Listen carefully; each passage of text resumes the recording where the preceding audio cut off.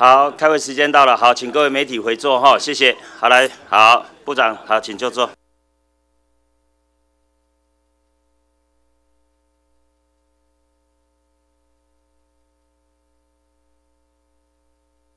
好，请各位媒体请回座，我们现在开始开会了，谢谢大家，谢谢。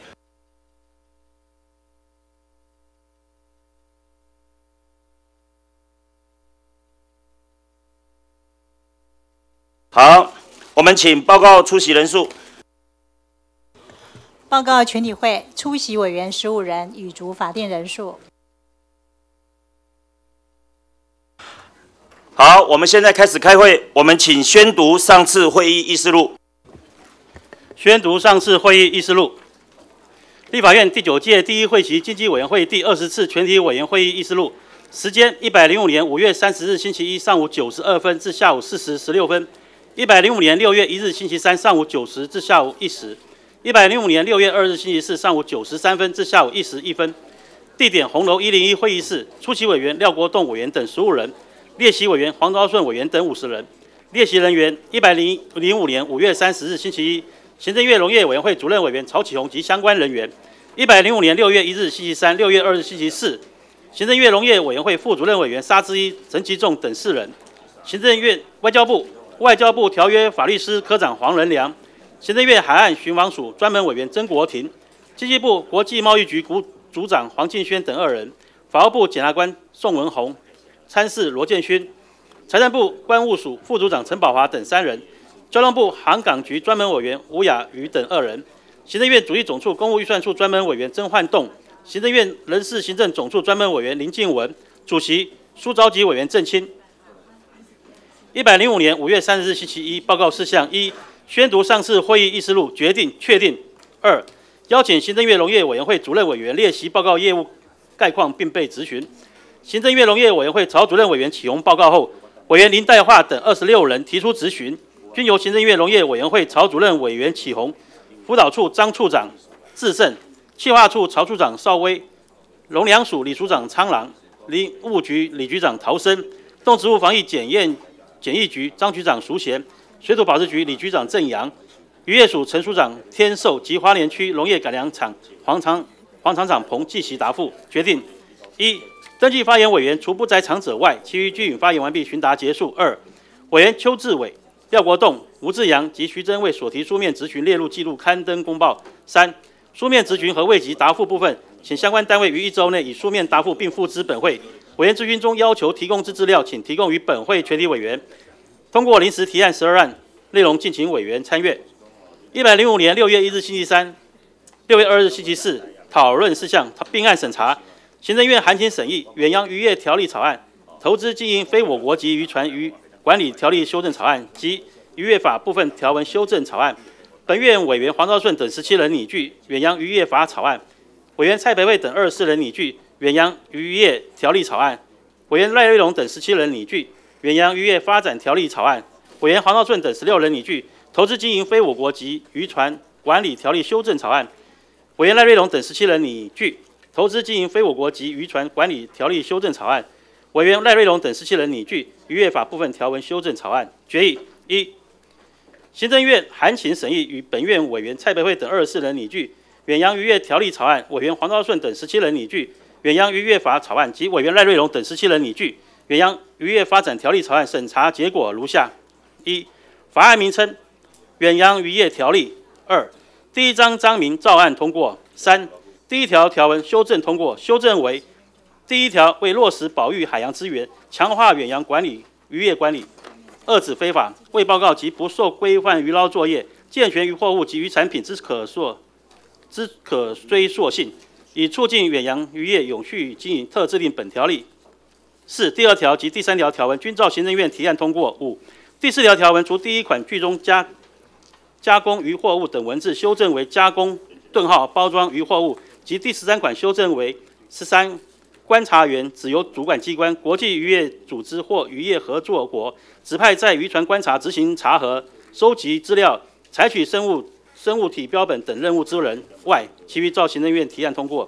六、第五条条文修正通过，修正为第五条，主管机关应运用预警原则以及生态系统为基础之方法，采取可取得之最佳科学建议，并参考国际条约、协定及养护管理措施，订定下列事项之国家行动计划，并公告之：一、海洋渔业资源之保育、管理、利用及最大可持续生产量之维持；二、海洋渔业资源及海洋生态环境改变之应用措施；三、远洋渔业之永续经营目标、发展策略及执及计划执行步骤；四、渔捞能力及海洋渔业资源之衡平措施；五、应应远洋渔业产业结构调整，针对经营者、从业人及远洋渔业相关业者之辅导补助措施；六、远洋渔业监督管理制度及其相关人力资源建制训练；七、远洋渔业人力资源之训练及相关科技设备之发展；八、与他国及国际渔业组织之合作；九、预防、制止与消除非法未报告及不受规范渔捞作业；十、其他有效管控远洋渔业相关事项。七、第二章章名照案通过。八、第六条条文修正通过，修正为第六条：中华民国人从事远洋渔业，应依渔业法取得渔业证照，并向主管机关申请核发远洋渔业作业许可。前项作业许可之申请资格条件、应备文件、程序、期限、总容许渔船船数、吨位数或渔舱容积、总容许渔获量、废止条件及其他应遵循事项之办法，由主管机关定之。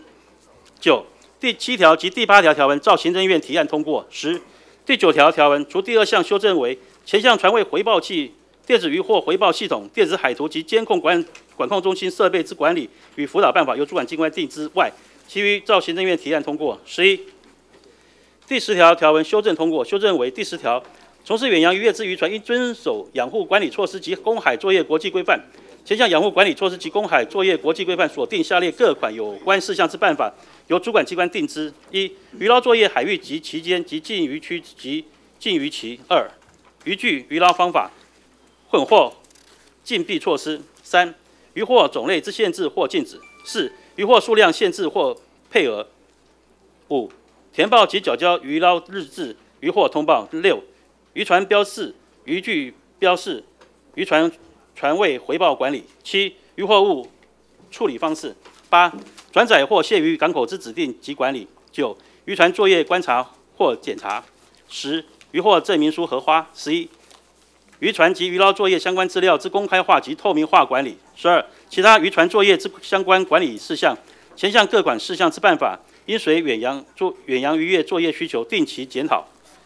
十二、第十一条条文除删除第一项但书。及第二项首句前项主管机关等文字修正为前项作业主管机关外，其余照委员赖瑞龙等人提案通过。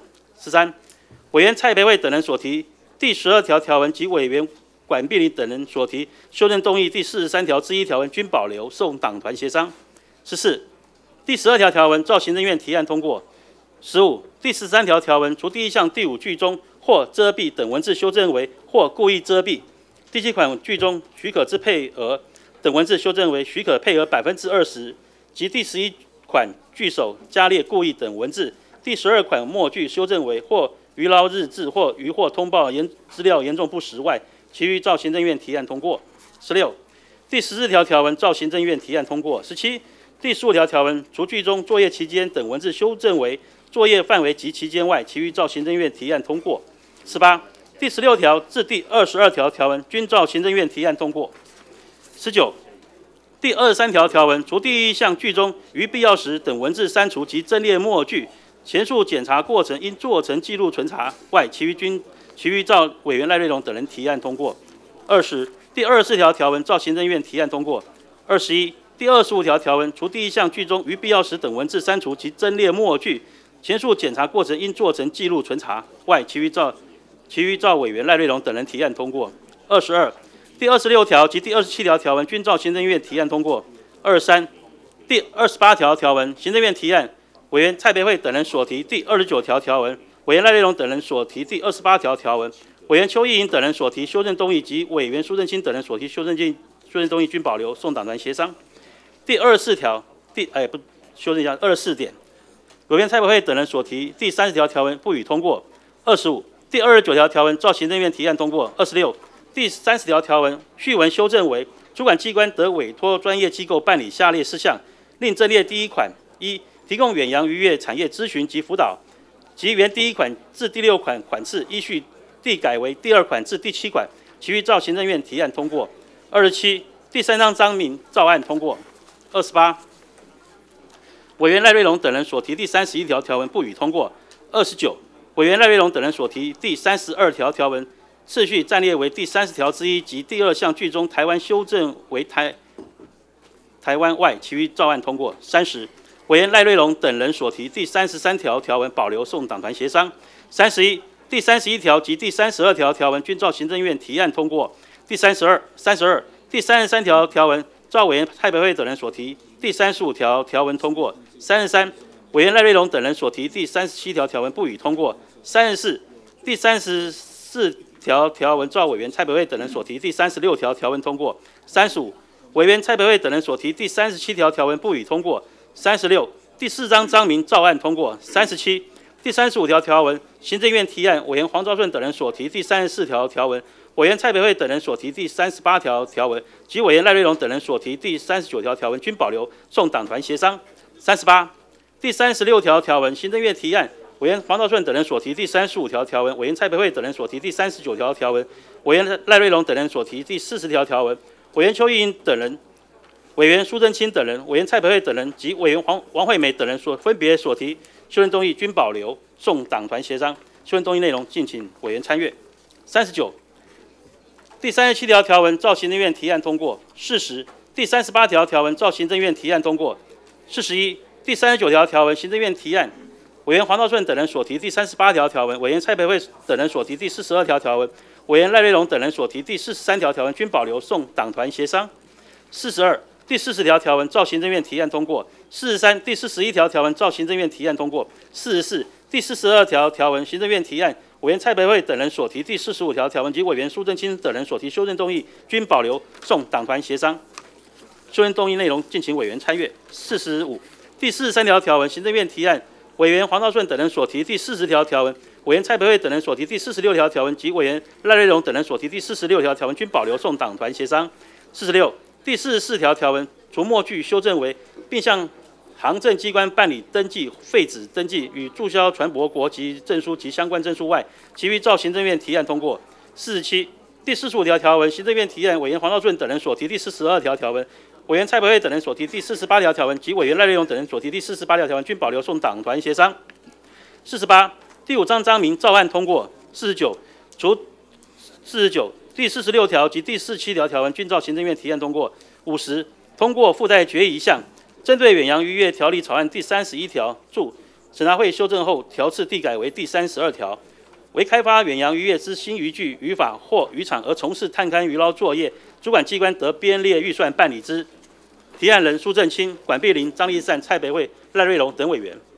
二、行政院函请审议，本院委员黄道顺等十六人及委员赖瑞龙等十七人拟具投资经营非我国籍渔船管理条例修正草案，审查结果如下：一。第一条至第十三条条文均照行政院提案通过。二、委员赖瑞龙等人所提第十三条条文不予通过。三、行政院函请审议及委员赖瑞龙等十七人拟具渔业法部分条文修正草案，审查结果如下：一、第一第七条之一条文照行政院提案通过。二、第三十九条、第四十条、第四十条之一、第四十条之二及第四十七条条文均均予照案删除。三、第四十九条条文，除第三项句中扣留等文字均修正为暂予扣留，增列第四项主管机关或海岸巡防机关依第二项为暂予扣留后，即应及时洽请司法机关为搜索或扣押之处置，并交付暂予扣留之物，及原第四项项次第一为第五项外，其余均照行政院提案通过。四、第六十一条条文照行政院提案通过。五、第六十三条之一、第六十三条之二及第六十七条条文均予照案删除。六、第六十八条条文。删除句中第六十条、第六十一条、第六十二条第三款等文字，其余照行政院提案通过。七、第七十一条条文照行政院提案通过。四、并案审查完竣，拟具审查报告提报院会讨论，需交由党团协商，并推请书召集委员郑清于院会讨论时做补充说明。五、本次会议审查通过之条文、条次及引述条文部分文字，授权主席及议事人员整理散会议事录宣读完毕。好，谢谢我们议事人员。那么，请问各位同仁，上次会议议事录有无错误？好，没有错误，那我们议事录就来确定。那么，现在进行报告事项，请宣读。宣读报告事项，邀请经济部部长列席报告业务概况，并被质询。报告完毕。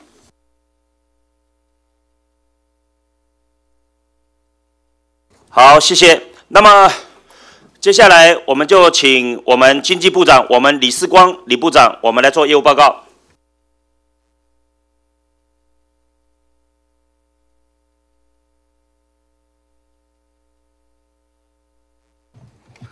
呃，主席、各位委员，大家早安，大家好。世光应邀到贵委员会提出业务报告，深感荣幸。以下仅就我们国内外的经济环境及经济部的施政重点，逐一做扼要说明，同时也请各位委员不吝指教。首先，我们谈一下我们目前看到的经济环境。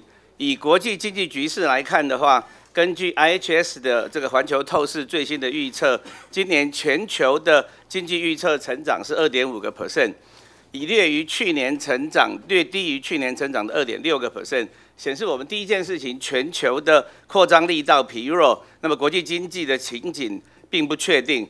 同时，除了这个以外呢，中国大陆的经济走缓，全球金融市场波动，同时地缘政治等非经济风险，均将影响全球的。这个景气的未来走向，在国内经济的形势方面来看呢，全球经济的表现不如预期。那么 WTO 表示，今年全球的贸易成长量只有二点八个 percent，也是连续第五年放缓，也是一九八零年以年代以来最低的最低的时期，不利于我国出口的成长。内需方面，虽然民间的消费仍旧相对的稳健，但是因为经济形势不明显。厂商的投资行为仍偏低调保守，所以行政院主计总处呢已经下修我国今年经济成长预测到一点零六个 percent，所以我们国内的景气景气呢也持续提低于处于低缓的情况。那在这样的部分的情况之下呢，经济部的施政方向呢所考虑的是这几件事情，在全球经济这个疲缓。那么，亚洲开发银行指出呢，今年的经济成长力道是十五年来最低的。那台湾的经济形势除了面临这个险峻的国际形势之外呢，也面临升级转型的双重压力。那么施政有这个延有延续性，推动台湾经济体制的转化跟转型呢，需要长期的基础扎根。所以本部的施政的核心愿景，就是总统一再强调的经济发展的新模式。利用创新、就业、分配，推动台湾经济结构的转型跟永续发展。整个具体施政的四大个主轴、八大的重点开展呢，尤其要达到最重要的三项任务。这三项任务就是推动台湾产业转型、产业升级跟产业创新，将台湾的经济从过去的效率驱动呢，转换为创新驱动，让经济。环境跟社会能够真正的平衡发展，共享全民的经济发展成果。那么，在施政的方向规划的部分，包含呢推动产业创新、永续的能源跟资源管理，推展扩展经贸布局，同时塑造优质的经营环境。在具体的施政范围作为里面呢，包含在推动的产业创新部分呢，那么我们的产业经过多年的发展，高效率的产业基础。随着台湾经济进入成熟期，旧的发展模式已经没有办法带动台湾产业向前，所以只有创新才能够真正的扎根台湾产业内在的改变。未来将以国内的需求出发，连接在地跟全球资源，形成区域的产业聚落，以提供优质地方型创业及就业机会，确保我们的经济可以自主的发展。在产业创新研发的部分呢，为了掌握下一个世代产业的发展机会，那么我们发挥国内产业的优势利基，那么我们会积极推动包含绿色能源科技创新产业、国防产业、亚洲系股计划、亚太生技医药研发产业、智慧机械创新产业等五大创新研发计划，同时还有石化业的转型跟循环经济，在策略做法上面呢，将更强调。产业跟在地学员资源及人才培育的连结，同时以区域发展平衡为前提，将中央跟地方整体的能量做整合的应用，引进先进国家技术跟人才等，让这些产业能够有国际的竞争力，并带动周边中小型产业及服务业的共同升级，成为台湾下一个阶段台湾经济要升的重要引擎。以目前较成熟的绿能来看，过去十年全世界都争相投资在绿色经济，台湾有相对优良的这个绿能产业发展的条件跟基础。其中可以立即推动的，当然包含太阳光电产业。台湾有电子业的技术优势，同时资金资金充沛，但是需要有足够的土地作为试验场域。那这个部分呢，我们将会跟农委会及相关部会密切的合作。在太阳能的供应链上呢，台湾目前只缺这个组装的模组，未来要规划让国产化的产业跟绿能的产业并进。那么这个部分所讲的是，我们不仅要开发绿能产业，同时开发制造绿能相关设备及技术跟组装的相关产业。这个部分我们估计呢，可以有一百亿元以上的投资。一旦开始发电，除了可以创造稳定的财源之外呢，那么同时也可以提供一部分的能源供应。同时在跟地方政府的合作之下，将发展台南沙仑成为创新绿能科技园区，打造南台湾的。这个绿能研发跟产业聚落，并且向外辐射，同步带动各地绿能产业的发展。在亚洲细谷的计划方面，将以物联网及相关产业为中心，连接细谷的制造需求，打造全台智慧工业城市的典范，并且透过筹资扶持高阶人才的引进、快智服务跟单一服务窗口，串联桃园、美国戏谷跟亚太创新聚落。辅以桃园优深厚的制造业能量，建构桃园成为全球新创者的实践基地。同时，借由桃园地区的产业园区，建构完整的实验场域，打造整体方案，创造优良的就业。在智慧机械的创新产业部分，中部地区的机械产业聚落已经完相当完整，未来将以台湾的精密机械产业、资通讯产业为基础。导入生产力试点技技术升级为智慧机械，同时推动智慧机械的产业化跟智慧产业的智慧机械化，以及产官学合作培养智慧机械人才的方式，打造中部地区成为智慧机械之都，进而提升整场系统解决方案能力，进军新兴市场。在亚太生技研发方面，打造台湾成为亚太生技福祉研发产业的中心。补强新药研发产业链，同时促进国际药剂药品的查核的协约组织，特色药厂的国际化，形成特色药业的这重镇，推动立基医材系统的智慧化，发展智慧化医材的产品跟服务聚落。那么，同时放宽业者参与福祉服务的条件，促进产业化，建构健康福祉创新服务基地，修正。生技新药产业的发展条例纳入研拟基因治疗与细胞治疗产品等等。在国防产业方面，将以台北治安、台中航太跟高雄船舰为主轴，结合在地产业的聚落，推动产业治安产业的发展，并应应国防部的要求。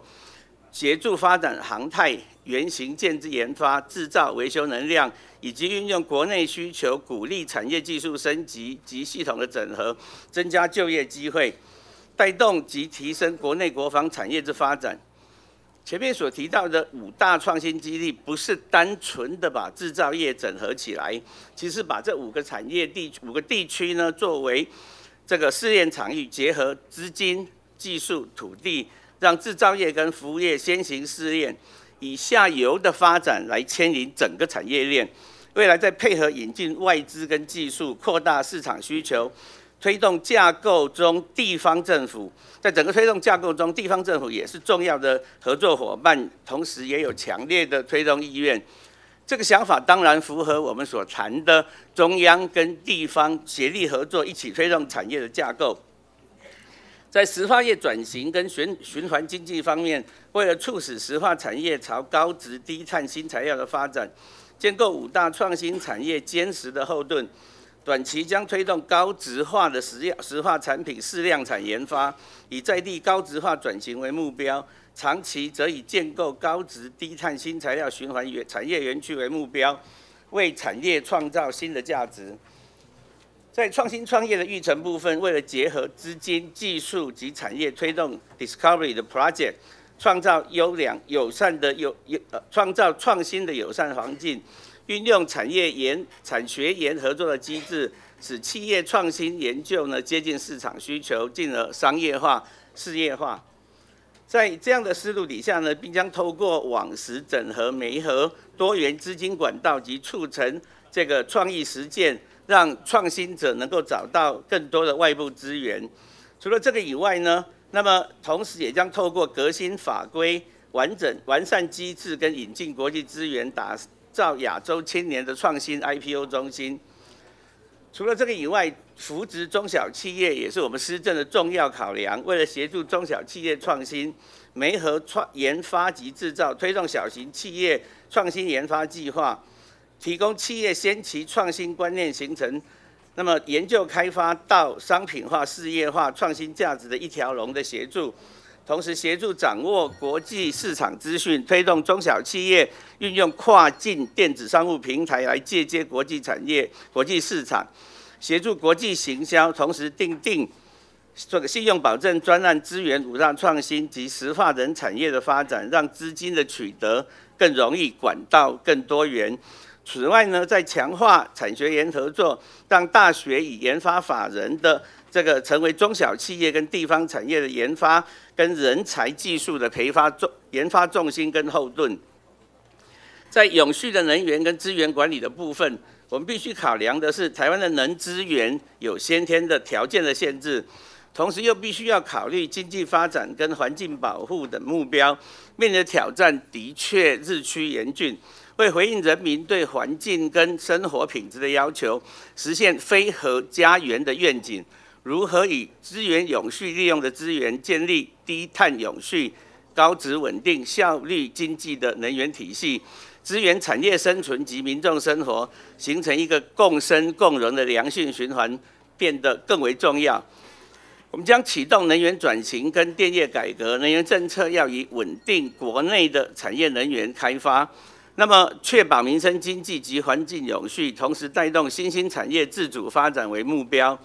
那么，本部将短短以长短期的策略交互搭配，包括稳定开源及扩大需量管理，确保短中长期的电力供应，推动节能的极大化。那么，提升能源使用效率，抑低电力需求成长，积极多元创能。那么，促进洁净能源的发展，包含加速新建第三座天然气接收站，扩大使用天然气，降低现有火力发电厂的污染及碳排放，提高再生能源电发电量，在二零二五年达到总发电量的百分之二十，以及布局发展新兴能源等，同时加速布局储能，强化电网的稳定度，并培养相关系统的整合能力，输出国外系统的市场。考量产业自由化是重大政策，本部可就其推动方向进行检讨，初步规划以长网分离为推动目标，将综合电业进行分割，并开放电业跟售电业深色，待书籍逐步开放用户购电选择权，后续将配合行政院能源及减碳办公室积极的协助呢，提供能源转型所需要的市场结构跟它的法治基础。此外，根据大院在一百零四年一月二十号所审定通过的新这个价费新新的电费价费电价费率计算公式，本部已经成立电价费率审议会，每半年检讨一次电价，到现在为止已经运作三次。目前所收集这个对对电价的这个费率的计算公式跟修正意见，包含成本，包含整项内容，包含。范围、这调涨及调这个调降幅度设限、建立电价平衡机制等，台电公司将迅速酌参上述意见修正，预计在八月份将由本部情呈报行政院做进一步的审议。在加强水资源管理跟防汛准备部分，为支持社会经济及环境的永续发展，完善水资源管理法治环境，本部近期已经制定再生资源。再生水资源发展条例，并将修正通过自来水法及水利法等节水三法，有效提升水资源供需效能，并开发新兴能源，以加速达成迈入节水型社会的愿景。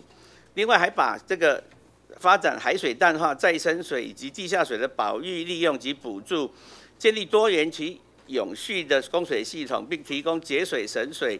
提升水资源的调动能力，强化集水区保育与水库清淤的更新，以及落实自来水管线的汰换，进行有效管理及弹性的调度。为了充分保障民众的生活、生命及财产安全，本部将加强河川防洪体系，推动联合防灾救灾的机制，落实防灾观念的宣导及强化防汛的设施，完善防汛准备及救灾管理。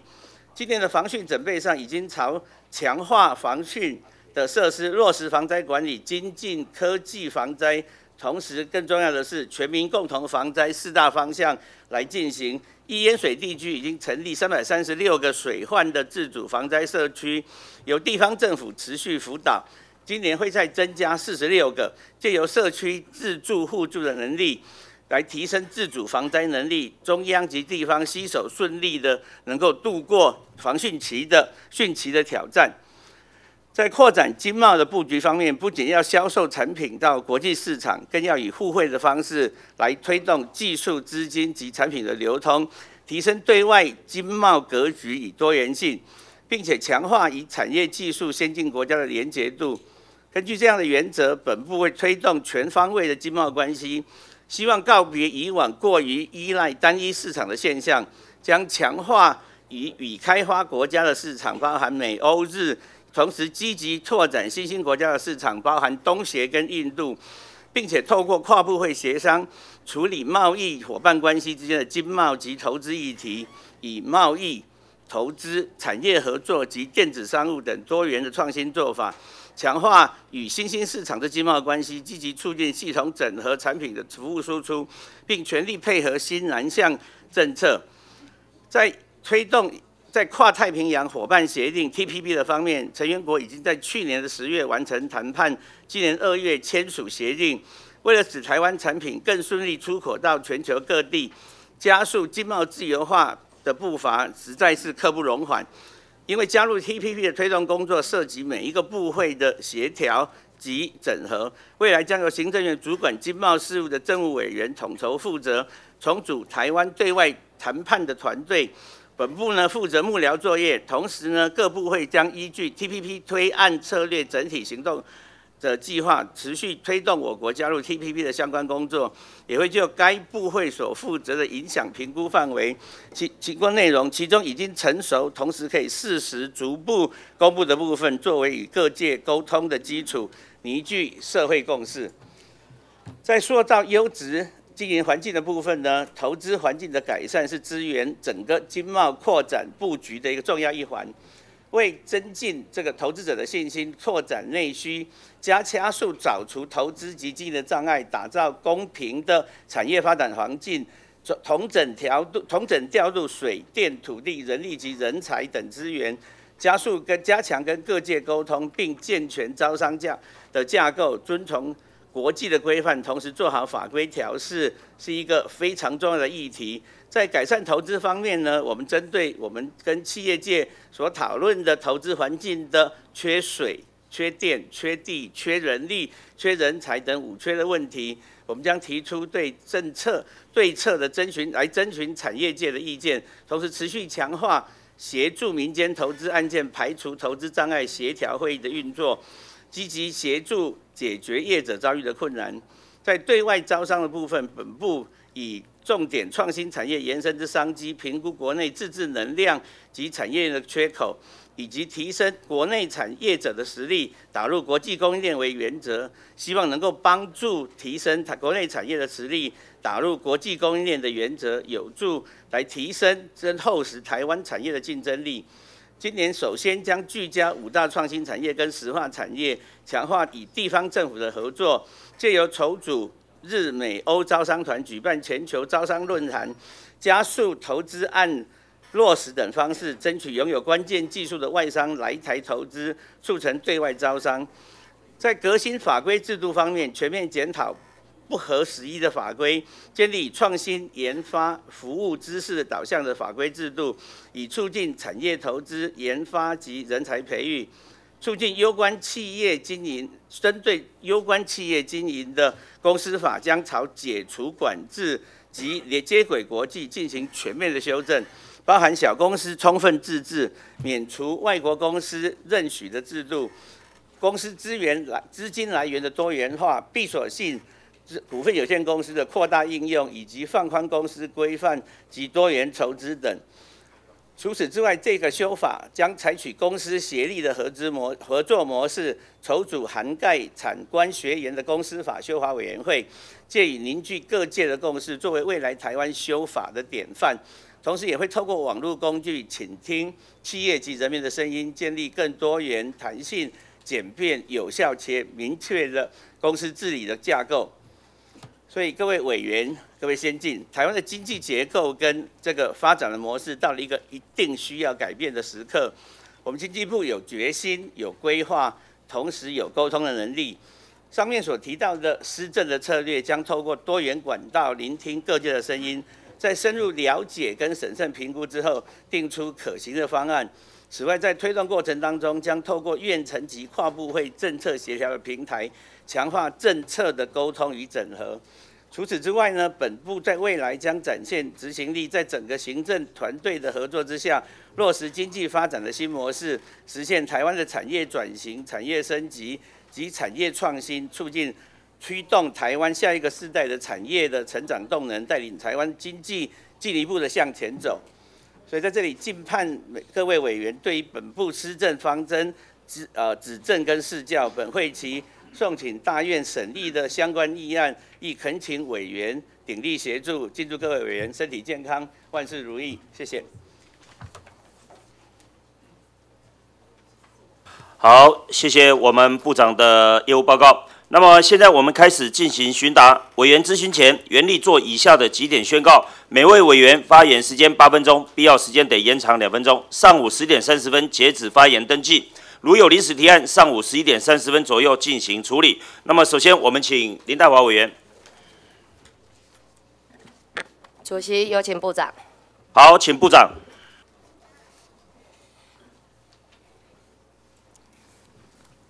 委员长。来，部长，您的这个报告当中啊，呃，本席认为你除了五大创新研发计划当中啊，对于石化产业你颇多琢磨。我数了一数啊，您讲到石化业的转型与循环经济，你讲了五个地方。第三页啊，你的口头报第三页的产业创新这个这个呃这个段落，以及你第五页。的最后一段，在石化业的转型及循环经济，在第六页，你的扶持中小企业，你还讲到严定信用保证专业资源五大创新及石化等产业。第四个，你在提到跟我们石化业也有关的，在启动人员转型与电业改革，你的积极多元创人啊，促进节能啊，加速新建第三座天然气接收站。要扩大使用天然气，这会跟我们呃这个石化也有关。再来呢，第五个你提到的呢，在第十页改善投资环境，你还是再次讲，今年将聚焦五大创新研发及石化产业。好，既然这么重视石化产业，本席呢在你这边呢已经听不呃看不到一个专有名词叫做石化专区。你提到的是这个啊循环啊石化产业呢与循环经济，这有什么不同？呃，报告委员哈，那么您说我们有没有听过这个循环经济或循环经济专区的新？或者是石化专区？第一个，你有没有听过石化专区？有的。好，那现在你在这当中啊不提石化专区了，你你从你以后就以后没有石化专区这件事情了。不是的，我们在这里提到的是整个石化产业的推动。那么石化专区的确是我们在规划当中的一个重要的这个架构。那在那个部分，因为牵涉到我们整个中游，在这个南高雄地区跟整个高雄市政府，还有整个高雄地区人民之间的土地，所以你还是要石化专区。可是里面呢，是以现有的上中下游整合。炼油中呃中游的这个甲乙烷，然后下游的这个呃石化材料，那是一样同整在一块吗？是的，我们会有这个土地啦等等的规划。也许我请这个我们中油，那你怎么融入你的循环专区？是，我们请这个中油的这个代理董事长先报告一下。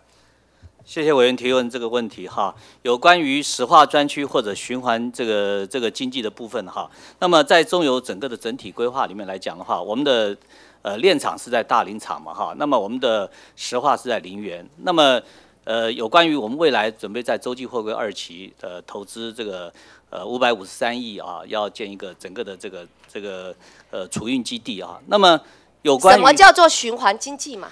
我跟讲那么多嘛是是，我跟啊我们先请工业局局长先把这好，来局长，呃，我想循环经济它概念是呃，希望能够呃在生产的过程中哦，它的既有的能资源跟啊它的废弃物之间能够做一个很好的循环利用哦，那这样就可以呃一般方面产能可以增增加，但是它另外一方面这个污染可以减少、所以通常我们有五个 R 的概念，就是这个 reuse、recycle、reduce、recovery 跟 repair 这样的原则。好，好，再继续念好了哈，部长，很明显呢，你们对循环经济啊哈，这个是一个新的概念，好，但是呢还没有抓到精髓，如何？很简单讲，就是把你所产生的所有的废气，不管是气体、固体、热热气，全部整个回收，再次的利用嘛，循环经济就是这样嘛。好，所以你会到石化厂，本席来自石化专区的选区，两大石化专区都在本席的选区里面，大社工业区跟林园工业区，你只要经过就看到蒸汽，你看经经过就会看到火在那边冒。那如何把这以及你经过之后，那边的温度会特别热，所以把那边的热热能，把他们的蒸汽，把那边所释放出来的火，全部整个回收再利用嘛，这就循环专区嘛。所以我想简单讲就是这样啊。好，那既然石化专这个产业要转型成石化啊这个啊循环经济专区，好，那你还是得面对公安跟环保。没有公安跟环保，就没有所有所谓的石化啊这个循环绿能专区这件事情。那我们来看，先由小而大了哈，讲大政策要看你目前有什么问题要解决。在这个人大工业区啊，有一百一零七条款。什么叫一零七条款？部长，好来，局长您让部长知道一下。呃，这个基本上一百零七年，呃，有可能会变更成为乙种工业区。由现在特种工业区变成乙种工业区，会有什么冲击？基本上冲击就是说，将来厂商在里里面的这个新新的投资会受到这个影响啊、那呃，它既有的投资也不能扩厂。好，特种就是高污染嘛，那这个乙种就是一般工业嘛。简单讲，所以那些石化厂区可能全部都要都要迁嘞，是不是有这种可能性？或者是说现有的部分你不能再扩建嘛？就像你讲的嘛。对对，就是现有不能再好，扩建。这就是一零七条款，部长你要知道，人大工业区有这个一零七的条款的隐忧。那再看到我林园工业区，从今年开始，二零一六年一月到现在的五月，我这次只讲跳车这件事情。好，从一月三十一号、二月密集三次，到五月十五号还在继续跳车，这样的公安问题，部长怎么处理？您说要循环经济呀、来，公安怎么处理？报告报告委员，这个有关于公安的问题都是执行面的问题啊。那么我在担任总经理的期间呢，在这个部分，我们从设备、从制度、从人员的训练，因为这种公司讲坦白话，现在整个的人力断层啊很严重，所以我们要加强同仁的训练来做努力。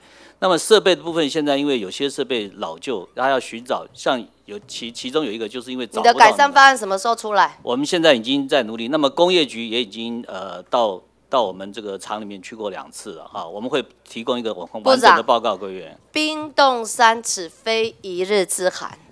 好，这样子的跳车，你给他想一想，我在旁边的居民，好，我们在这边吹冷气，他们每一个月平均就要接受那个爆炸声，好，跟那个因为爆炸之后所产生的那个热度，空气的密室一级的热度。好，那这个希望您赶快处理好，设备就大力的支持他们。好，那我要讲的就之之前的管理是多么的糟糕。再来，你看这个土地正义，五福里的十三到十七里这边所有在爆炸的地方，全部最靠近的有六个村，我现在只讲一个村而已，一个里而已，里面的五个零，十三到清的我协调了几年，五年。我说中油是混蛋，这所有的爆炸最直接受害的就是这些民众，你们可以拖到五年，这个中油的董事长卸任，然后部长卸任，还是不敢批。部长，我知道到您手上了，你竟然还再退回去，说还要再研议研议。部长，你要不要当面住看看？你说要什么经济循环专区呀？对不对？我跟您报告一下这件事情哈。就是这个部分，我们这几天部内有重新再开会讨论这个议题哈。我之所以退回去，不是说不批这个案子，而是我们对于整个高雄地区，在整个高雄市、高雄地区，在这个您所提咨询的这几个相关的产业园区，我们需要做一个整体的考量。不过这几天，这个我们部内同也跟我分析过，说整个这个五五福里的十三到十七零这个计划，跟另外那个计划是可以脱钩处理的。那我们跟院里报告。也认为整个一整个跟高在台电跟中油在高雄地区的整个的好什么时候出来，竟然可以脱钩处理？那这个部分脱钩处理，我们这这个礼拜这个部分就应该可以好拍板定案。好，还有要跟民众，你们光是可以搞了五年，最辛苦的是你们这些高层不会下去协调的，叫做民众的同意书，这才是我们要用最大的力。可是你们可以在这前面搞了五年，我说真的是混蛋两个字不为过啊。是我们人民的身家性命财产，每个月一一一个跳电，每个月的一个一个公安，然后到你部长之后还要再重新演绎。好，再来，我们来看你怎么转型。哈，你们说到这个循环经济跟循环专区的新经济架构，好，那在这边呢，你要推动高雄地区建构啊，创新化学材料产业聚落。那这个是呢，我看到你们之前的一个报告啊，就是说这个循环专区啊是要导入创新化学材料产业聚落。那呢，低碳循环的经济的概念呢，也一定要优先的导入。那本席想了解，你这个循环经济专区，而且呢，发展后端的这个化学材料的部分为最主要的高值化的啊这个呃重点。那您怎么做？你们是要规划这个成立专责的循环经济推动办公室吗？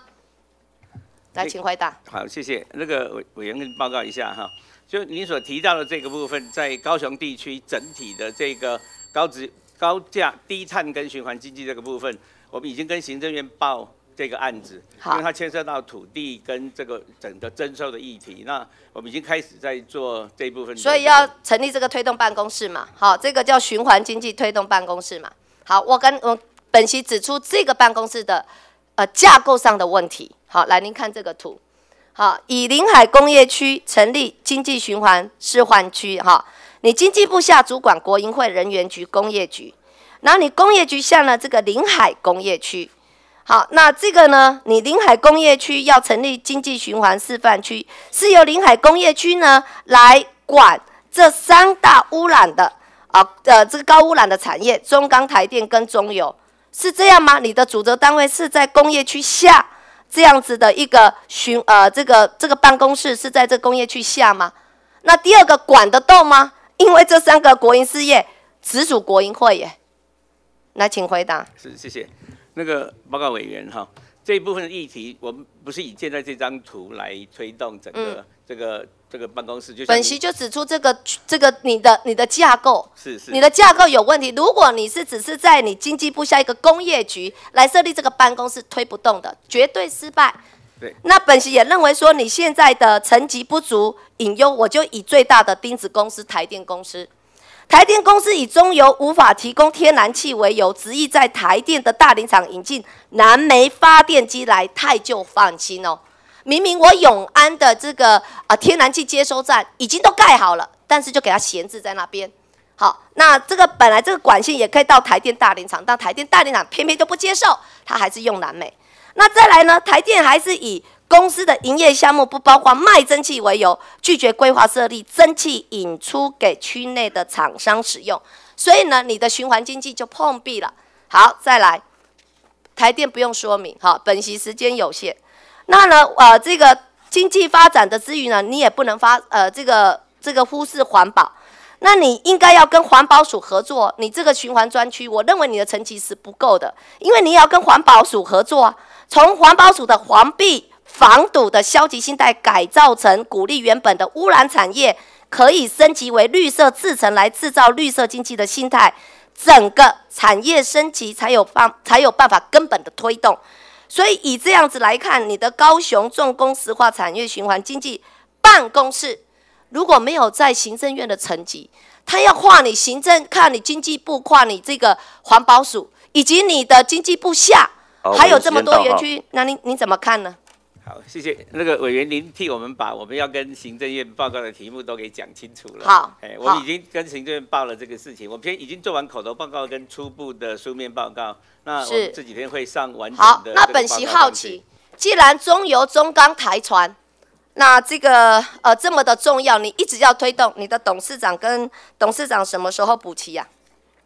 那个跟这个你的中油董事长、中钢董事长什么时候补齐？那那个部分我们已经报到院里去，那院里正在做最后的考量。什么时候可以核定？啊，尽快了。我们我们现在尽快。对对。本席要求两个月，两两个星期。对不起，两个星期。你看，你从五二零哦。五二零五月中旬到现在已经六月几号？六月六号，再过一个，今再过了这一周，放了端午节，就六就六月中旬，足足快一个月了。你一个月没有办法拍板定案，整个国营事业的经济的的这个首长，那你怎么推动啊？我光是现在要协调，我都不晓得找谁啊。好，谢谢以上。谢谢谢委员。好。谢谢谢谢我们林代华委员，接下来我们请廖国栋廖委员。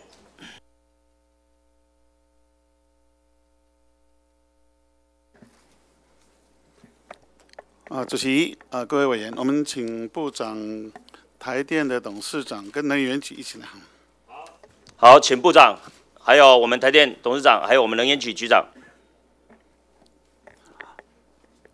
部长，我首先要跟你说的，我今天听你的报告啊，真的是有一点大失所望。我以为说一个新的经济部长，你要就目前台湾的经济的苦境困境，说出你怎么样去解决它，而不是行礼如仪，这个如照照章念，这样处长就可以就可以帮你念了，不必你去讲啊。所以我今天特别要跟你提的是，你们的。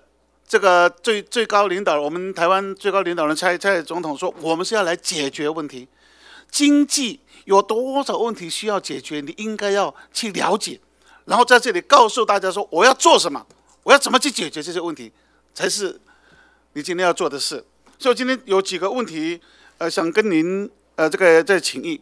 这两天沸沸扬扬的所谓的合一重启哦，这件事情。我们没有很清楚的看到你们是不是有透过行政院的院会啊，这都呃这这个大家共同讨论，而是各自发炮啊。当然，今天如果真的因为限电而必须要重启，我们一定会支持啊。没电怎么办？这是非常非常大的一个不是民生的，是整个国家的经济的议题啊。哦，那么现在我看到的林院长林权说。考量到电力的调整，合一如果安全，我们就要启用，但是原则上是不延役。我要问你的是，这个是行政院的最终决策吗？呃，跟委员报告哈，在整个这个，在目前您所提到这个部分，其实有整个部分还有一些东西没有讲得很清楚，就在报纸上的这种说法。呀，那么其实它包含需求面、供应面。就等等的这些考量，因为时间不多，你只告诉我是决策了吗？这就是在这个架构底下，合一厂是我们在把所有的节能效率等等都卡，节能效率的提升跟所有的其他的这个电厂的这个相对的结构都弄完之后的最后一个步骤。如果这个核电厂的这个安全可以启用的时候。那么它会并联发电，是我们最后的一个这个选择。我们我们我们有很多事情前置作业要做。是。但是我现在先问台电啊，最近外界一直在批评你们，说你们你们这个所谓的限电根本就是恐吓人民嘛啊！还有很多的呃我们的这个备转容量，你们并没有试出啊，比如说这个太阳能的这这个呃发电能量并没有试出，然后大家都说你你们根根本就假议题嘛，果然如此吗？有没有限电的危机？我跟这个委员报告啊，是台电并不需要恐吓民众，不需要也没有从来没有恐吓过民众，呀？而且我也不觉得大家对这个议题有质疑，因为我们非常清楚的哪个机组什么时候发多少电，每十分钟就上网，所有大用户随时随地都可以看到这些东西。所以你应该在对外说明啊，你们都没有讲，就认定这种这样的我们呃以讹传讹的这种方式啊，。我们这个当然这个大家不清楚的时候，我们是一再一再一再的说明，所以我在这里也谢谢委员咨询，就是我们还要再澄清，从来没有打算要恐吓，因为我们知道这个没有电对整个社会来说影响非常大。你告诉我限电的状况怎么样好了？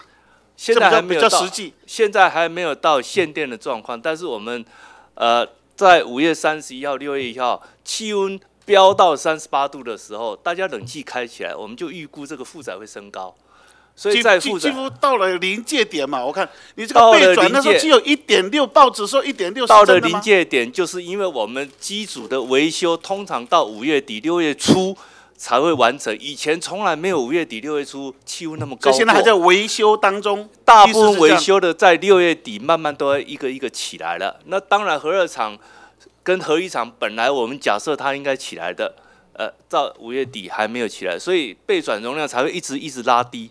而且梅雨季通常在去年，比方说五月二十号就来，今年梅雨季在到现在为止是来了没有？不晓得。所以，呃，所以我会觉得说，这个有时候电力在调度上。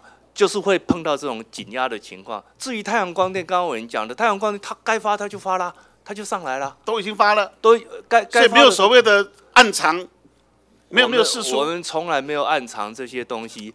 这个哎董事长，我就就问你一个简单的问题，因为我们时间不多。那重启合一，你们自己的立场怎么样？我觉得这个一个电厂要起来，就是问它安不安全，就是这么简单一回事。OK，安不安全？原委会已经给你们做过所有的审查嘛，也以报到立法台电的院要做报告，已经四次了因为，安不安全？因为那一件事情只是一个燃料束，而且不是燃料，是燃料束的这个把手要，你那个是那个棒嘛，不是吗？那个棒要拉起来的时候，那个松脱是平常摆在那边是不动的，就是要维修的时候要把它拉起来的时候松脱。那这件事情经过工程上、科学上非常多的验证，所以现在是安全的吗？我们认为现在是安全的 OK，原好能，所以这个要原能会来审嘛。安全就好。是，啊，那现在我要再问部长，部长，你现在要要处理这个电的问题啊，还有三大程序的。第一个，立法院这一关不容易啊。听说朝野之间，民进党跟国民党的招委都不想排啊，不想排。如果不排，那我们就真的要进入刚刚董事长所讲的限电。这第一，第二个呢，朱市长今天在报端说，绝不留这个高端的燃料数在新北市境内，哇，不得了了！如果你不能有一个，不管它干湿湿式的哈，啊，已经满的状况之下，你就不可能发电了，就不可能发电。第三个呢，就是我刚才讲的，外界一直质疑我们的备载容量，事实上是还有百分之十一，但是台电误导民众说只剩下一点六。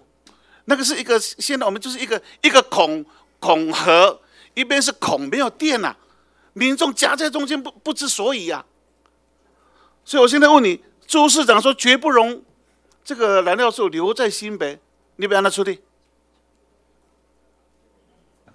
还是董事长讲的？是我先回答这个问题。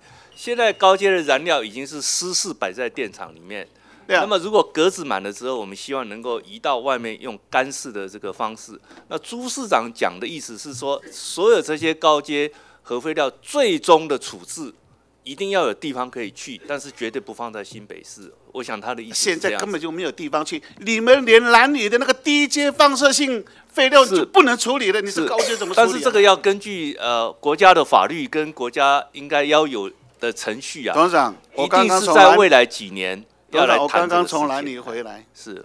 他们哭着告诉我，你们原来答应在一百年，后来又变成一百零四年，通通都没有没有没有成就了。是我我我也对这个事情感到抱歉，我们也很希望这个挑出来的乌丘跟这个呃台东的那个那不可怜啦，对是不没有人会愿意把这个是核废料放在我家门口是，但后是我院没有人要这样做是我们是根据国家的法律一步一步在做这个事情啊。但是是那个博弟啊，这个就是要解决的问题啊！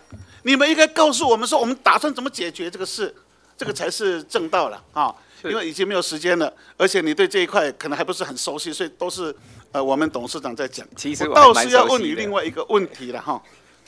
这个解决问题嘛，哈，你们是解决问题的政府，解决问题的部会。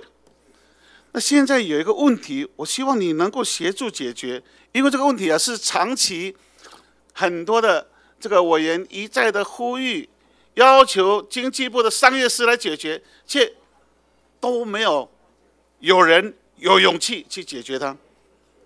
这个事情，你回去，我我我都不要什么商业司上来讲，我都不要，我就要跟你讲就好了。我们的泰流收购案，你稍稍熟悉吧？厉害。不然，你有当过某某几个上市柜的独董，对不对对，？OK，所以我们希望你你在在处理这个事的时候，你不要看到大企业就转弯，啊，不要看到大企业就转弯，要公平、公正、合理的来处理。尤其是当初这个商业登记的时候就已经有瑕疵，这个也到了，甚至我们到了高检署，啊，认定这个是有瑕疵的，也判刑确定了，判刑确定。那么另外一方说要求更正，因为这个是假的资料，不正确的资料，要求更正。但是历任多少个部长啊，都用说啊，这个没有呃，这个高检署的判这个那个刑事确定，并没有只告诉我们说哦，你们这个有误，并没有另为事罚之处分。用这个挑出一个理由啊，一直推迟不处理，一直到现在，我们我们实在讲不懂。我们好几个委员联合来思考这个事情，我们要的是一个社会的公平正义而已，但是到现在没有办法解决。我希望你上来以后，很快的能够重新审视这个案。啊，市长李梅跟我们多次的对话，但是没有勇气去做。他明知不对，明明知道这个资料是不对的，就没有人敢做决策了。你能不能告诉我，你怎么样来处理像这样的事情，那个解决问题？我先跟您报告一下哈，这件事情我一上任，这个商业司就还有部内的所有其他相关的局处，都已经对这件事情做完详细的报告。那您既然要求我们再看一遍，我们会再看一遍呢。不过这个部分在法规跟在目前的结构上面，第一件事绝对没有针对财团转弯这件事情。那我们会在就既然您要求，我们会做再一次在内部做一个审议。但是在目前我们所得到的所有的资料里面，现在的这个判决跟它的结构里面，大概已经是定案了。不过我们会往下再再做一次审视。部长，经济部一开始就知道这个是有误的一个资料，啊，知道有误就是有义务要处理，而且是有罪判决确定，这个就是行，这个这个在法律上已经确定它就是错误的资料，这个不用不用不用道德高度，哎，也不用什么什么资讯够不够不够，要的是有勇气去做这个事情了，部长。我希望你不不不不那个里面不不用讲了，我已经听你讲太多了，不用讲。我要部长讲，说我要处理，我要解决这个问题，你告诉我。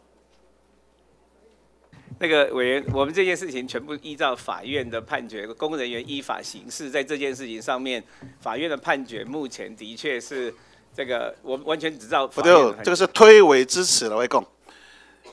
你明知这个是假的资料，你负责这个登记啊，好，知道是假的资料，你为什么不能改？我就想不想不通呢？我们不能改法院判决哈，这个你不能改法院判决，也不能改这个错误的资料吗？那是公示的你们官方的资料哎，一个错误的，你们居然没有勇气去改，我是想不通啊。我们有机会再讨论这个事情了。好，谢谢委员。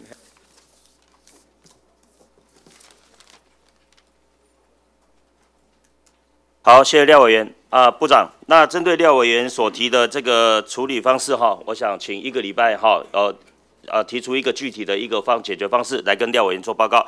好，谢谢。那么接下来我们请邱意莹邱委员。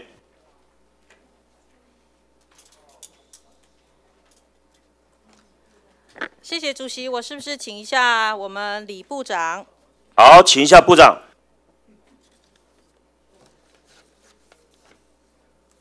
委员早安哈。哎，部长早。部长，我想今天大家都会很关心，在啊这个周末，上个周末，林权院长突然讲了，这个在安全无虞之下，不排除重启合一。我想请教一下部长，你什么时候知道这个讯息的？那个报告，这个委员哈，我在第一时间就知道这个。第一时间什么时候？跟报纸同样时间，还是行政院会开完之后？就这个部分，诶，没有在行政院开完院会之后就。所以你们在行政院院会的时候有讨论到这个议题吗？有没有？在在我因为我那那个时候奉派出国，所以我没有直接在院会里面，所以我没有在院会里面得到这个资讯，是后来。这个在礼拜六的时候，政务人员的会议当中有听到这样的消息。那部长，你有没有提出不同的意见跟不同的看法？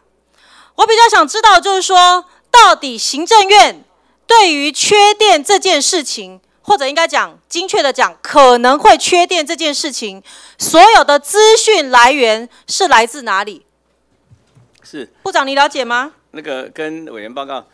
行政院收到的资讯，从各部会，当然从经济部有一部分的资料送上去，原能会，那么我我们的部分的资料当然包含台电跟国营会所有的相关资料。好，你就讲到一个重点了。其实你们所有对于有可能会缺电这件事情的资讯来源，通通来自于台电。部长，我曾经到这个我们经济部的能源局去调资料，我希望能够得到。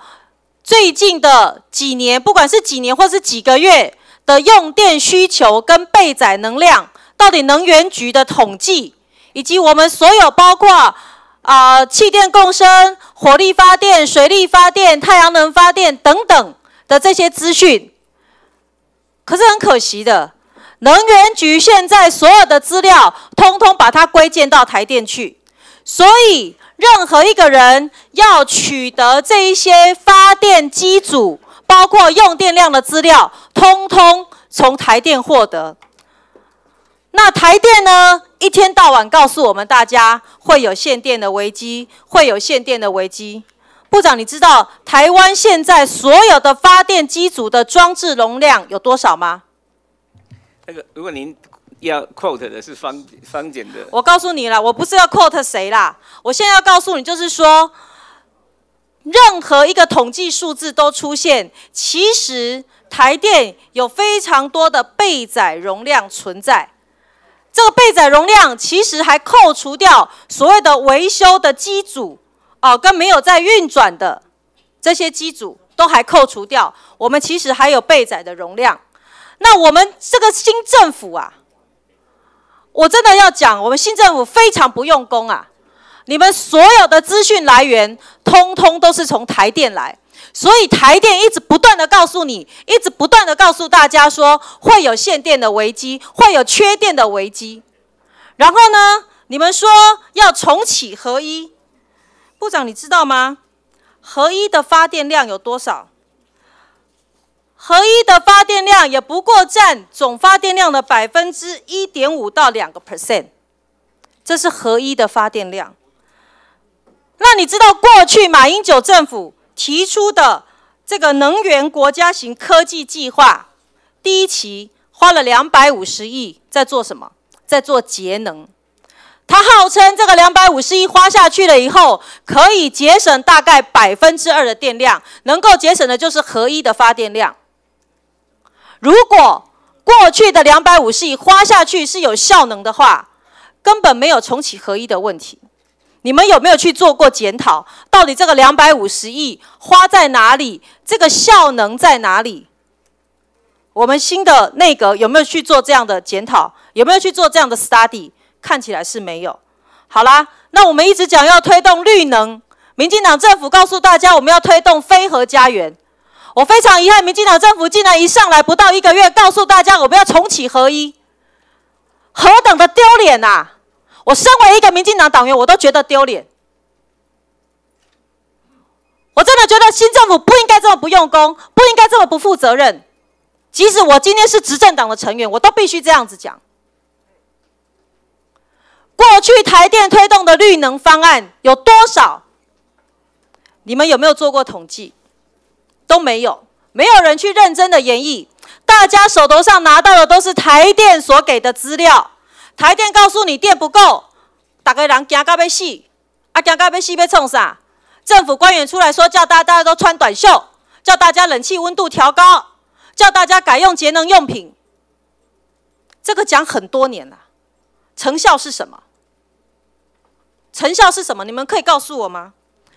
你不能旧政府这样讲，新政府上来也这样讲。张景生带头要大家穿短裤、短穿短裤拖鞋。去参加就职典礼，到立法院开会，这不是节能减碳最好的方法，这不是一个新政府最负责任的做法。我非常非常的遗憾，为什么我们的政府会做这样的一个事情？部长，我让你说明一下，到底你们有没有什么新的方法、新的能力来做这些事？不要告诉我要重启合一。我在立法院，我第一个就会投下反对票。好，谢谢啊，谢谢委员哈，让我有机会说明一下这件事情。首先，那个您刚提到的这个备载备用容量率哈，跟不这个备转容量率其实是不一样，那是每天都不同的。那您刚刚问到说穿短袖、穿短短裤会不会节能这件事情，跟冷气调降这件事。在两百五十六亿那件事情，就是能源第一期国家型计划的时候，那么他所说的节能这一块呢，事实上到第二期才真正完全的落实下来的时候呢，最有效的方法是工业节能。好，如果是工业节能的话，那你们对于大型的这个工业用电有没有什么具体的方案？比如说，行政院会那天也提到了分时电价这件事情。是分时电价这个事情。过去也曾经不断在试验的阶段，台电也试验很久了。那到底成效如何？分时用电的确应该是可以解决用电尖峰时期的这个重大的需求。这个我不要再听这任何实验性的啦。有没有更进一步具体的发展？还是台电黄董事长要说明？是，如果你愿意听台电来说明，我就愿意这个把这个资讯揭露。平常我们这个工业用电占百分之六十一，可是，在最尖峰的那一个小时里面，工业用电降到百分之四十九，也就是那个时候有分时电价。所以我问过钢铁厂，钢铁厂在白天，尤其在尖峰那一段时间是不用电的。所以那个时候有分时电价。有那个时候有做分时电价，过去在工业界持续都有做时间电价的部分。那如果工业界可以做分时电价，为什么一般的民生用电、一般的家庭用电不能做分时电价？能不能做全面性的分时电价的实施？我跟委员报告，这个涉及到这个一般老百姓的行为的问题。第一个，它电表它要换成这个能够记录分时的这个电表。第二个呢？呃，我们建议还是一开始用自愿性的，就是你习惯这样的一个行为改变，因为有些人做生意，他他他没有办法改变嘛。就像我们工业界，呃，像台积电，他没有办法，因为他是一天是三班制，他没有办法调整他的这个用电行为，所以我们也要希望在低压的部分，就是一般民生呃小商业的部分，能够做一些，那这个也可以再省一些东西出来。董事长，我其实比较具体建议啦，好。你的所谓的分时电价，不要说自愿性啦，我觉得政府应该就是强制性的去推动，很多东西是习惯性的养成。好，用电尖峰你也知道大概在哪个时段。好，用电离峰，如果鼓励大家在离峰的时候，好去用一些其他的这些电力使用，把它这个用电把它分散，我觉得这个是可以去改变。大家的一些生活习惯，可以去推动的一个事情啦。我们这是可以去推动的事情啦，是哈。那你们讲的这个所谓的智慧电表，哦，这个智慧电表一定要用到这么高档，一定要用到这么贵的吗？台湾这么多的研发人才，难道这几年下来都没有人可以去研发所谓的时间分流的这个电表出来？有现在有电子式的电表，就少了这个通讯功能，就它不要及时传回来没关系，但是我们知道它不同时间用了多少电就可以了。如果你们有这样的能力，有这样的设备，其实台电应该认真一点，或者是说经济部应该认真一点，要去做这件事情啊，是，要去大力推动这件事情啊、是不是一天到晚在这里跟我们讲说啊备载容量不够啦，一天到晚跟我们讲说会限电啦，会缺电啦，然后甚至还告诉我们要重启合一。我听到实在吼，心瓜头就港口啦。好你们这个台电一定是一定有能力去做这个事情。我为什么说你们一定有能力去做这个事？我两个礼拜前啊，两三个礼拜前，我接到台电的这个所谓的绿色电力的认购单，啊，这个是经济部能源局做的，好，绿色电力的认购单。然后呢，我试图要了解什么叫做绿色电力，那你们如何去计价？我当天使用的是你们所谓的绿色电力。那相关人员告诉我说，啊，我们就是有办法算出来，你用的这个时候的，你这个时候用的电，比如说你下午三点到五点这个时候用的电是属于绿色电力发的电，所以呢，这个计价是用绿色电力去计价。我讲哦，台电有这搞哦，我知影讲我三点到五点这阵用的是绿色发电，啊，我们的七点到八点用的是水力发电，吼、几点到规定用的是火火力发电，你弄五花都把它分区分段算出来。那如果台电可以这样子计算的话，分时电价的计算那更简单呐、为什么可能会做不到？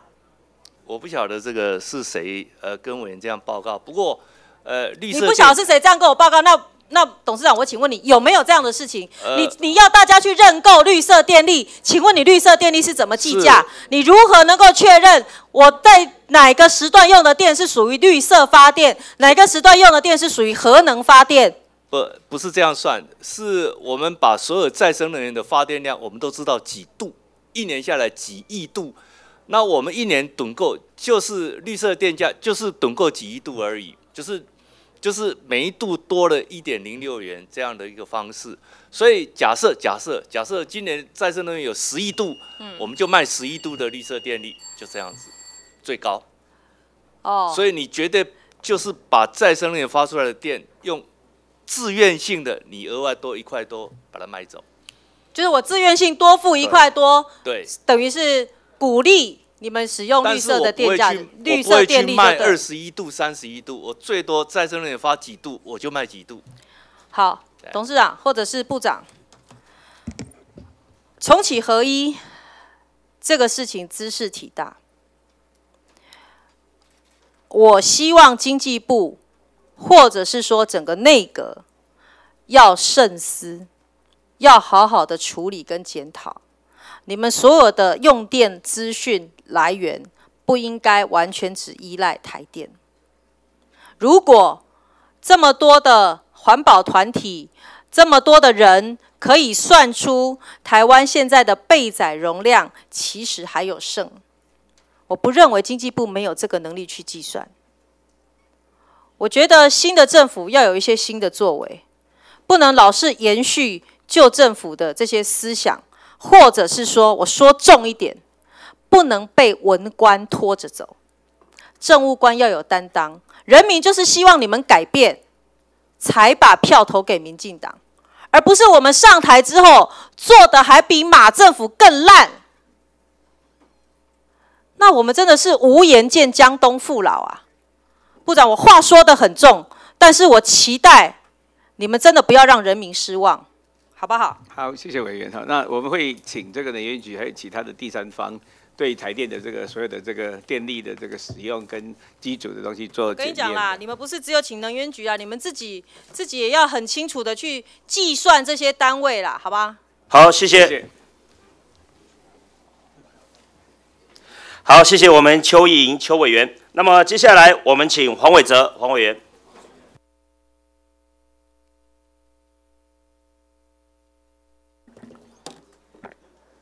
主席、各位同仁哈，呃，李部长、各位长官，请部长。好，请部长。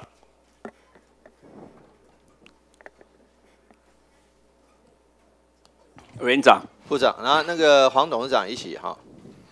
好，请黄董事长。我简单说哈，这个有一句话叫做“钱要花到刀口上”，对不对？但是钱不能花在虎口上啊？为什么？花在虎口上就被咬掉就没了，花刀口上可以解决问题啊。刚刚其实我有认购绿电啊，但是认购绿电那是一个我们的一个一个立场的宣示，我们愿意付比较多的价格，因为我们知道台电。在收购绿电的时候，它的成本比较高，比一般，好，比一般那个你们售出的电的平均价格要高一点。以现在太阳能来讲，收购一度多少钱？啊？四点六到六点八。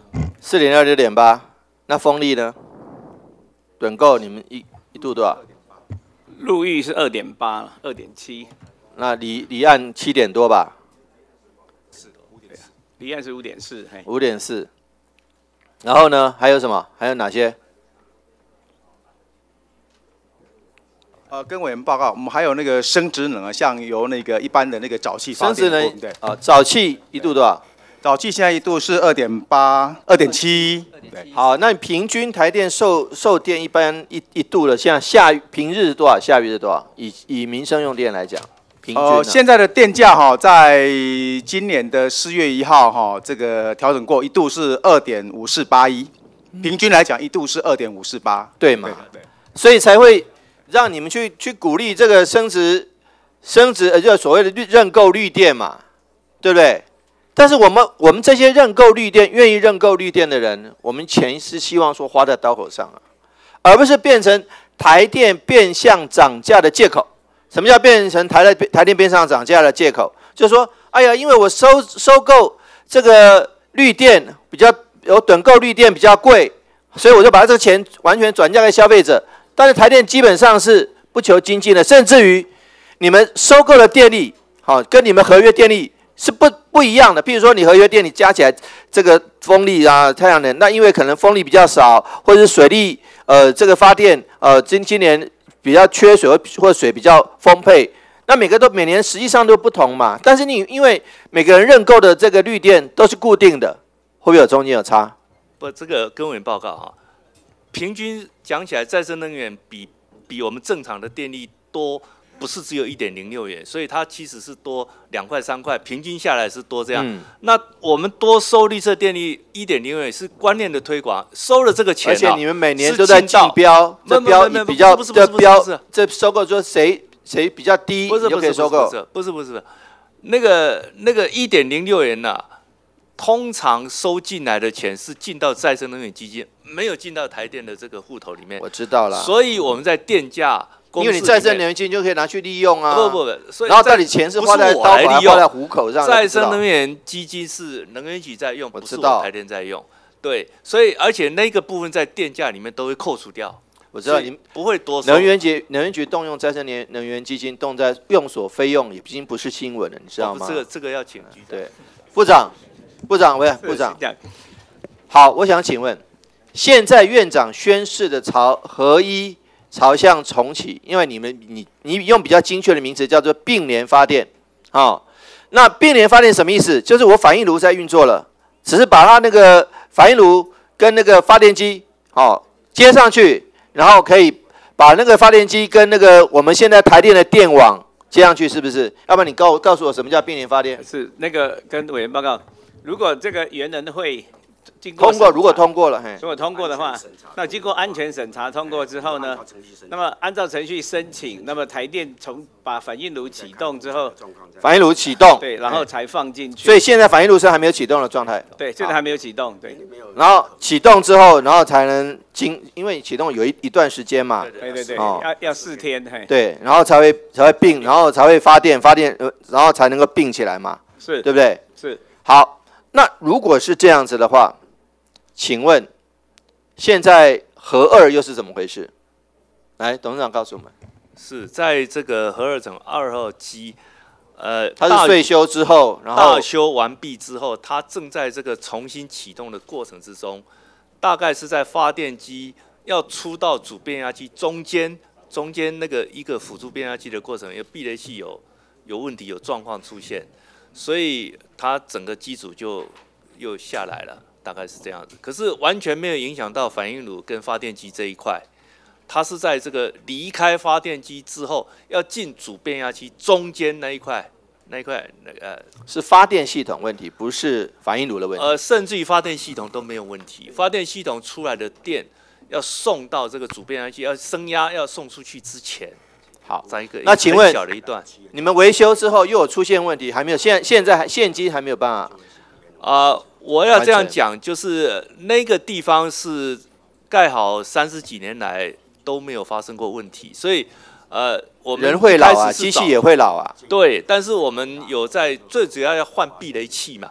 那避雷器它那个空间的避雷器不是我们一般买的就可以买得到，所以我们在调那些呃避雷器的那个的的，所以要要调调完了之后，我们还要把这个整个分析分析清楚，才会跟原能会再依您来看，专业来看，合一的合一反应炉或者合一厂的这个发电这个这个发电机组，现在重启，它的技术问题难度比较高，还是合二？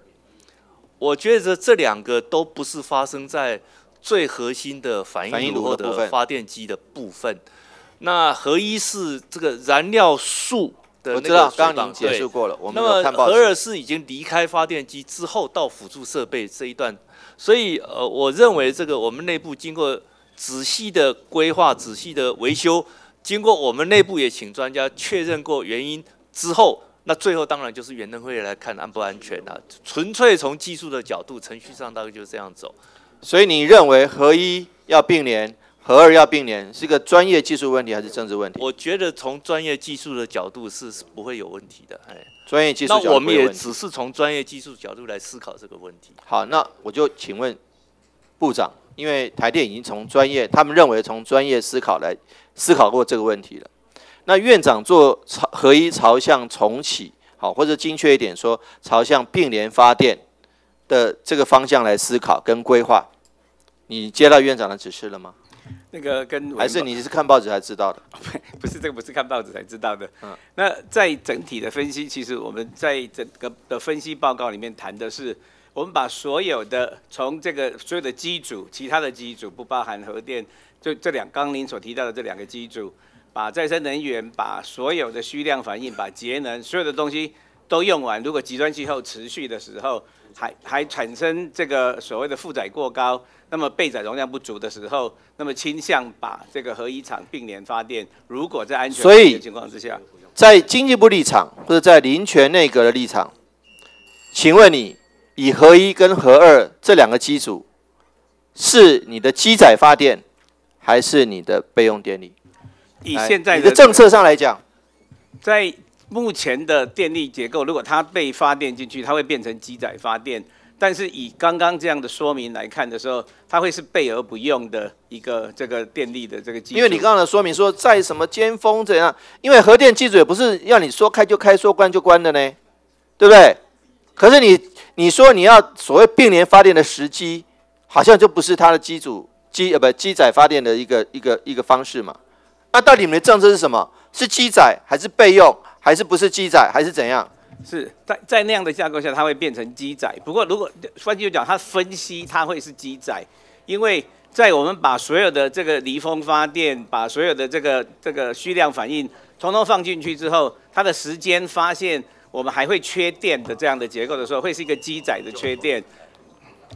我跟委员说明一下哈，呃，我们要做肩载的发电是以秒为计算，就是你这个一两秒就要拉上去，或者一两秒而且要调度啊，嘿，那么中载的话会以天来算，就是这个今天的呃中午你要拉上来，到傍晚你要拉下去，所以随时随地都要。那么机载的意思就是整天，当它一发起来的我知道几天，所以我刚刚讲过，核能电电所以厂不是说开就开，说关就是关，不是人家开关水龙头一样，是没错。所对不对？以？但是问题是说，你启动的时机是肩载，可是启动后就变成机载了，是不是这样说的？不呃应该是这样子，尽量在夏天最热的时候，我们把它启动起来。让它变成一个稳定的这个供应，这个是必要的，因为永远又有一群这个这个电厂是是稳定的机载，可是它它不是，他当然不是这个一一天拉上来。好，我知道。那我请问部长跟总长一个基基本的问题就好。今天下午环团就去告你们了，告院长当然少不了你们了。成为被告，心里作何感想？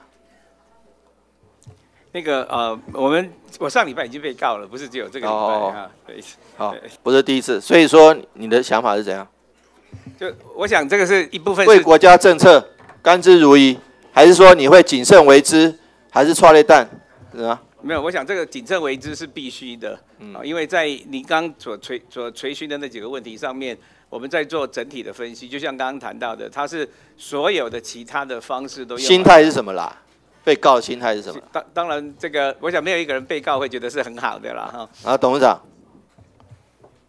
我来当台电董事长，开始每天都接到传票，所以这个这个就是这样子。你一个人孔盖，你你身上背了多少条啊？不，因为背了几个案子？人孔盖出问题，他就要告台电，那就是负责。代表人就是你，代表人就是你身上背了几条案子？我这个算不清楚了，这个数不清啊。我们家人已经受不了了，这个一天到晚收传票，这个。哦好，辛苦了哈，谢谢部长、董事长。好，谢谢委员哈。好，谢谢黄伟哲委员。那么先行宣告，等高志鹏委员啊咨询完，我们休息五分钟。好，请高志鹏委员。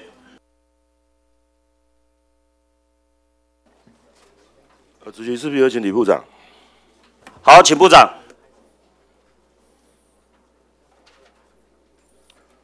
高委员长，部长，嗯部长。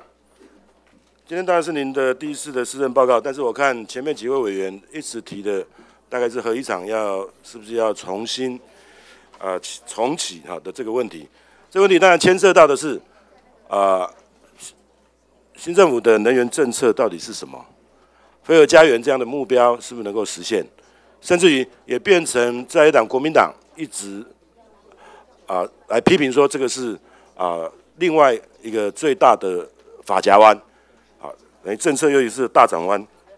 那我在在您今天的口头报告里面没有看到什么，只看有看到一个实现飞蛾家园的愿景，大概只看到这一句而已，其他通通没有提到。所以我们不得不就这样的咨询的过程中来确定一下新政府能源政策到底是什么。好，我们先看第一章，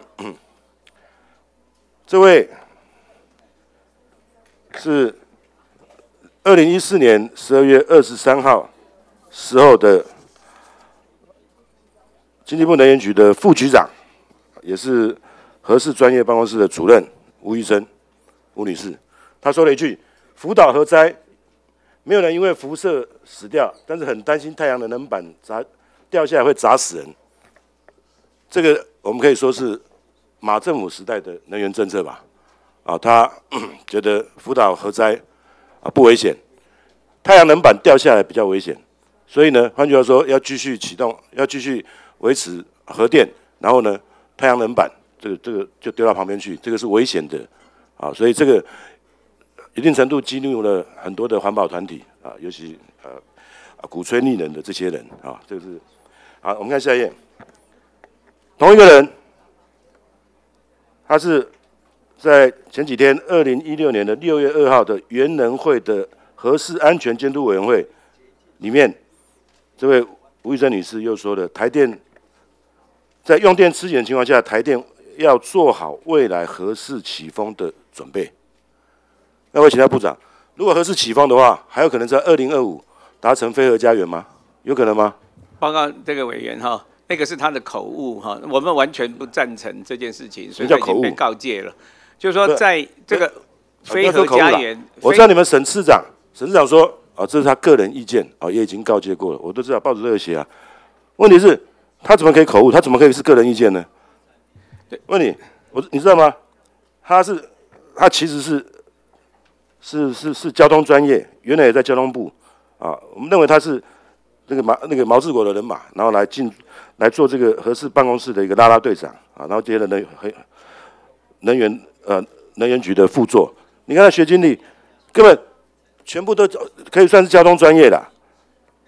有任何一个跟跟核电有关系吗？不要说什么跟能源有关系吗？没有啊。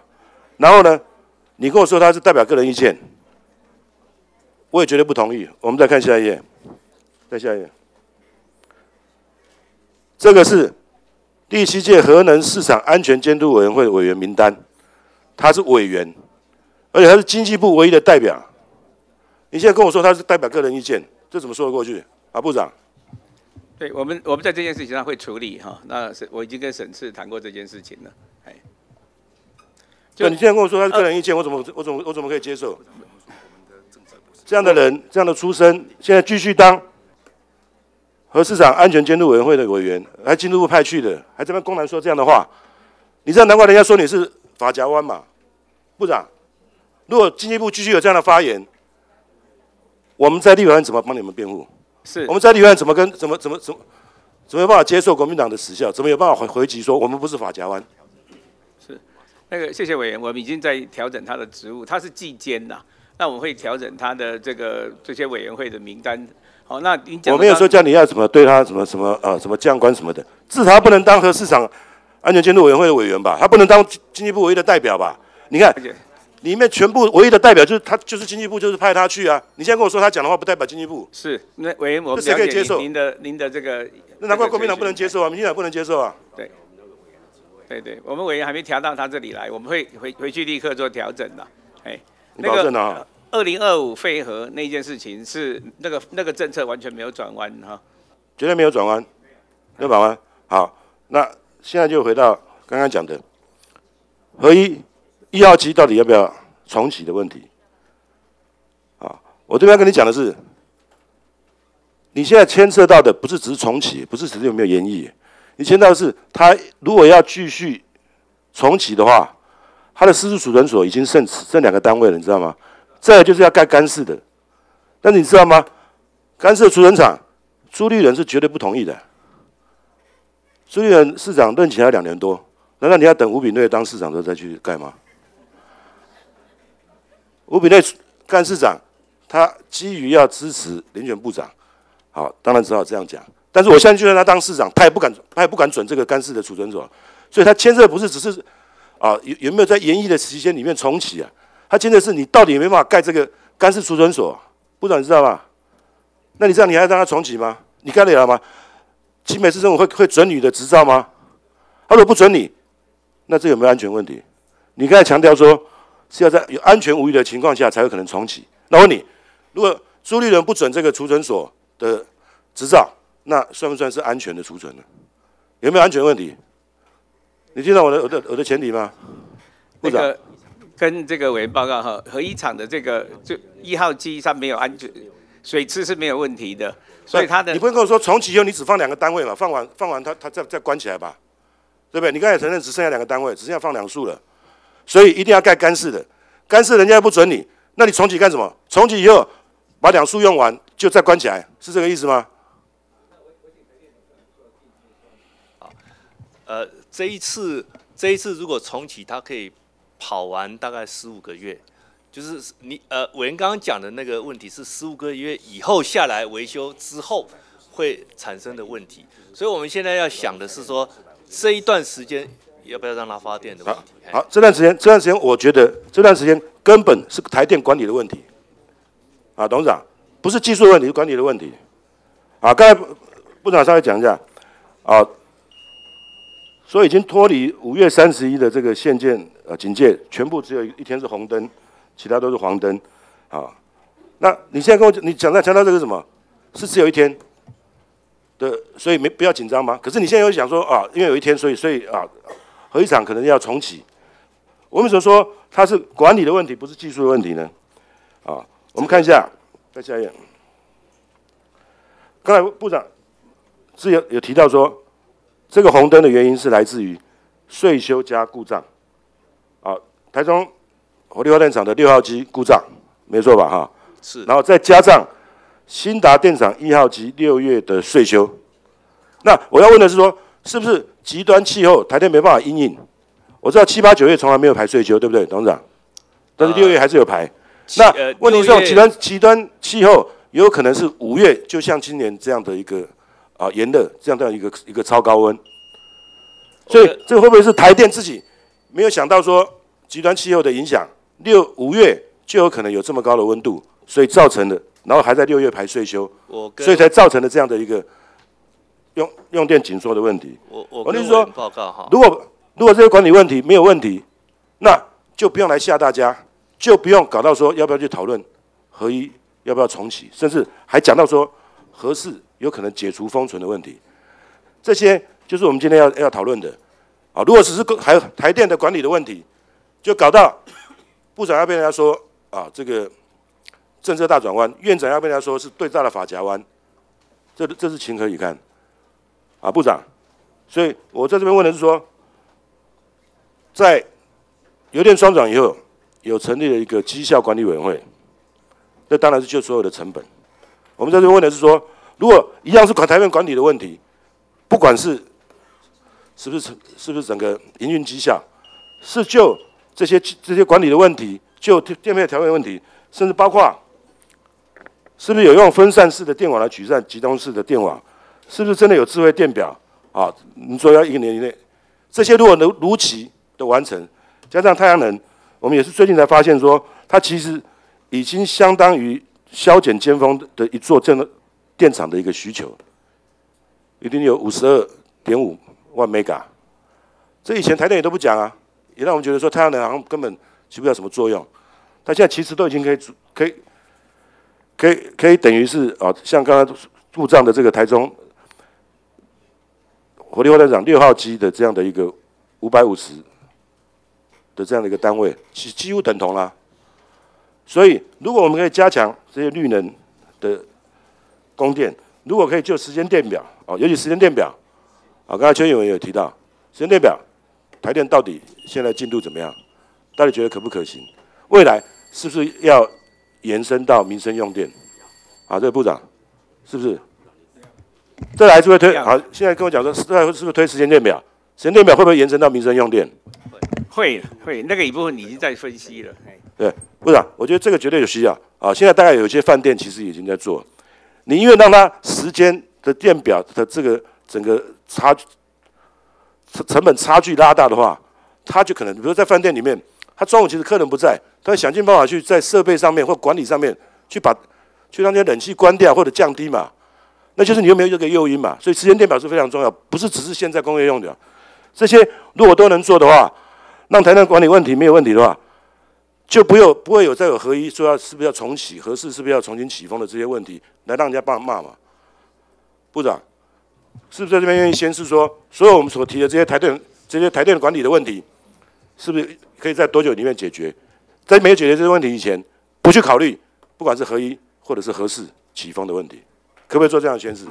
呃，报告委员哈，那个您刚所提到的时间电价啊等等这些东西都已经在规划跟。做最后阶段的评估哈，那我们现要求的是它能够真正能够这个这样的计划可以推得比较长期一点。那刚刚您提到的这个并联，就核一厂的并联发电这件事情，是我们刚刚已经报告过，在规划所有的可能的选择当中，它是其中一个选项。哦，那他必须要在这样的考虑点上，因为他所需要的时间比较长，同时我们等于是把各种选项跟选择都放在里面这样子。所以不是唯一的选项。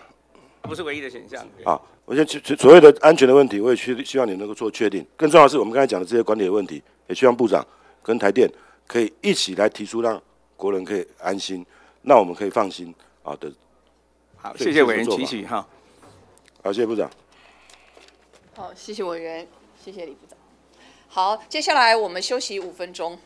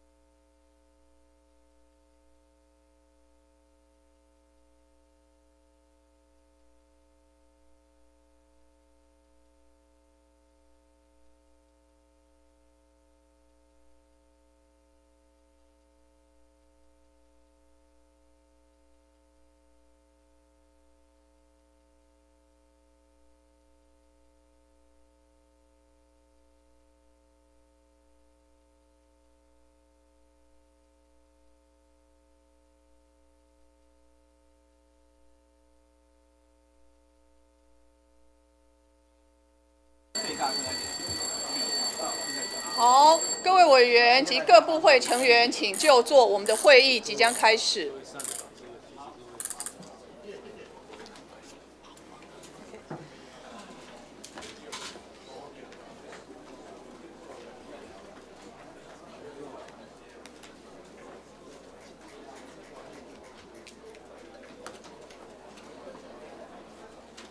好，接下来我们请徐永明委员发言。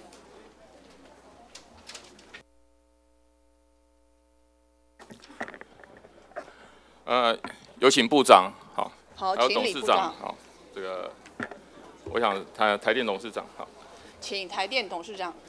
薛院长哈，呃，这个主席啊、部长，这个董事长，好，各位先生大家好，哈。我想今天大家关心的就是核一号机的问题，我想请问部长，还有董事长，是不是很明确，核一一号机启动是既定的方向？不论在立法院里面有不同的声音，或是有委员会这些因素在，行政部门的方向是不是往这方面启动？是跟委员报告哈。我们在这一部分的规划是，当我们把需求面的所有管理，把所有的电厂的，对啊，部长我知道了。对，你之之前的咨询我都有在听。是，谢谢。我想民众比较关心的是，这是不是既定的方向？就是不是经济部或是台电要努力的方向？就如果在安全无虞，所有的其他的做法通通都做完之后，我们还面临限电危机，我们希望能够有这样的选择项，在我们电力的配比的思考之下。部长，我我觉得哈，核一号机为什么停哈？我想这可能我们要请问董事长哈，各位看一下，董事长刚才在质询的时候讲的，说是把手松脱了，好，好像现在已经没有问题了，好，董事长，我现在问的是，其实他比较精确的说法是，燃料素经检查确认为水泵连接杆断开。哦，不是上面那个把手松脱而已，是下面那个连接杆断开。哈，这边有图哈。好，最后必须动出动美发专家来解决。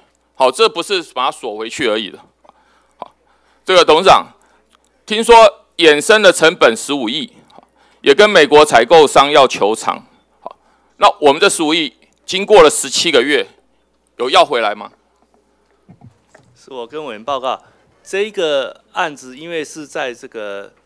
高辐射的这个区域里面，所以平常我们不会有那样的设备跟专业人力，所以所以没有能力处理就对了。这个必须要动用原厂，原厂的专家用原厂的设备来处理。那也不会用到法国啊，不，因为 Arriva 是在美国的那个 Arriva 嘛，所以是是，所以所以是这样的关系。好，所以我们台湾是没有能力处理，台电是没有能力处理的我们平常不会准备这样的设施跟这样的这个。那为什么会到成本十五亿？呃，这一件事情的处理呀、更新，我想这个属于 Arriva 的部分，应该 Arriva 自己要付啊。我印象中他们自己那台电到底有没有跟他求偿？这个事情进行到现在是什么状？部长，我为什么要问这个事情？是说这个公这个核安是一个小事，只是一个手这个把手松脱而已嘛。那如果要花到十五亿，而且我们的台电有没有能力处理？你知道？我今天看到新闻是一道命令就可以开始怎样运转，一道命令就可以运转，多精确啊！可是当时是怎样？是经过税修之后要启动的时候出问题嘛？对不对？不是税修之后正在税修过程里面过程里面，那这样的后来他们的设备来之后，已经把这一束燃料素移出来，放到这个就是用过燃料池里面。可成本要到十五亿。不，呃，我记得他们这个 Ariva 自己本身的这个费用啊，他们自己付，我们不付这些费用，所以，所以，所以台电要自己吸收，不是那个部分 Ariva 自己要付，我们没有吸收。我们讲的衍生成本是因为，因为这样子，所以让机组没有办法延后启动等等这些事情。OK，好，才来下一页哈，这是四月二十八号立法院经济委员会考察合一合四的时候综合座谈里面哈。台电有一个回应，关于核一厂一号机是否运转，对于降低一百零四年限电风险之影响。好，这是台电跟委员经济委员会的委员考察委员好的回应哈。好，部长这边可以看到哈，如果不运转的话，限电警戒小于百分之二点五是两天呢。好，限电警戒小于百分之六是三十三天。如果合一一号机运转的话是零天，好，小于百分之二点五哈。供电警戒是小于八天。请问董事长，这个评估还存在吗？这个数字是呃之前已经发生的嘛？呃，一百零四年，对，以一百零五年四月二十八号，对，好，我们是以一百零四年实际发生的这个备转容量发生的天数来计算。假设那一天合一有上来运转，可以增加多少？那假设就是照去年整个年都没有上来的话，实际上发生的数，所以运不运转的影响很大吗？如果按照你这个比例来看，我跟委员报告，这个是涉及到前线调度的问题啊，就好像你棒球队在打，你后面牛棚有多少备用的人呢？不，董事长是啊，这是你四月二十八号，哎，不到两个月前，大概一个多月前，跟经济委员会在厂区里面你们做了报告，是运不运转的影响，这个是。那你现在要跟我讲说这个数字不确不精确，不是不精确，这是照一百零四年的这个实际发生的数字。这个事实来推，因为一百零四年一号机没有运转嘛，结论是这样，所以我们把如果运转，所以现在会有变数是什么？是因为核二厂的什么二号机出问题嘛？也是一个问题啊，这是也是一个问题啊。请问董事长，核二厂二号机的发电能量多少？二号机比核一厂还大，大概将近九九十五万还是一百万？九十八点五万。对，那个是比比核一大。核一厂一号机呢？六十六十五嘛，六十三点六，好，大概这样。也就是说，你现在遇到问题，其实我这边要跟部长讲的是，我觉得你对台电要仔细看清楚，核一厂一号机为什么要启动？其实我们前面有委员先已经点到了，其实是因为你核二厂二号机出问题嘛。下一页，呃，就是回到前面了。核二厂二号机五月十四号。完成历时三十四日的税修启动，应该在五月十六号开始，就五月十六号开始跳机。好，这刚才董事长有讲，董事长说那是因为避雷器受损，好，当时有产生烟雾，好，所以是没什么问题的。好，下一页，好，这是内部传出来资料，居民在外面有看到烟雾。这个有其他委员也其实拿出来谈了，这看起来像是避雷器受损，好，是高温挤压吗？下一页，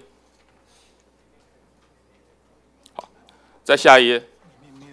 所以，董事长，你本来预定核二厂二号机是可以运转的，因为经过税修之后，税修应该没问题吧？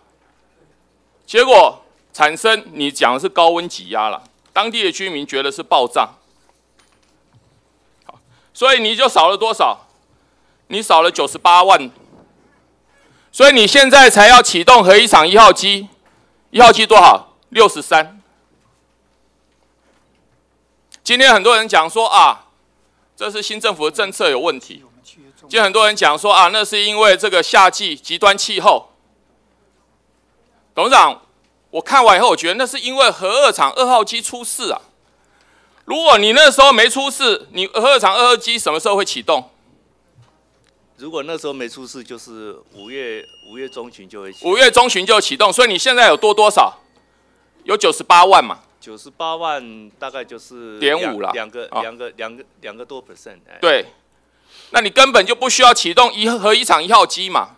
核一厂一号机只有六十三嘛？不是这个呃，如果到了夏季，六月底七月八月。这个还是你本来核二厂二号机顺利，你核一厂一号机这个暑假你还是要启动。没这个这个机组可以运转，我们都希望让它安全无虞的情况之下都能够起来，因为这个是现场调度的问题啊。我四年前刚到台电的时候，备转容量从来没有第一。所以董事长，所以你的意思是说，不论核二厂二号机有没有出事，你核一厂一号机也是要启动就对了。我们希望这个从专业的角度。安全无疑的情况之下，因为这个是夏天备转，这个前线调度人他们他们需要有一。可是我从数字来看，你如果核二厂二号机没事，九十八我远远比六十三多啊。呃，我跟委员报告，夏天机组有时候它的运转会因为海水温度增回到前加它会减少，或者有些机组啊，照片。可是董事长，我要问的是，这是经过税修之后，这是避雷器那一段嘛？哦，那你们说这叫高温挤压？高温挤压会炸成这个样子？这个我有到现场去啊，我有到现场去看过，它是在这个发电机之后离开发电机，电发出来之后，那可不可以让经济委员？会组个小组去看一下现场是什么样子？如果经济委员会要组小组，我们应该不会去。我就是说，你经过税修之后，你经过几天的税修？这个一个多月吧，有的这一次是几三十几天啊，三十五几三十三十几天的税休，对对不对？对。结果税休启动之后，你会发生这样的事情，你不会觉得这很奇怪吗？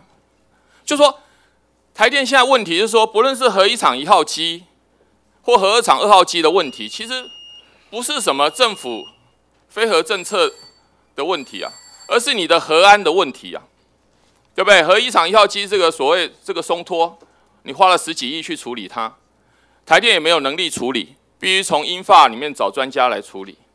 核二厂二号机经过三几天的税修，就发生这个爆炸，你说是要高温挤压？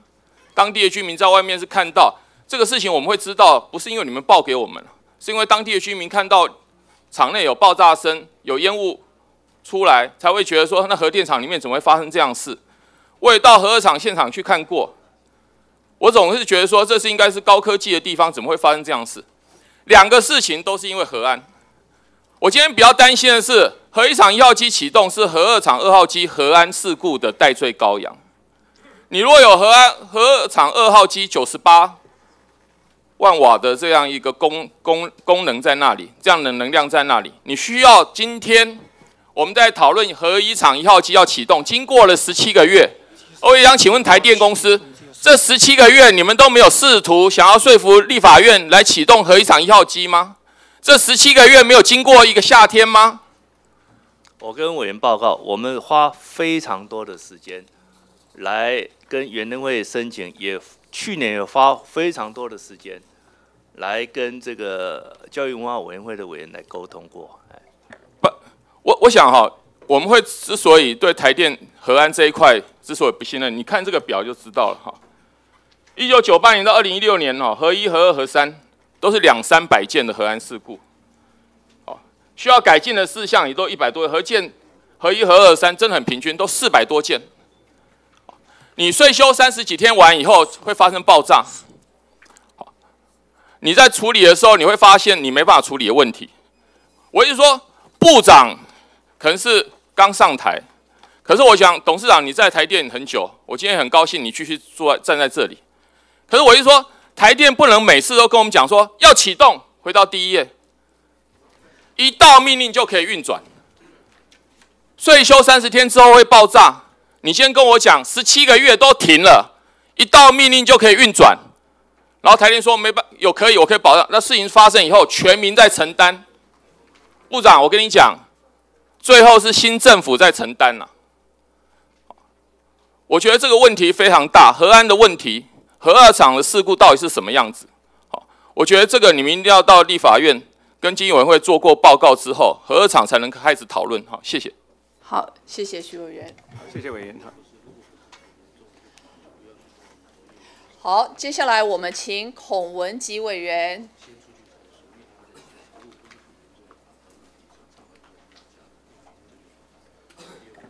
好，呃，谢谢主席啊，可不可以请一下我们经济部的李部长啊，跟台电的呃黄董事长，黄董事长。呃，部长，你刚上任嘛哈？刚才我接我我看看到刚才很多媒体采访你啊，我真的很怕你又说错话了，哦，谢谢委员。呃，你我看你侃侃而谈啊，因为之前你接受媒体的时候，你说呃台湾两年内没有缺电的危机，你有讲过这句话吗？哈，有。好，那现在呢？呃，新政府的能源政策哈，二零二五是实现非核加盐了啊，不重启核四。那核一二三厂呢不延期，而且力电的它的占发电量呢，它的比例是要到百分之二十啊。那突然昨天报纸登了哈，啊核一厂一号可能要重新启动啊这样的一个程序，啊，是不是真有这个必要？那个跟委员报告哈。首先，你刚问我说二零二五这件事情，废核这件事情，这个政策没有转弯。嗯，那您最初垂询说，我们说两年内没有缺电的危机，那个指的是我们的所有的电厂的维修，这在当时我们所得到的所有资料看起来没有限电的可能。可是极端气候出现的比往年早，今年提早一个月、一个多月的时间启动，那这几天的这个这个高温哈，远远超过原先的估算。那在那样的结构底下，我们在经济部这边除了这个把所有的需求面都做处理以外，跟台电还有能源局做各种配合的做构架构底下，那么就像刚刚所提到的机组的使用是一个可能的选项。因为现在现在就是说林权院长他最主要的考量，可能就是说备载的这个发容电啊，这个啊这个是只有现在只剩下多少百分之多少一点七备载。备载电力，今天七点八，对，每天不一样备转的部分呢，每天都是备转的，哎，哎，今天大概是七点八是吧？今天七点八，哎，预估了，预估了。这个这个呃，董事长，这个是你所看过哈，是最低的最低的一次嘛？呃，六月五月三十一号，六月一号那个是一点一点六四啊，那次是最近十年来最低的，近十年是最低嘛？对，你刚才讲过，你刚才讲过说你从来没有看过百分之十以下嘛？不是今年的百分之十以下的天数已经非常多了。那我的意思就是，三年前、四年前，百分之十以下几乎是很少很少，几乎很少。对。但是这个面临到现在这个暑假马上来临啊，这个极端气候哈，所以你们你们的最最主要考量就是核一号核一号机要重启，是不是因为这个备转的电力？啊，比较不足。对这个备转的电力，如果太不足，那风险很高。就是说，这个夏天的时候啊，有的机组破管，有的机组海水温度升高等等啊，有时候要降载等等，机组总是会有风险。但是，但是我是希望这个不要一到命令就下来，就说马上这个政策又是一个法夹弯了哈。这个我跟委员报告，因为核一厂去年停下来之后，今年。二月还是三月嘛，又重新做。虽然它没有运转，不过它也重新做大修。大修完了之后，这是正常跟原能会重新申请，就是这样子。好，那那个这个有没有必要跟我们新北市政府啊、大台北地区的呃来沟通一下嘞？有没有必要？核一厂一号机是正常运转中大修下来之后的启动，所以这个没有涉及到跟其他部门。因为只要原能会确定它安全没有问题，所以这这个这个就是证明了哈，就是过去国民党执政的时候，啊，民进党是前面的反核，啊，前面的这个要要这个要核一二三厂要除役啊，那现在呢，啊，考量到事实的需要，啊，现在又变成一个啊政策的一个法夹弯。这个这个还是这个这个就是我们现在哈比较不不能够接受的地方，啊，那你要你要跟大家说明嘛。其实核一核一核一厂一号机要重启哈，要重启，你们这个就是证明是一个政策政策的法夹弯嘛？那那怎么怎么证明说你们是一个最会沟通政府呢？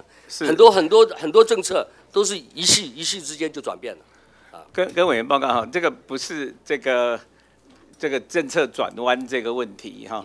我们刚刚在提到的是说，在我们整个规划的过程当中，核电。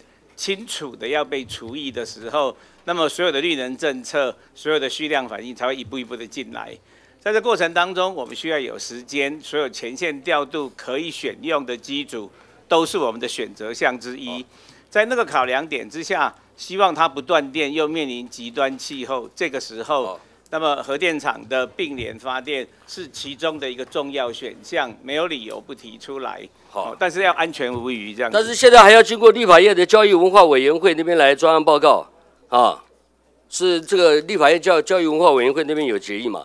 那部长你你现在可不可以公开承诺，在未来的四年哈啊不会有这个切电的危机？可不可以公开承诺？那个跟委员报告哈。在如果以我们持续这样的尖端极极端气候的情形往下出现的时候，那么我们会尽全力的把所有的各种相关的措施都放进去。但是在那样的过程当中，如果我们还面临缺电的危机的时候呢，那么那个部分就表示我们的执行的部分那就表示你现在也不能公开承诺嘛。未来的四年，啊，万一核一厂一号机不能够重启重启的话呢，那你就不能保证啊，台湾未来是不会缺电的。那个跟委员报告哈，不仅所谓的核一厂会不会启动，核二厂会不会启动这样子的说法，跟会不会有限电危机这两件事情是两件独立的事项。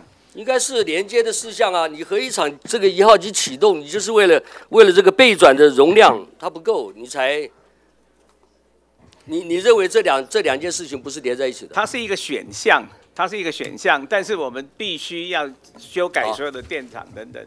OK，好，那个我想这样了，这个我就这个是不是请那个还有另外一个哈，就是我们那个矿务局，矿务局局长也在吗？之前那个行政院环保署的署长哈，呃，这个他特别讲，他说这个泰鲁格国家公园那个地方不开矿了，这个这这个部分，那个我们矿矿务局的局长，你有你有你有什么对策没有？有没有跟环保署那边协调好？呃，我们经济部和环保署现在会有一个协调的会议的哈，是整体。那表示说，那个林岩署长讲的啊，泰鲁格国国家公园以后禁止采矿，表示你们矿务局也同意了。呃，原则上我们没有问题，可以配合。原则上你们没有问题。是啊，因为他是呃，行政院当初啊同意他继续开采的时候，是到明年的时候他要退出国家公园。对，是。那国家公园这个部分，你们有跟环保署那边有做过呃充分的沟通了哈？呃，接下来会沟通。那我希望部长，矿务局在原住民地区采矿哈。是。那现在有很多可能矿务局局长这边过去对原住民族基本法第二十一条他不是很了解。国家有任何重大的建设在原住民地区采矿啊，或者是采取什么资源啊，必须要征询原住民的同意。但是很多哈，在矿矿务局过去都是就直接啊，这个矿期矿业期限到期之后就直接核准继续采矿。那有没有把原住民族基本法放在眼里？啊，是不是？那现在是一直到了李英岩署长讲的那句话之后，哎，大家猛然惊醒，啊，那个是属于国家公园。事实上，国家公园采矿我也觉得不不适宜了。国家公园是要保护生态资源嘛。哎，现在泰鲁格就是只有他一个。泰鲁格，你去看嘛。是。看那个看见台湾。那那个原住民族基本法的这个部分呢、去年我们跟联民会有过一个啊、开会决定了哈，那就是在目前呢、是在矿业用地核定的阶段应该要做。那我们也表格都修改，把在原住民呃居住的地方还有部落周遭的一定范围啊，要争取原住民族同意。是，所以所以局长，这个我希望你讲的这个这句话，你真的要做到是。我们已经在那个申请的表格里面都加进去了。另另外一件哈，就是部长，因为你刚上我，我特别在这边是谈高山水库的问题了。啊，最近我拿到你们的资料，啊，说你们从莫拉克台风之后，啊，你们针对增文水库、南化水库，啊，石门水库，你们已经清淤了一点三亿立方公尺，啊，一点三亿立方公尺。然后这个在石门水库呢，你们有做这个阿姆平的隧道，啊，每年可以啊清疏六十四万立方公尺。它的排沙能力每年有七十一万立方公尺，啊，这石门水库。但是你们有 你们有重视高山地区的水库吗？啊，像乌社乌社这个德基德基水库，它那个每年可以清多少？只有两万立方了，啊，只有两万立方。报告委员，雾社水库是台电公司管理，它每年都清理十万立方公尺的这个量，预最近才十万了，以前是两万。是。啊。那你们你们现在针对高山地区的水库，部长，是那这个部分我是我是要这个要郑重的要要要请教你一下，你针对这些水库不是只有增文、南化、石门，高山地区水库很多啊，啊，难难道我们经济部都束手无策吗？那个报那个跟委员报告，我们在今年度的预算里面，水库清淤一直是预算编列的重要项目之一哈。所以在今年目前我看到我们全部的预算的调整里面，这个所有的相关水库的清淤，这个经费都编列进去了。那高山地区有没有？有有。高山地区的水库，你们几乎经经费都没有嘛？大部分都是几百亿的几百亿的经费放在增文，放在石门，啊，石门是两百五十亿嘛。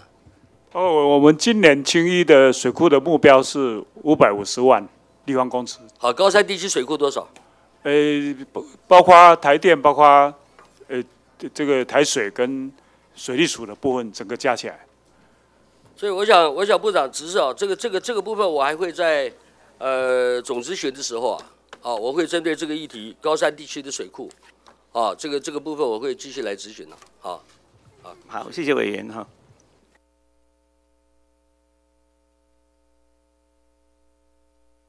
好，接下来我们请管碧玲管委员发言。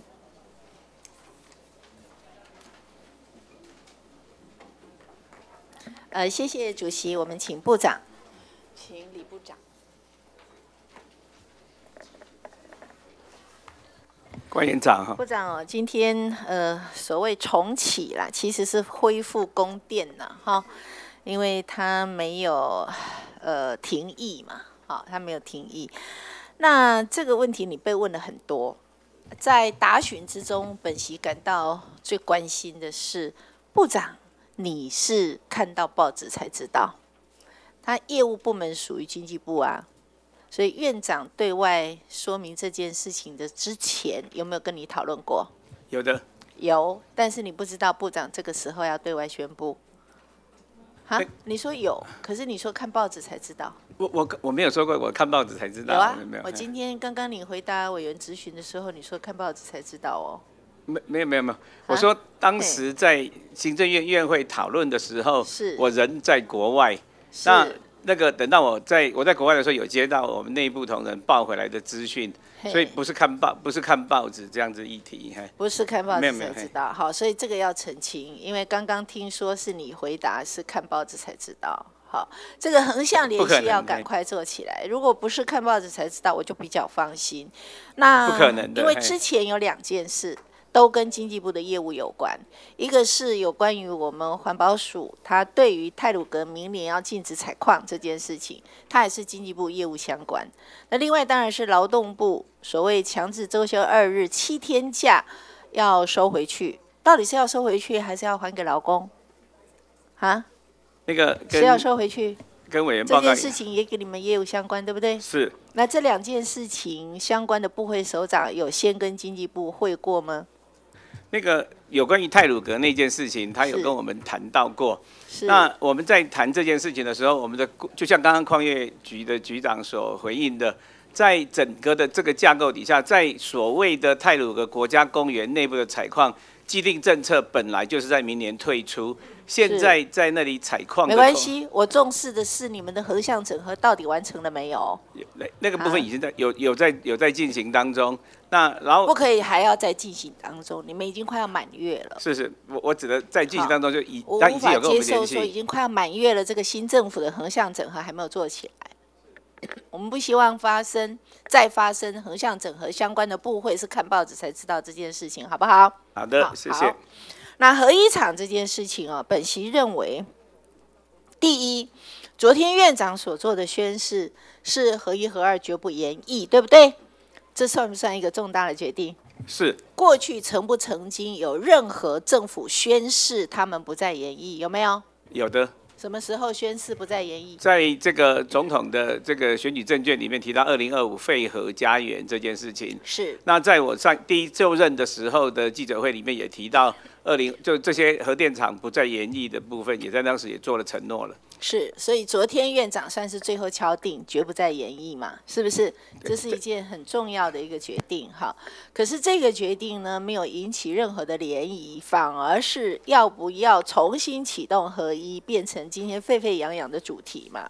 那本席认为，重不重新恢复供电哦，合一厂要不要再启动？跟安全不安全不是最直接的关系，那只不过是基本条件，那只不过是充分条件，不是充分，那不只不过是一个必要条件，而不应该成为充分条件。怎么说？即使它很安全，没有必要，也不应该重启。所以我不知道你们昨天把这件事情要不要重启发电，拿来跟安全无虞与否。结合在一起，然后公诸于世，我就觉得重点不对呀。即使安全没有必要，我们也反对他重新复电呢，是不是？没有必要，当然不需要重新复电呢。更何况安全无虞只不过是一个基本条件呢。那到底安全无虞了没有？完成程序了吗？跟委员报告哈，在我们目前在技术面的这个检视是完全完成的，但是程序面到还没完成，对不对？我今天听起来是程序面还没完成呢。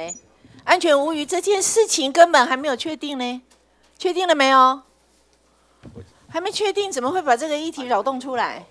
是我们、确定了没有？我跟那个委员补报一下，是呃，核一厂一号机即使去年没运转，今年三月到五月也是在做大修。那这个是大修完了之后，我们有没有？我不管，给原能会安全无虞要完成审定程序啦。程序完成了没有啦？还没完成，还没嘛？你看。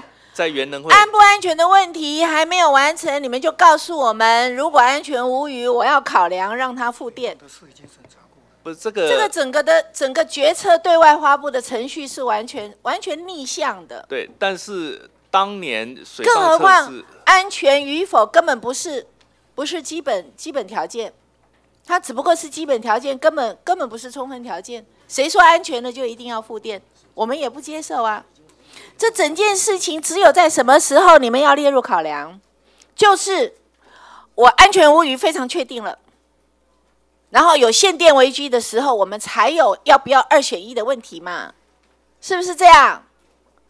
你们如果没有面临限电与复电的二选一的选择的时候，即使安全都不应该复电。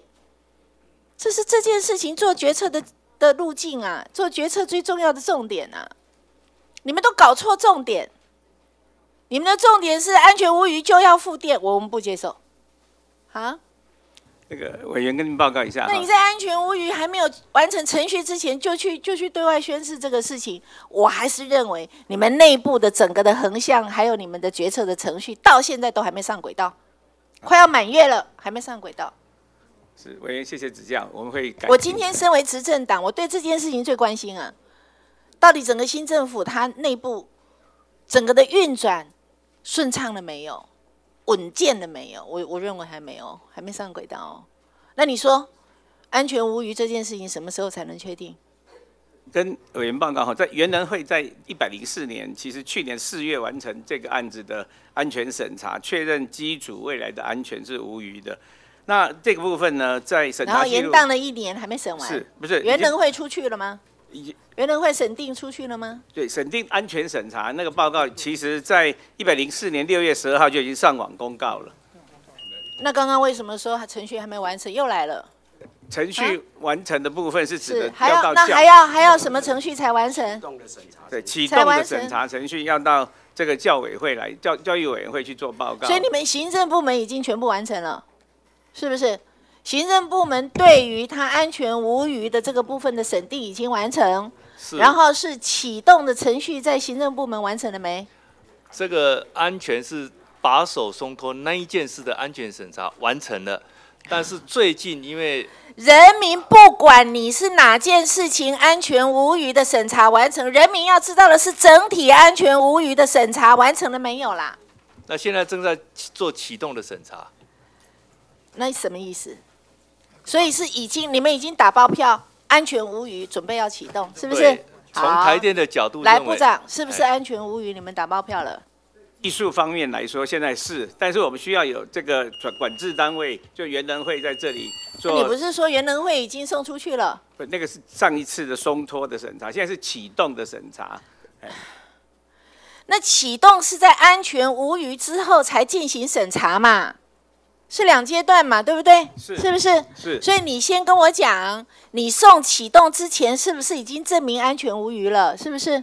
你要不要打包票这件事？是，技术面是审查已经完成了，但是启动必须有另外一个审查。启动还要一个审查嘛？那这个启动现在公文到哪一个层级了？现在在元能会，还在元能会，也还没到经济部，也还没到院长。是吗？还是元能会就元能会跟我们是平行单位，它是管制单位。好，所以是你们送给元能会嘛？由经济部已经送给元能会了。由由台电公司。那元能会台电送给元能会，好，元能会通过以后要不要送院长？他要送，他要送立法院。送立法院。不，送立法院只是做，那是因为上一次个会期。所以谁会决定？谁会决定他要不要启动？假如在这个原能会做完审查之后，他就报经济部，那就只那其实就已经可以启动了。不过在这样的程序上面，我们会跟院里做报告，这样子。好，你们最后要去做决定。本席不认为安全无虞就一定要启动。那至于说在限电跟启动之间要二选一的话，有限电危机到启动之前，你们有多少时间的缓冲？你什么时候确定限电有危机了？然后你有多少天你才能够启动？依照现在的这个技术程序来看的话，是四天核电核一厂才能够并联发电，需要四天才能够并联发电需要四天才能够并联发电，对。所以你必须提早四天知道什么时候要限电，是这样吗？啊，限电危机你们有四天的预测的缓冲期是吗？我们对于这个未来一个月，呃，内部都会做一些初步的这，个目前你们初步评估有没有限电危机？这个这个风险当然现在都是很高的状态，因为每天的风险很高，那那那怎样就是确定你这个是不特定的概念呢？本来未来就是不特定的概念，因为这个未来这个气温会多一点少一点你。们坚持到坚持到前四天的话，如果是在前四天，你们有办法做非常明确的的预测吗？要不要限电的前四天，有没有办法预测？你们的预测有没有把百分之百预测四天后的限电需求？我们这些都是根据过去的经验值来来，我要知道你们的你们的预测值能不能在四天前预测四天后要限电嘛？我们只能预测嘛，预测就是。所以也不准哦。所以四天后会不会限电，你们也都不准哦。未来的事啊情都是预测的，嘿。如果这样的话，你们不能启动，因为没有急迫性嘛。到现在没有一个人告诉我有急迫性啊，我听起来没有急迫性。我听起来说到要限电的四天前呢，我们还不一定知道有那个急迫性。那这样怎么能够说服我们人民说你要重新启动呢？这个、这个、这个两位这样的答询，我很不满意哦，人民也会不满意哦。那个所以只有在很明确的限电跟运转之间，跟并联发电之间二选一的时候，你们才必须去做这个决策。这样了不了解？可是你没有告诉我能不能限电，连四天前都不能准确预测。那我我当然要主张你们就不要，然后限电是你们一定不会发生，因为没有急迫性啊，感觉不会发生啊。嗯，委员报告哈，我们估算在计算这个所谓的这个限电危机的时候，的确是以未过去的经验加上未来的天气预测做估算的。如果我们发现往下的，譬如说一定长就超过四天以后的时间，会全部进入红色警戒的时候，那就会进入限电危机。所以你有一个模型可以预测，那个模型对于未来的四天的预测是可行的，是不是？那那个是根据我们现在是可信赖的模型嘛？是我们所知最可信赖的模型，不表示它百分之百正确，全世界没有百分之百正确的模型。是，但是那是最可信赖的模型，那个模型是世界通用的模型，是吗？有这样一个模型让你们可以预测，因为你们只有在这里才能够说服人民，我们也才知道我们怎么去替你们说服人民。是这个呃，电力公司往往对这些事情，因为调度的关系，所以他本来就要对未来一段时间常年不断的听到的都。很模糊，了，你们连连连董事长都没有拍胸脯，告诉我们说我们绝对有那个预测的能力，然后只有在有限电危机必须二选一的时候，我们才必须考量。那你们都没办法告诉我们这样的话，这个决策我们觉得很不可信赖啊！这样我们要替你们讲话都很困难哦。所以我我至少要确认，不是安全无虞就可以启动。好，这个要承诺，好不好？好，一定是在限电危机跟启动并联发电之间，必须真的有急迫性的危机，而且你们很明确的知道那个急迫性，必须二选一的时候才可以去考量是否要恢复运转，好不好？那时候就是全民一起承担。啊，如果在那个时候全民还是认为说我宁愿限电也不运转，那你们也要符合民意，好不好？当然，嘿，谢谢。好。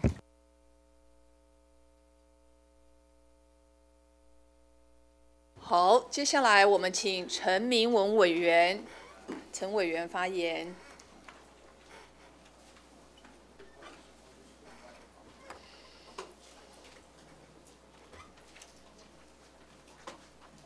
好，继续要面请部长。请李部长。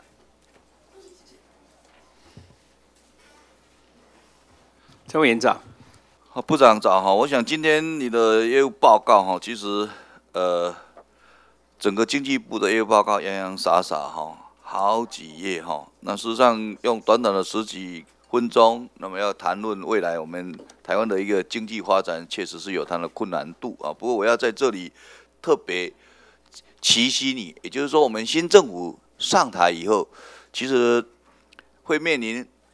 很大的一些啊经济的一个挑战，尤其整个台湾的啊国际啊这个经济形势啊的不好，还有美国可能会呃这个强势的升起哈，那等于全球的资资金都会挪到美国，还有我们红色供供应链哈啊将会禁闭我们台湾的一个啊供应等等这些哈问题，尤其是哦咱大家人要记得啊所有安内心哈呃第。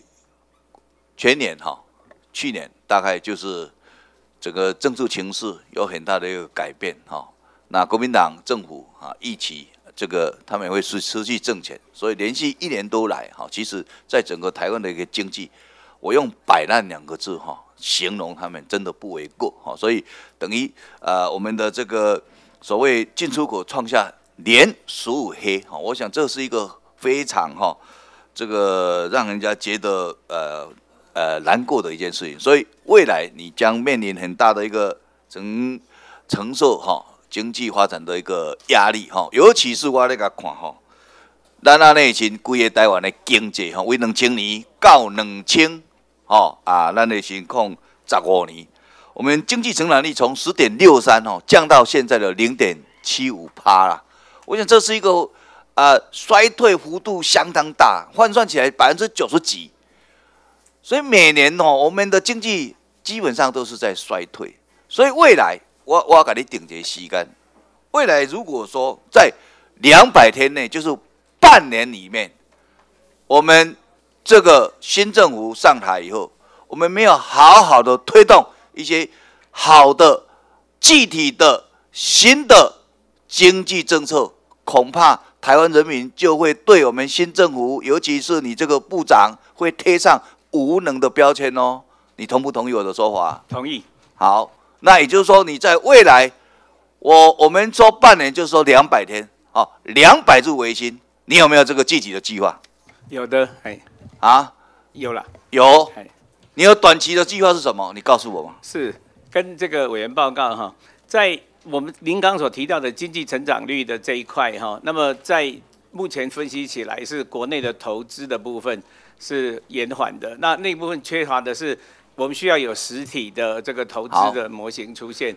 那那部分我们已经开始在规划。好，我我看起来哈，我们从从两千年我们的民间投资到两千一五年的啊民间投资，很明显的我们看到哈，我们是投资不足，从二十七点六三降到三点一一的。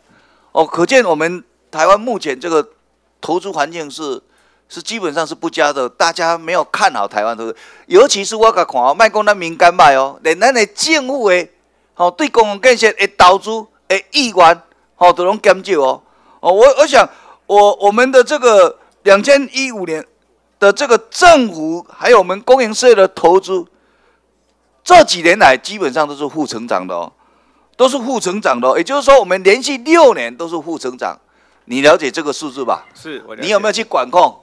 我是觉得这个部分哦，这就是咱给咱去啊，咱底下啊爱讲的哈，就是讲我们是希望我们的台湾未来，我们要积极的辅导，让更多的民间能够投资这个投这个这个投资。我们的政府事实上嘛，应该爱好好的规划哦，全力的哈，那么来抢救我们台湾目前的一个。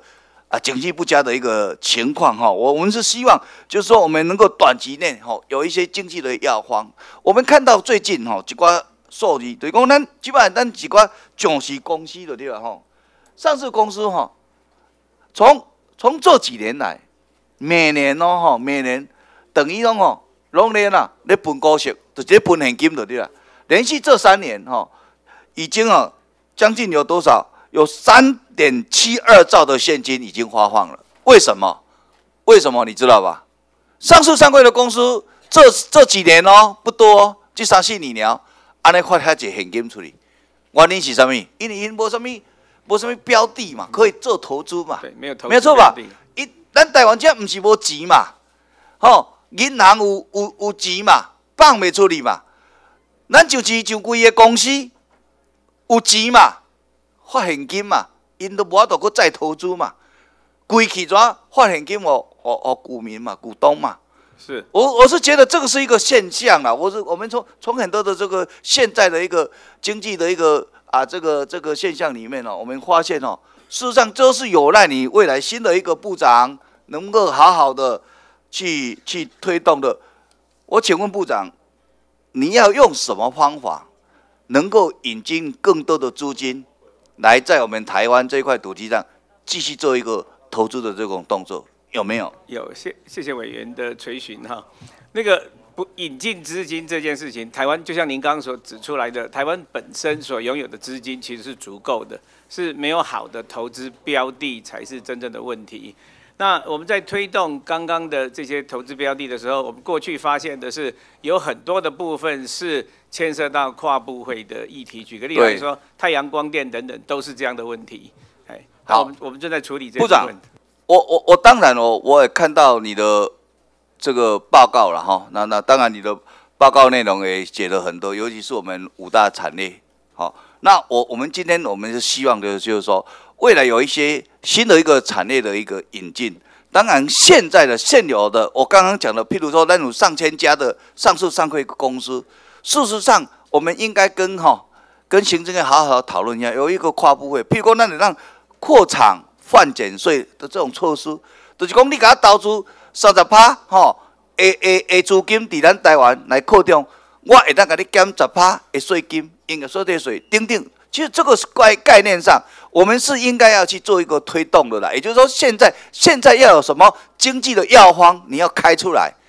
你要开出来，要好好让人家觉得说啊，现在的新政府确实有一些新的一个措施。好、我想你今天的业务报告只是指引未来的产业方向，啊，未来产，但是事实上现在台湾的哦经济的这个不景气，你无开药方出来啦，你无法度甲咱讲，后边怎具体来解决。吼、我想你你即马讲出来这个吼，这个当中是中长程的一个计划，好、没有错吧？好不好？哎短期我们没有写在里面，在那个比较厚的报告里面。我我我是觉得你你必须要这有两百年两百天的一个一个计划啊，这个计划当然就是我讲的哦，经济药方哦，当然未来的中长期未来带带来经济也也复苏哦，我想当然有赖整个国际的一个啊经济环境的一个改变。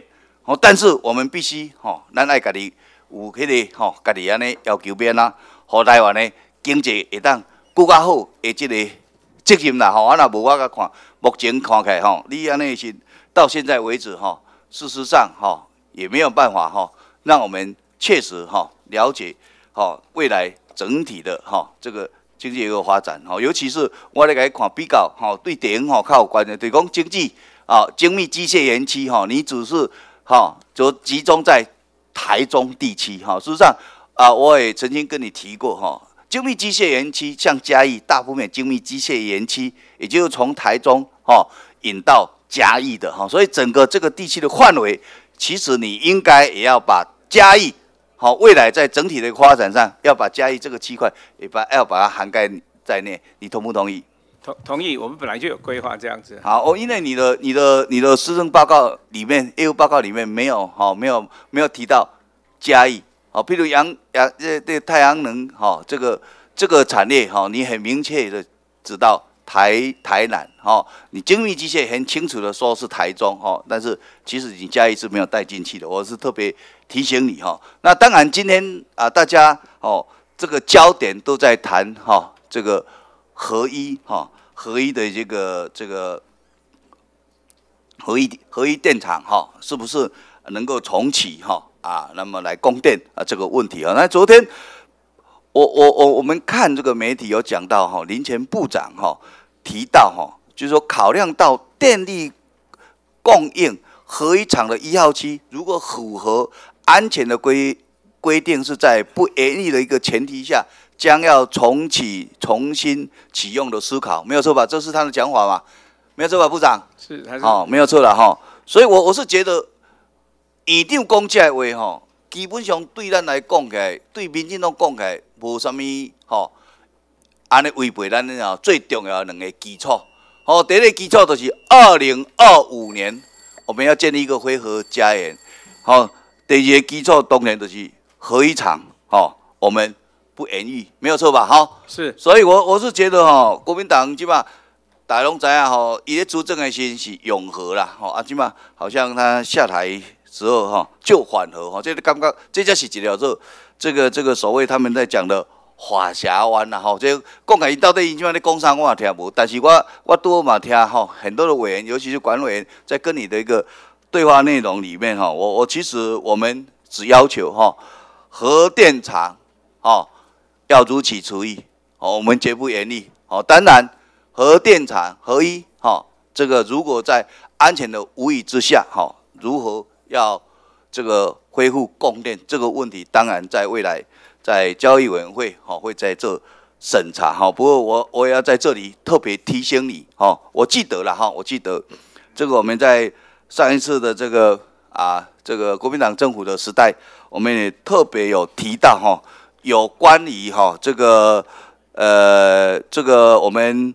呃，在观塘工业区要新建第三座啊天然接收站的这个问题哈，那我们的经费六百亿，啊，我们表定是在一百零五年要开始动工，一百一十二年要完成。其实这个哈这个计划最主要也是希望我们能够花这个我们能够发挥我们的这个啊更好的一个电源呐哈是吧？所以这个部分呢。呃，我们是希望哈，我们是希望二为了二零二五年的个恢和家园这个目标，我们要要要迈进。我们不是说说干那边爱，迄个迄个自然，迄个自然气的这个这个这个第三接收站呀，吼，其实咱是要靠这这这这天然气来起电厂嘛，没有错吧？是。所以我是觉得说，如果说这个东西如果全部给中油去做的话，那恐怕中国会站在本位的主义上，哦，那那是不是哈？安内心也，延宕咱二零二五年的恢和家园的这个重大的计划，所以我希望就是说，为了时效上，那你让赶得上看六年里面能够把它完成的话，是不是我们哈能够中油也好，或台电也好，或中油能够引进民间的这个这个企业，能够一起来哈，好好的推动未来怎么把它压缩到六年内能够完工？你了解我在讲什么吗？了解，嘿，好不好？好，所以我想这是一个很重要的哈，在我们无论如何，哦，我们一定要寻找我们的替代能源，我们一定要有我们的这个哈，这个整个二五二二零二五年的辉和家园的这个大战略。好，我们希望未来在你的手中能够好好的推动哈每一个计划，哦，能够完成二零二五民进党所主张的辉和家园这个计划，好不好？好的，谢谢委员期许哈。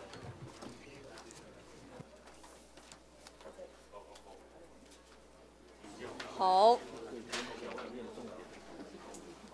好，接下来我们请苏正清委员发言。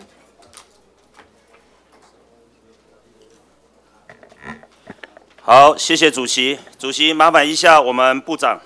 有请李部长。苏院长哈，早，部长，五二零就职以后到现在，你从一个学者转换到部长，心态上应该无那有条件了哈。有啊有啊。啊，第一遍来，呃，经济委员会业务报告，你简单的讲你的感受是什么？我们委员没有水准。没有没有不会不会不会啊，还是委员讲的都不错，很有方向，也很有看法。可以提供你们作为未来施政的参考。是这个跟委员报告哈，政务官到立法院来报告是天职。那委员的所有期许代表着民意的直接反应，好，所以我们会直接这个，我们其实一方面也在学习啦。好，那所以是吗？是。你望底下印了一套啊，即马下委员会以后讲的搁一套呢，导红听搁无共款。我话啊，底下听我这委员拢大家底下背尔，会袂？没啊，不可能。不会哈没。我为什么要刚开始来跟你说这些？我期许的是什么？等到一个月以后，我才真正的来问你一下，说担任一个月有什么想法跟看法？有没有什么力不从心的？咱台湾哦，今仔出席有满月嘛，满月席嘛哈，所以我等等你满月的时候啦哈，我再来好好听一下你的看法跟想法啊，因为我对我们新的团队有很大的期许。错中东武功几顾为啦，一共要听到人民的声音，我要跟部长讲怎么听到人民的声音，绝对不是你关在冷气房内房间里面，然后去做你们的施政，我想这样听不到啦。那人民的声音有一个很好的管道，就是来自所谓的民意代表，因为万达钢底机长的照，我们真的可以听到所谓的来自民间不同角落、不同层次，甚至于不同阶层的声音。这东西也当未来火林作为施政参考的一个方向啊！好，我也希望说，部长，既然总统要说听到人民的声音，而且我要跟部长你讲，总统在总统就职的时候有讲一句话，我觉得很好。他说未来他们未来施政最重要的是什么？是要解决问题，对不对？好，这一本是你的施政报告，对，里面你有提到最后的结语，你说。我们台湾的经济已经面临着改变的时刻，所以经济部有决心、有规划，更有沟通能力。未来你们将会展现你们的执行力，这是你里面所写的哈。是好，因为你要多九音，我要看，我要看部长以你的专业，以你的能力，怎么带动这么大的一个经济的一个所谓的经济的一个行政体系来做，让人民能够感受到。新政府真正有在做，我保证真正有在带头做，给大家看，而不是沦为口号。这是我的愿望啦。但是因为你多上音嘛，我嘛袂当跟你讲啥。但是我们可以从你的规这个报告里面可以看到很多期许，包含着什么？你你里面所写的，企业反映投资环境缺水、缺电、缺地、缺人力、缺人才这五缺。这里面都点出来的问题，但是我们都知道问题之所在，但怎么解决，这才是一个最重要的一个所谓的目前要做的事。不是我怎样问题，啊要解决，结果呢？好，我们现在都跟时间赛跑，那时间有多久？一个月、三个月、半年，还是一届任期四年？所以我们在跟时间赛跑，用这几句话先送给部长。好，谢谢。那么刚才你们包含着说，你们有些。革新法规的制度，你们刚才讲的哦，里面有写的，你们的沟通能力，你们要展现执行力。好，部长，你在回答简我们这个呃廖国栋廖委员的时候，你说公务人员依法行政。好，针对刚才廖委员的问题，我简单的跟部长你讲一个观念：行政部门依法行政也好，或是行政依法也好，都是对的，但是不代表你们的主张看法以后。就是照这个去走，那有时候当别的法令见解也是可以并拢并行的时候，记住一句话：不要行政单位认为你们都是对的，或许没有错，但是在别的法律的见解可以在他的论述立立场是没有违法是正确的时候，但是行政单位却不愿意有积极的作为。我想廖，我想廖国栋委员他是这个意思，所以我嘛希望你总这问题扎对好啊去了解。到底行政单位现在做讲的都对吗？行政单位，你们讲的行政依法，难道没有办法去考虑别的法律的见解也是没有错的吗？然后认为我要讲的，你们认为这样就是担当吗？肩膀上的担当才是最重要的，解决问题才是最重要的。如果悬而未决，然后用一个理由跟借口来说啊，我们讲的都是对的，因为我们依法行政，因为我们行政依法，我要跟部长讲。那永远看不到有所谓的执行力，有所谓的效力跟魄力，问题还是没有解决。我那功力的讲话艺术啊了哈。好，那这个问题我不多谈，我来跟你们讲。刚才有好多委员都谈了，现在我们合一的问题，我觉得我们行政单位没有讲得很清楚，我们一定要跟台湾人民讲得清楚。刚才也有委员讲到的，我们的限电、缺电这些问题。到底要怎么去解决？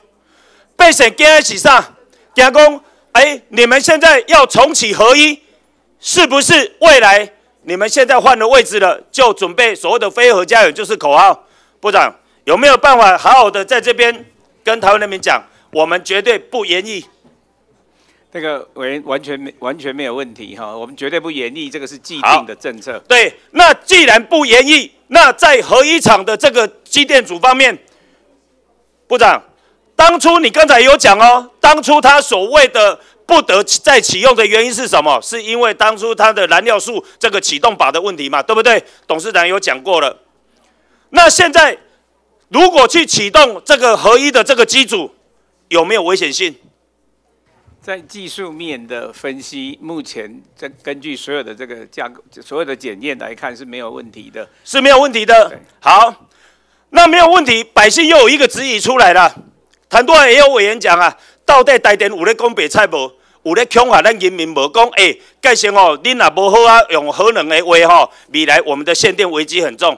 但是我们部长，我们现在政府是要求我们提升绿能啊，对不对？是。好。你知不知道之前有一个报告？我觉得报告史上，两千零九年到二零一五年七年的时间，就是马英九总统执政的时间。当初我们的太阳能光电只增加多少？八百三十二万，八百三十二兆瓦，被霸上一兆瓦啊！好，那么报告阿标兵，二零一五到二零二零哦，五年的时间比来要变成两千七百七十三兆瓦。好，加几倍？加原本的马英九之前的时加三倍以上。好，部长有没有信心做得到？如果有信心做得到，我们应该不会缺电嘛，对不对？那如果说今天没办法落实，那是不是又沦为口号？你有没有决心一定做会到？这数据加以前的七年是三倍哦，这是经济部的报告哦，迄时你也未上台，这个报告会不会质疑？那个你来，你来说明一下。好，跟跟委员报告哈，整个所谓的再生能源这一块哈，不包含太阳光电跟离岸所谓的风力发电等等。那这一部分的规划现在已经在，我们在当然在重新检视。不过我们认为那个那样的架构，就您刚刚指出的那个数字，是我们这个全力以赴可以达到的数目标。好，目标如果没有实现呐，当然这次计划会被沦为空谈。台湾百姓又会对执政现在的执政府又打上一个问号，马是公会搞这没搞呢？好，那以目前的状况来讲，现在要去启动所谓的合一的机组，那重点是什么？部长，我觉得你要跟台电好好的去了解，为什么在这个时段有送税修的、有检修的、有故障的？你知道现在如果这些税修、检修、故障的，现在如果这些都复原的话？可以多增加多少规模？现在这些机组停掉的、税修检修的，大哎，董事长，我现在讲这样清楚吗？税修检修跟故障的这些发电机组，可以如果都正常运作，可以多少？那个发电量？跟委员报告，比方像新达一厂，它是因为要换叶片，它原来叶片有一点故障，所以它税修的时间就比较长一点。对，我知道。好，对，所以他那个董事长。我也跟部长，我为什么讲这个？你知道现在台电的税修、检修，还有包含故障的这些零零总总加起来，可以发电多少？三千七百一十九，三七一九 mega 瓦的一个规模。三百七十，三百七十几万。三七一九，对不对？几万，对。这个这些总发电量是多少？是所总最高用量发电量的十一趴，因为我们最高整个全部发电是三三万三千六百 mega 瓦，对不对？现在现在可能会高到三万呃三千四百或者对三千四百最高的时候去年是三千五百啊。你讲到重点了，部长。现在重点就是说这些所谓的税修、检修，甚至于所谓的故障的发电量是占全部的十一趴。故障的先不管，但是这个税修、检修一定是如果台电平常。有在好好的维修，有在好好的维护，甚至税修怎么去缩短时间？如果有好好的彻底落实执行，今天会有达到所谓的变载热量剩下一点六四吗？否定啊，这个有循环因果关系吧？对不对？怎么加强落实去管控？得免让百姓陷入一个惶恐当中嘛？好，部长语重心长。包含着未来我们要发展我们的太阳能光电，我们现在的太阳能光电已经达到九百百万瓦了哦，和和你拍七折啦，买要够六百多，六百多已经达到一个合一的一个发电的一个数量，合一厂的一个数量了，差不多吧？董事长，我有没有说错？这个，但是因为它太阳光电集中在白天嘛，对跟合一好厂的发法不不太。所以，刚才董事长你讲的对，部长最后的几句话，我们台湾现在的用电的问题在是在于是什么？在于尖峰的时候是我们如何发电，然后如何省电。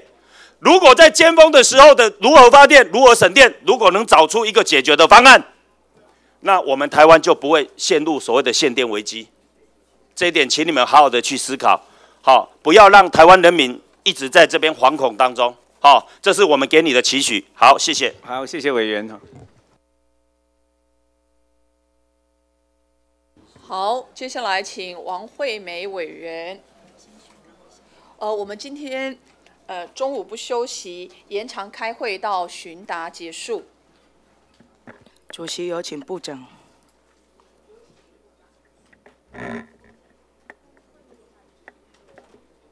汪园长，早，部长，看来你已经有在做节能减碳的准备了哈。很少部长来到这边备询，像你穿着这么轻松的。显然你们已经有我们的张景生、我们的政委说的，只差没有把短裤拖鞋穿来啊，已经开始在落实了，是不是啊？委员报告哈，那个我们经济部作为能源主管的部会，当然必须以身作则哈。那我们本来今天也通知全部的这个我们局处的主管跟国营事业的董事长，也都穿比较轻便的衣服。好，表示有开始在动了哈。好，来，我们在蔡总统去年八月竞选期间，在台中，他有明确表示，我向大家保证，民进党执政之后绝对不会缺电。在前两天，那我再我再问一下，今年夏天呐、部长你能不能保证啊，我们不缺电啊？可不可以拍胸脯讲一下？跟委员报告哈，假如在像现在的极端气候这样子的一个情形之下，我们的确希望能够面不改色的跟全民说，绝对不会缺电。我现在蛮担心的哈。哎，是我我了解您的您的这个考量了哈。那但是我们在这个部分，今年的气候的确比往年提早了一个月，就极端气候的这个天气温度哈，的确提早了一个月。哦，那所以在那个部分，我们现在正在调整我们可不可以拍胸脯保证？会不会有困难点？困难点会会会会有什么样的状况？我看你们现在因应措施都已经在做了嘛，哈，要跟大企业这个这个架构电十块钱呐、等等的一些做法嘛，哈，是不是可以确实的告诉我们乡亲、我们的这个民众，到底今年缺不缺电？跟委员报告哈，如果可用机组都可以正常的上来，那我们今年也做了非常多这个虚量竞价跟额外的气电共生收购的事情，所以一来一往之间呢、我们今年应该可以安然度过。所以可以拍胸脯告诉我们的民众，今年绝对不会有缺电的问题，是这样吗？对，就是这个可用的机组都正常的上来。好，现在我们台电的董事长保证，那我们经济部部长你要不要也承诺一下？就像刚刚讲的哈，在这样子的结构底下，那么我们所有的可以用的基础都列入系统当中的时候，不缺电是我们现在估算的这个结果。可是本席啊，对于你们所说的这些东西都有一点点存疑耶。本席上我们台电的网站呐、来调出啊，我们在一百零五年五月六号更新的一个资料啊，应该算是蛮新的一个资料。在这里面的数字啊，一开始本席就非常的质疑啊。我们归我们在是假设未来的经济平均成长率啊，竟然是一百零四年到一百零八年，我们高估过三点七二趴。那有从一百零四年、一百零五年这两年零点七、零点八五跟一点零六来看的话，显然我们明年开始的这个经济成长率要高达到五点多趴。那你一开始你的这个经济成长率的设定就有一定有问题了。我们对于你们用电的需求后面的算法，我会觉得会有很大的一个 question。跟委员报告哈，做这个事情经济成长率当然不是我们台电的专长，我们比较要在乎的经济成长率之后的用电成长率，那个才是我们抓抓那个数字为准啊。那我们现在用电成长率大概抓比较中岸，就是大概一点八个 percent，或者这个平均下来几年下来平均一点八个 percent，因为这个涉及到气温，还不一定是只有经济成长率有关的。没有这个东西，我希望你们回去再检讨，因为你们更新的时间是在二零一五年的五，哎，二零一六年，也就一百零五年的的这个呃五月六号。显然，你连一百零四年已经很确定的数值，你们也都没有放进新的这个 data 进来。那我觉得你会让民众觉得你台电都是青菜公共的安利娘娘。再来，我们台电也在二零一五年呐，公布了十年的电源开发方案呐。那我们在核四封存前呐，这个三年呐，这核一、核二、核三呐，借零呐，这个假设除以之下，四年后啊，国内的这个备载降到四点八，限电风险大增啊。那我们也预估啊，二零一九年呐，将会出现一次以上的一个北部啦，会一次以上的限电呐。而这个我们备用容量啊，出现负值啊，也提提早两年呐。那这个大概在二零二三年就会出现哦。那我想你们这个台电所写的这一份十年电源开发方案呐，是不是等于打脸我们这个蔡英文总统任内不缺电的一个保证啊？因为我们在二零一九年北部可能就会有限电的一个危机啊。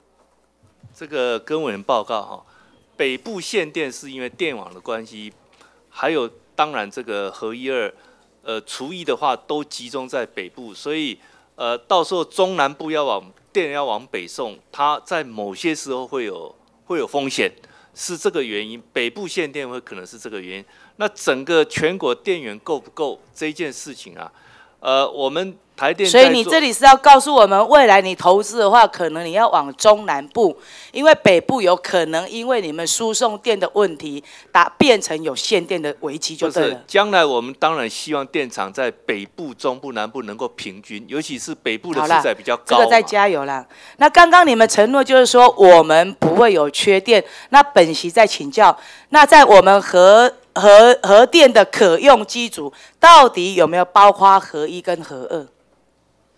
核限电核电的可用机组，如果这个核一核二被呃证明安全无虞的话，我们希望它是就是算在我们的这个里面。所以在你你刚刚刚承诺保证不缺电，是在核一核二还继续使用的状况之下，是不是这样？现在就是还没除以啊。好，那我再问一下部长，这个跟你的理念会不会有很大的落差？会不会感觉说好像计划赶不上变化，赶不变化又赶不上长官的？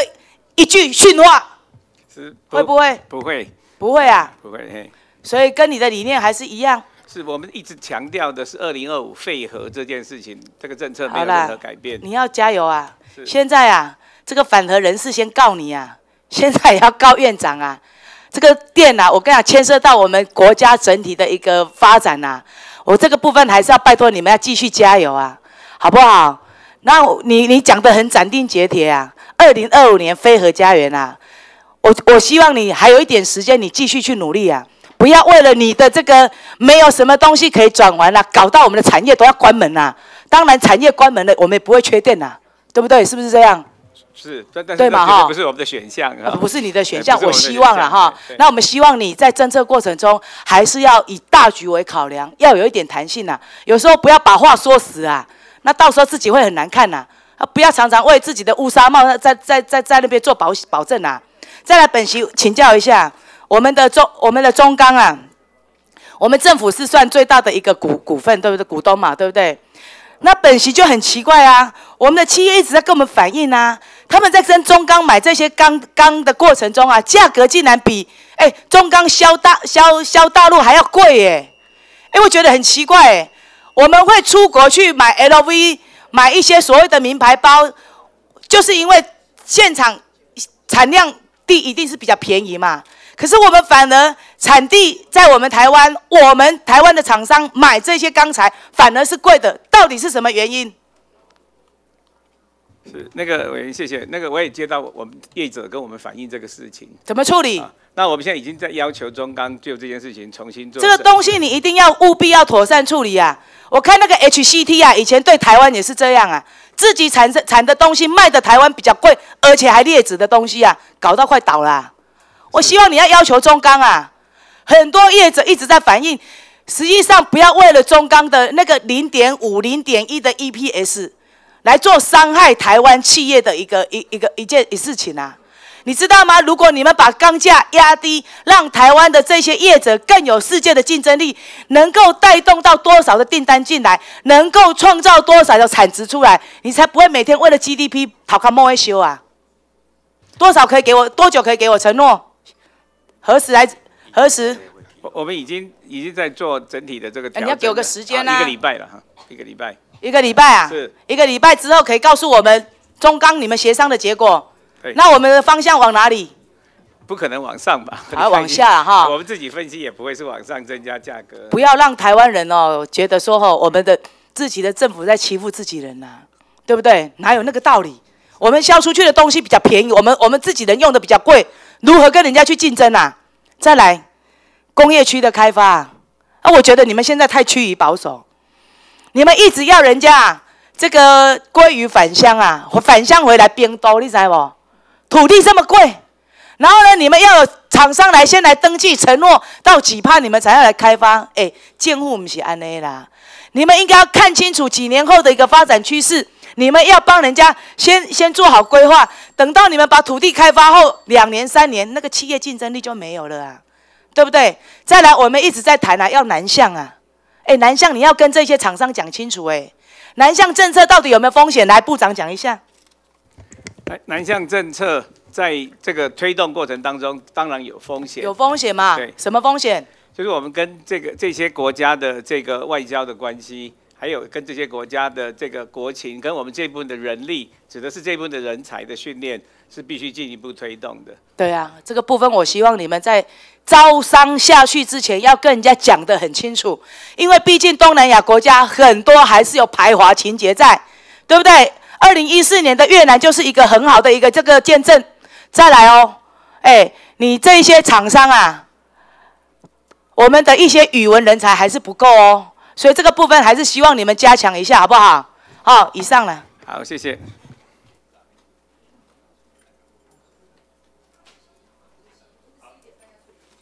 是，现在十二点了。好，那怎么样？征询各位委员同意，先处理临时提案的怎么样？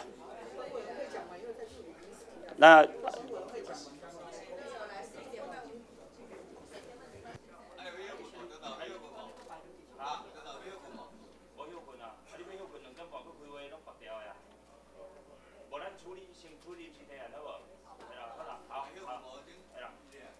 来，我们处理临时提案哈。好，我们请议事人员宣读。那在宣读提案的的同时啊，我们各行政单位人员可以哈自行方便。好，谢谢。好，请宣读。临时提案第一案，其他国家以时间电价作为调控电源调度节能以颇见绩效，为经济部所属的台电公司对于时间电价之推动成效评评，原要求经济部及台电公司应于两个月内尽速规划，利用适宜简易之智慧电表，以推动时间电价之落实，并将规划情形送立法院经济委员会提案人邱莹莹委员等人。第二案，目前地方设新废弃物放置建议后置场所尚未明确，迁移时程不明，致使荷兰。致使蓝屿储存厂核料废废核料迁移时程延宕许多。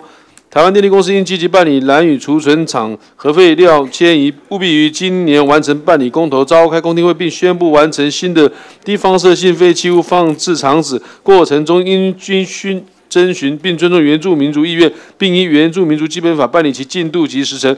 请台湾电力股份公司将蓝屿储存厂迁厂时程提出检讨报告，择期向本委会提出专案报告，以保障蓝屿达务人生命与财产安全。提案人孔文吉等人。第三案，有鉴于核能发电后营运机端基金关于用于核电核子人来最终处置及再处理计划专业服务费等委托调查研究计划，查今年所有谈勘调查均源于用原住民地区执行，而执行过程亦从未与当地原住民族说明与沟通，造成当地民族愤怒、不安与恐惧，本要求。未于未取得原住民族同意之前，必须立即全面停止此委托调查研究案，请台电公司择期向本委会提出专案报告。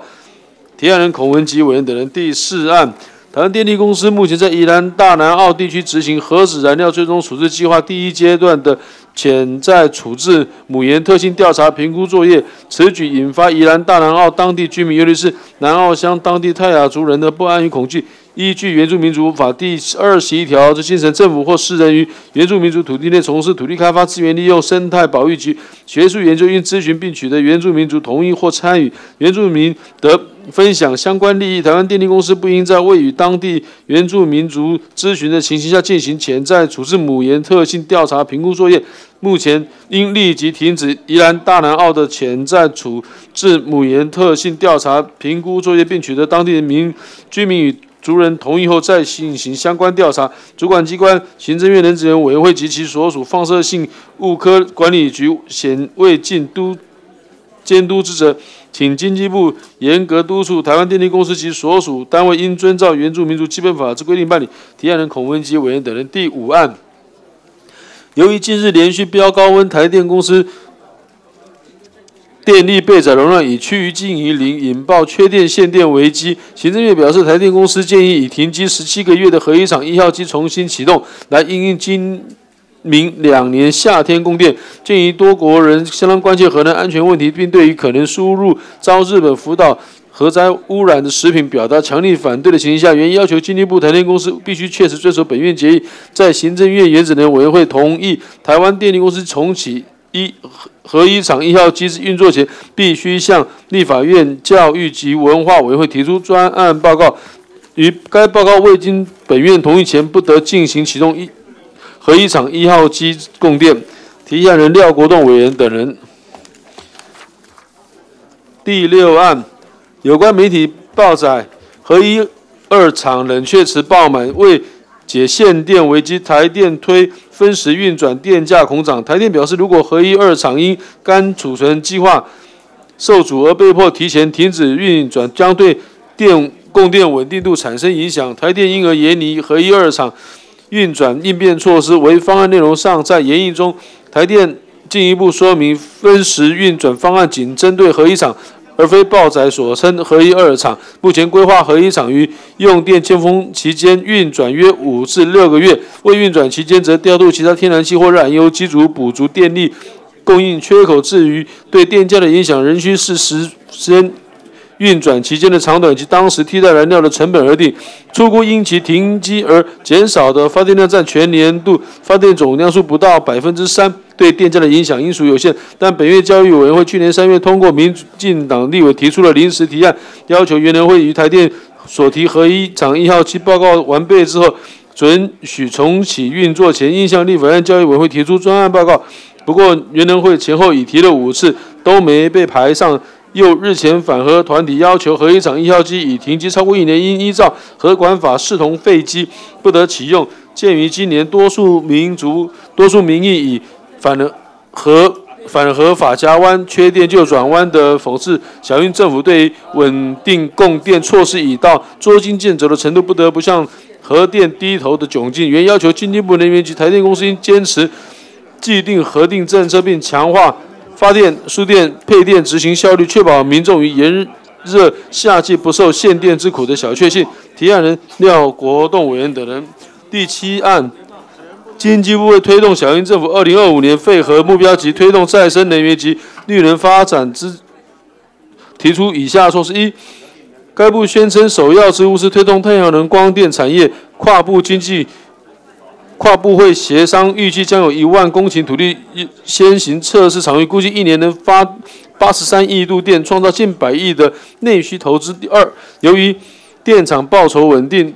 认为最适合的退休基金寿险投资。三、发展太阳能面临土地不足问题，经过跨部会平台协商，农委会将试出约一万公顷土地装太阳能面板营运后，每小时可发电三百三十万度，相当一年发八十三亿度电，是有另有高铁、高速公路等旁国有地亦考虑试出推太阳能发电。这部分经济部正与财政部国有财产局协调中。五、国内太阳。国内太阳能电供应面板充裕，最缺的是组装模组的这一块，并必须经中国大陆竞争。如何让台湾的绿能产业国际化往前迈进？经济部已经规划相关措施。鉴于以上太阳能发电方案将面临下列的挑战：一、一万公顷土地设置太阳能电板，必须受制于国内岛屿地形限制，相对于大陆，新疆太阳能板模式将大量增加设置、储存及输传输经费。绿能电接价价格能否为民众接受是个问题。二，以目前全球面临极端气候挑战，可发电时数是大问题。三，由农委会提供一万公顷农地转为发电使用，将大幅减少作物面积，这重严重影响国内粮食自给率。想要确保台湾粮食安全及推动地产地销消费行为，更是不可能。是将台湾大面积种植太阳能板，的确可达到说短期去化国内太阳能板。产量过剩问题，但由于政府推行设置形同对制造厂商变相补贴，且以美国著名的大厂大幅依赖政府补贴，最后破产而言，该项政策能延续多久是个大问题。因此，原提案要求做成下列决议：太阳能设施的推动是取是能源取得的重要方式，但台湾考虑各项条件，应以推广民众自行设置，成为电力供给补助为。设施为主，并将补贴设施经费以奖励方式让国人切实受惠，借以建立绿能概念，让台湾成为绿能、成为永能源永续之岛。提案人廖国栋委员等人。第八案，今日气温高居不下，再加上台中火力发电厂六号机组破管解裂。供电更加吃紧，在全力冲刺需求量减少负载后，使得五月三十一日十三时五十三分，全台用电量达三千四百四十二点四八万瓦，备载容量降至百分之一点六四，转载容量仅剩一百五十六点四二万瓦，创十年新低。供电供电灯亮红灯，为此因应此供电紧急失落状况，台电召开能源不足期间应协商应变会议，除实施需。量电价措施及气电共生电力紧急收购机制外，并协同民营电厂于十三至十五时用电尖峰时刻启动火力机组短时超载运转，是非常手段。台电表示感谢民营电厂协助，才得以度过本次供电难关，但往后。之供电仍需十分严峻，也恳请民众节约用电。原要求经济部能源局积极督促台电公司完善台湾各项电力供给措施，坚守既定核电政策，勿再落入核四法家湾缺电就转弯之机，确实落实小英总统不缺电、不涨电价的政选政见，维护台湾人民的基本需求。提案人廖国栋委员等人第九案，建议汛期将至及极端气候因素，水利署。于六月一日邀集各属所属机关正式召开防汛整备秩序会议，除所属各单位于汛期前皆已皆规定完成水利建筑物腹地工程、在建工程、防汛缺口抽水站水门、滞洪池水抽水机等防汛机制备料及各项支通系统的准备与检测外，各河川局、台北市水源特定区管理局及各水资源局更进一步协同地方政府再次检视各项防汛准备情形。鉴于桃园机场水灾事件造成一效。国际案例原要求经济部水利署应就防灾及救灾工作加强横向、纵向处理，避免突发状况或首长不在或人为疏失等因素再次造成民众财务之损及精神损失，以提升中央与地方共同防汛灾防灾的效能，落实完全执政的负责。提案人廖国栋委员等人第十案。鉴于小英政府上任未满半年就提就出现各种政策大转弯，让一般民众出现极度不安全感。以带领国家经济发展的经济部来说，我们尚未看到新任市部长李世光带领经济团队发展上的上任和表现，但先。前那番二零二五非核家园没有讨论余地之说，却步入了在经济决策顺序上的失调。原依据立法院各委员会组织法第六条之一，提案要求尽速订定立法计划，并送请本委员会据后以执行。提案人廖国栋委员等人第十一案，为因应环境变迁，台湾地区之。矿业开发以朝向减少新设矿业权、加强矿业管理之原则办理。有关新设矿业权之申请，如系于限制区域未经核经该管机关同意或有妨碍公益事情者，则不予以核准。矿业局发展权限有如构成矿业法第三十一条第一项规定情形，则予以驳回。矿务局表示，台湾地区之矿区数已由民国七十三年的一千余矿，逐年减少至目前之。两百四十八矿，并无腐烂之情，未达成矿业法第一条所接诸有效利用国家矿产，促进经济永续发展，增进社会福祉之立法目的。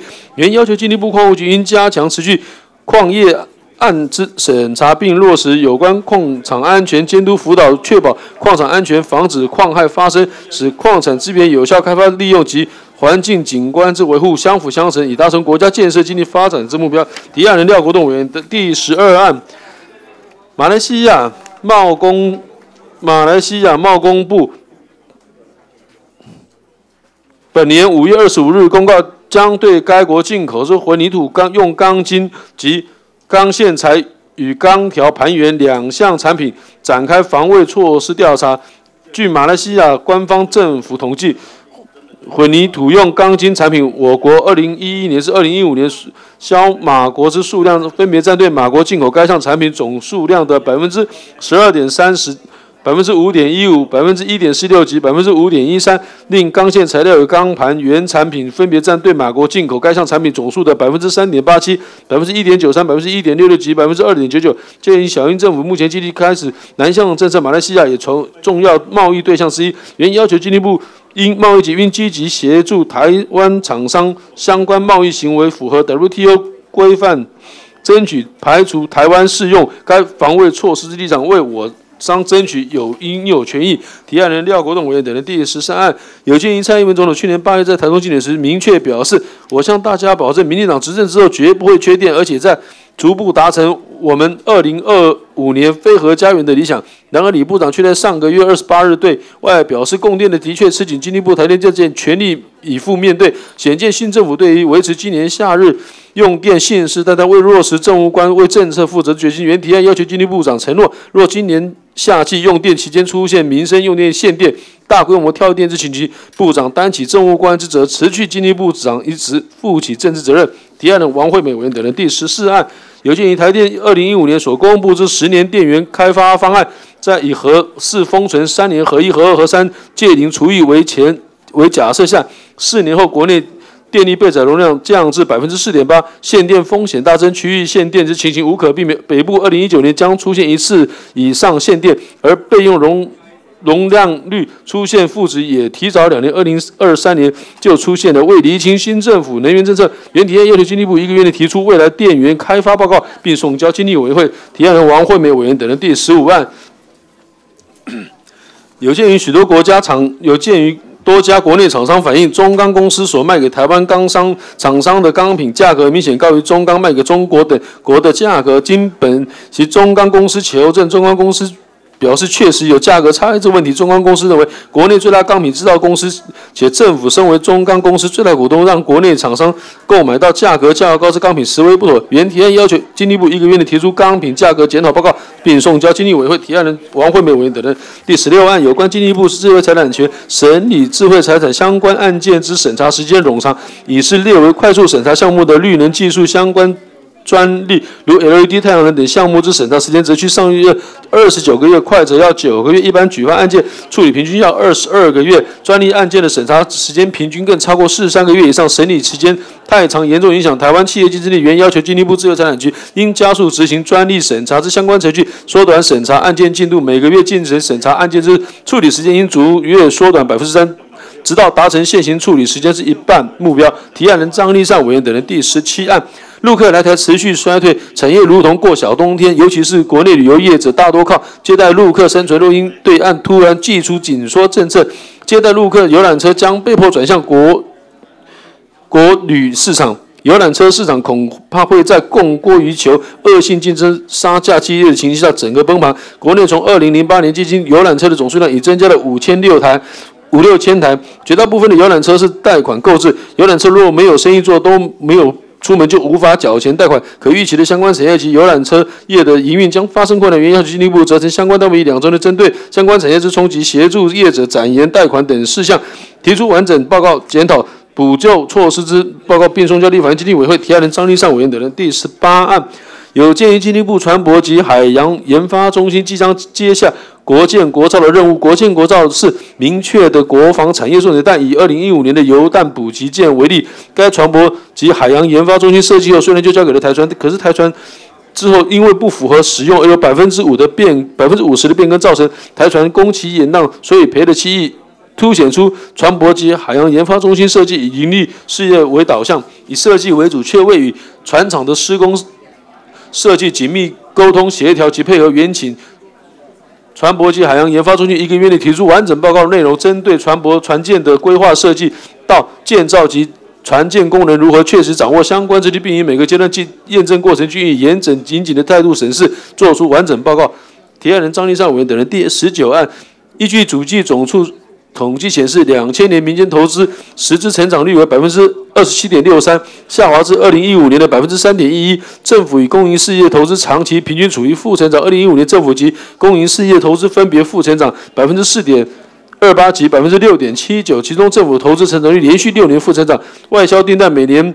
生产比重也从二零一一年的百分之十六点六九逐年增加到二零一五年的百分之五五点零八，严重影响国内就业消费市场。原要求经济部责成相关单位于两周内针对吸引台商降低海地湾生产比重、增加台湾市场创创造就业机会，提出完整检讨改善报告，送交立法院经济委员会。第二人张立善委员等人。第二十案，根据经济部工业局调查，全国闲置的土地产区至少有八百公顷，为了活化。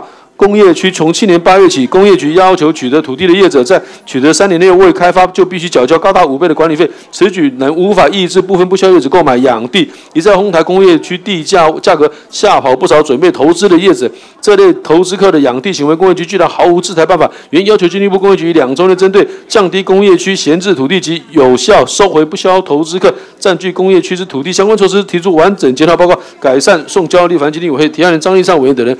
第二十一案。根据统计，多数劳工阶级的薪水比九十三年减少了百分之十五。经济会日前公布，台湾景气中高的连续九个月都亮出代表衰退的蓝灯，主计处早已下修今年经济成长率无法。保二、水电、瓦斯等等都攸关民生的基本需求，民生必需品的基本文化是生活支出，若大是影响最大的就是一般家庭。一旦水电飙涨，将造成经济更差，老百姓的生活陷入更艰苦的困境。对大多数中低收入的家庭来说，生活基本需求项目的飙涨会大大侵蚀家庭收入，总不能要求老百姓不吃不喝。原要求经济部责成相关单位应严格控管与有效执行，不得跳电限电及不得涨价。电量等措施与目标，提案人张立善委员等人。第二十二案，根据行政院主力数总值显示资料显示，台湾经济成长率从两千年的百分之十点一六下下滑至百分二零一五年的百分之零点七五。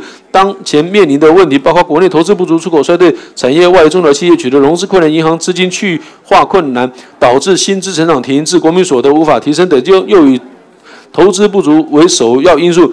企业都愿意跟留台湾，但不确定性因素实在太多，为使维持稳定的投资环境、创造就业，严要求经济部两个月内针对夏季供电之稳定性进行相关严拟、严格控制与有效执行，不得跳电限电及不得调涨电价等目标，提出完整检讨改善报告，并送交立法基金委员会。提案人张立善委员等的第二十三案。鉴于今年的，台湾面临极端气候之挑战，夏季气温屡创新高，特别是每日下午一点至三点为最热时段，导致用电量今年五月底，台电公司即表示备转容量百分之一点六四，转备转容量仅剩五十六点四二万瓦，创十年新低，供电亮红灯，因高温而创造电力调度吃紧的情况，经济部本应全力做好应急措施。并非沿袭以往调度计划，或仅以提高供电量来应应本要求，一星期内重新检讨现有电力调度之需求与管理模式，突破旧有电力调度与管理的思维，提出更积极之降低尖峰负载的管理与调度计划，并与地方政府电力信业合作，针对用电大户建立联系管道，于用电尖峰时发送负载抑制通知，要求其节省采电措施。提案人蔡培伟委员等人第二十四案。台电公司一台湾电力股份有限公司促进电力发展营运计划执行要点及经济部所属事业机构入零工作要点，向民间购电时需提供一定比例之促进电力发展营运基金之与民营电厂，并由民营电厂自行检讨运用。但对于民营电厂自台电收取的促协金有否妥善使用于无法有效监督管理，要求进一步针对台电与民营电厂合约中关于促协金的给付部分。严拟修约可行性，于两周内提出报告，以便落实促协金的设置目的。提案人苏志芬委员等人。第二十五案，每逢夏季用电吃紧，政府部门的思考模式都是从电力供给面着手，以提高燃料发电量或重启核电以应应对。经查，经济部对能源局去年本年发电容储量为四千八百多万瓦，而最大尖峰离是三千八百多万瓦。台电公司严重忽视电力需求的调度与管理能力不足之问题，而评以缺陷电说引起民众恐慌。台电公司应于两周内提出电力调度与管理检讨报告及改善计划，送交立法院经济委员会第二人邱志伟委员等人。第二十六案。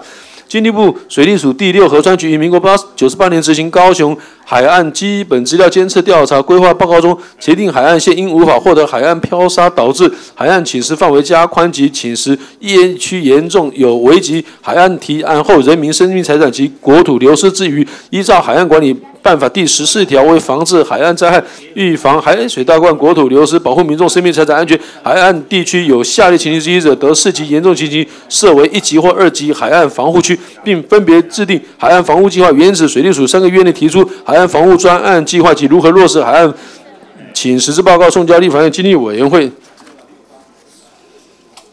第二十七案。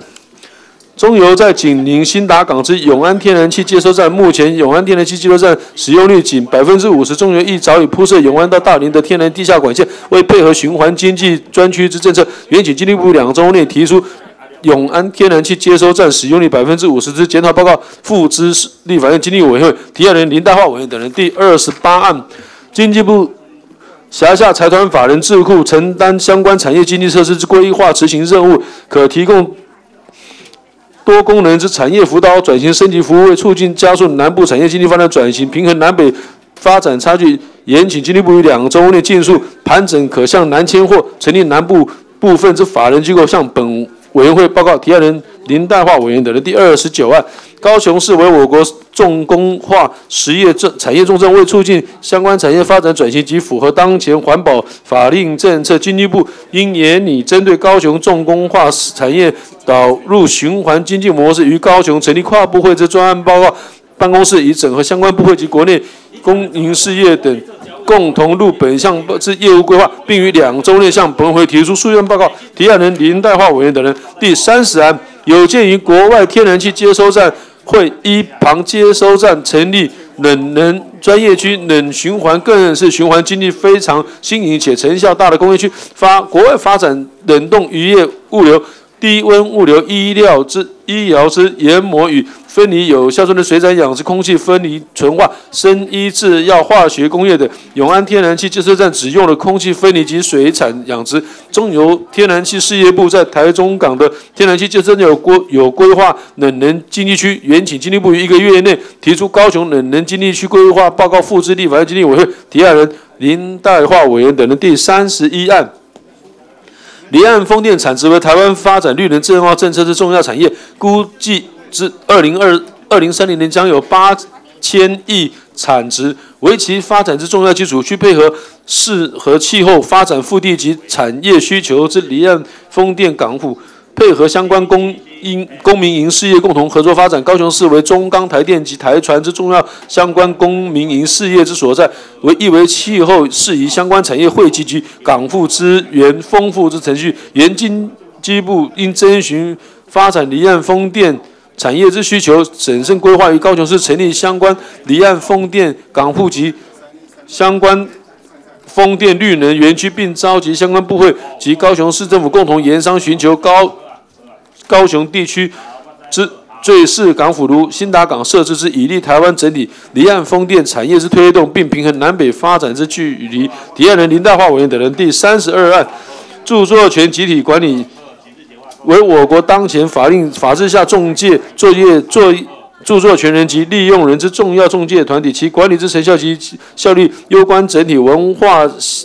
流行产业之发展良率，为乃经济部应积极负起管理监督之责，并于一个月内完成，严拟针对集团集管团体运作执行业务之正当，为订定相关之行业警示或规范标准，督促国内集管团体能达到其他先进国家类似团体之服务专业效能及透明公开程度，成为台湾文化流行产业发展并整合。相关产业朝向国际化发展之正面助力，向本委员会报告提案的林代化委员等人。第三十三案，经济部智慧财产局日前废止著作权集体管社会社团法人台湾音乐著作权人联合总会，简称 MCAT 之设立许可，并命令解散。为解散该团体后，并无完备措施及作业应应，致使衍生相关利用人与著作权人之间授权与费率争议，损及相关音乐文化著作之推展利用。原请经济部智慧财产局一个月内检讨其管理成效，疏失改进措施，并提出后续有效解决该方案上本委会报告。宣读完毕。好，谢谢。好，我们现场啊，请保持安静一下，谢谢。好，我们现在开始进行临时提案的处理。好，我们现在开始进行第一案。啊，有意见？好，没意见，我们照样通过。那么第二案有文字修正，我们先请我们议事人员宣读。报告委员会宣读第二案的那个协商结论，在第三句的部分修正后。正式文字是：台湾电力公司应积极推动蓝屿储存厂核废料迁移，务必于今一百零五年积极沟通推动公投，召开公开说明会，过程中均应征询并尊重原住民意原住民族意愿，并依原住民族基本法办理。请台湾电力公司将蓝屿储存厂迁出提出检检讨报告，其余相同。宣读完毕。好，谢谢。那么。其中文字修正的部分是行政单位跟我们提案委员有进行沟通。好，那现在我们请问在场各位委员有意见？好，没意见，我们照案通过，修正通过。我们第三案有文字修正，我们请议事人员宣读。报告委员会，第三案的部分修正的部分在第六行的部分，之前必须立即全面停止此委托调查研究案之地质钻探，其他内容相同。宣读完毕。好。第三案有文字修正，请问各位委员有意见？好，没意见，我们照文字修正通过。好，进行第四案。没意见。好，第四案有意见？好，没意见，我们照案通过。好，进行第五案。第五案有文字修正，请宣读。报告委员会，第五案的部分修正如下：在案由的倒数第二行部分，于该报告未经本院同意前，修正为。于该报告未经本院教育及文化委员会同意前，其余相同。宣读完毕。好，请问各位委员有意见？好，没意见，我们照文字修正通过。好，我们进行第六案。好，第六案，各位委员有意见？好，好，有意见，我们请行政单位说明。好，谢谢。那就是最后一段，就是前面的两行半。那边删掉，然后就是要求经济部能源局、台电公司应强化发电、输电、配电执行效率，确保民众在炎热夏季不受限电之苦的小确幸。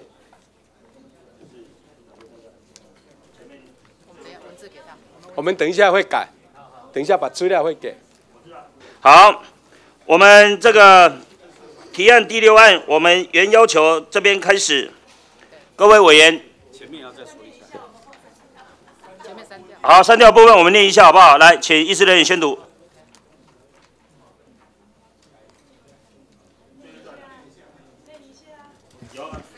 报告委员会宣读协商后的结论哈，在最后一段的部分，原要求经济部、能源局、台电公司。原要求经济部把建你那个部分那那些内容要删掉的念一下。删掉哦，删掉部分是，哎，对，删掉部分是鉴于近年来近来多数民意以反核法甲加湾、法甲湾、法甲湾圈地就转弯，讽刺小英政府对于稳定供电措施已提到捉捉襟见肘的程度，不得不向核电低头的窘境。删除这一段。好，我们把前面这刚才念的这个三段哈，然后要求我们哈原要求经济部哈照列。好，应那个部分。那个这边有一个什么坚持既定核电政策，并这个拿掉，然后呢，我们就直接应强化发电、输电、配电执行效率，好，后面一样，嘿。好，没，安利德好，好，好我们就照好大家呃协商结论，我们文字修正来予以通过，待会再请我们议事人员再次宣读，好。宣读了哈，好，OK，那我们第六案就照文字修正来通过。呃，我们第七案，各位有意见？好，第七案有意见。呃第七案来，请行政单位说明。是，那经济部能源局这边报告说明一下，我们支持这样的一个提案，不过有两个字、三个字修改一下，就最后一段哈，因为我们现在太阳光电设置量非常大哈，除了地面、除了那个屋顶型之外，地面型也是我们的重点。我们建议说哈，第那个这个第最后第三行应以推动民众自行设置那“以”字可以把它删除掉，然后成为电力供给辅助为主，那个“为主”两个字拿掉。以免哈限制我们未来的太阳光电那个设置量只集中在屋顶型这样子，啊，建议这样子说明。好，各位委员了解哈，那我们就照行政单位所提的文字修正，我们照文字修正来通过。好，我们进行第八案，有意见？来，我们好，行政单位请说。好，谢谢。那最这个第八案的最后一段，我来念一下，就是原要求经济部能源局应积极督促。督导台电公司完善台湾各项电力供给措施，然后呢，再来就直接跳到倒数第二行，切实落实小英总统不缺电、不涨电价的竞选政策政见，维护台湾人民的基本需求。好，请各位委员看一下，就是划掉倒数第三行的坚守既定核电政策，勿再次落入核是。不会啦，我们要求他们就是不缺电的一个嘛，落实小英总统的不缺电、不涨电价的竞选政见嘛，好不好？小英改蔡英文，蔡英文总统就对蔡英文啦哈，好，没有，一共小英总统可以啦，一共。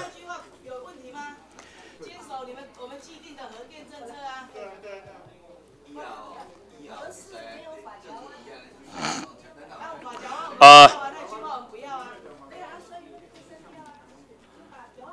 好了，这个委员，这个大家协商一下了哈。我就觉得说，我们要求小英总统不缺电、不涨电价的竞选证件，这可以了。我们核四法讲问这句话不要没关系啊，但是还是要坚守既定的核电政策啊。我觉得这句话要坚守啊。好。好，来，请说。现在是这样哈，就是那个坚守既定的核电政策哈，是哪一个既定啦？就是因为新政府是非核家园哦，如果是非核家园 OK 哦，现在是说既定的，怕会说不是非核家园啦，所以要请教，就是说既坚持既定政策是坚持什么时候的既定政策啦？嘿，我跟各位委员报告了哈，因为呃，光远说的对，这个坚守既定核电政策这个。这个语义上有一点模糊了哈，那我们还是是不是就照好，我们把它删掉了，好不好？好，来，要请说来。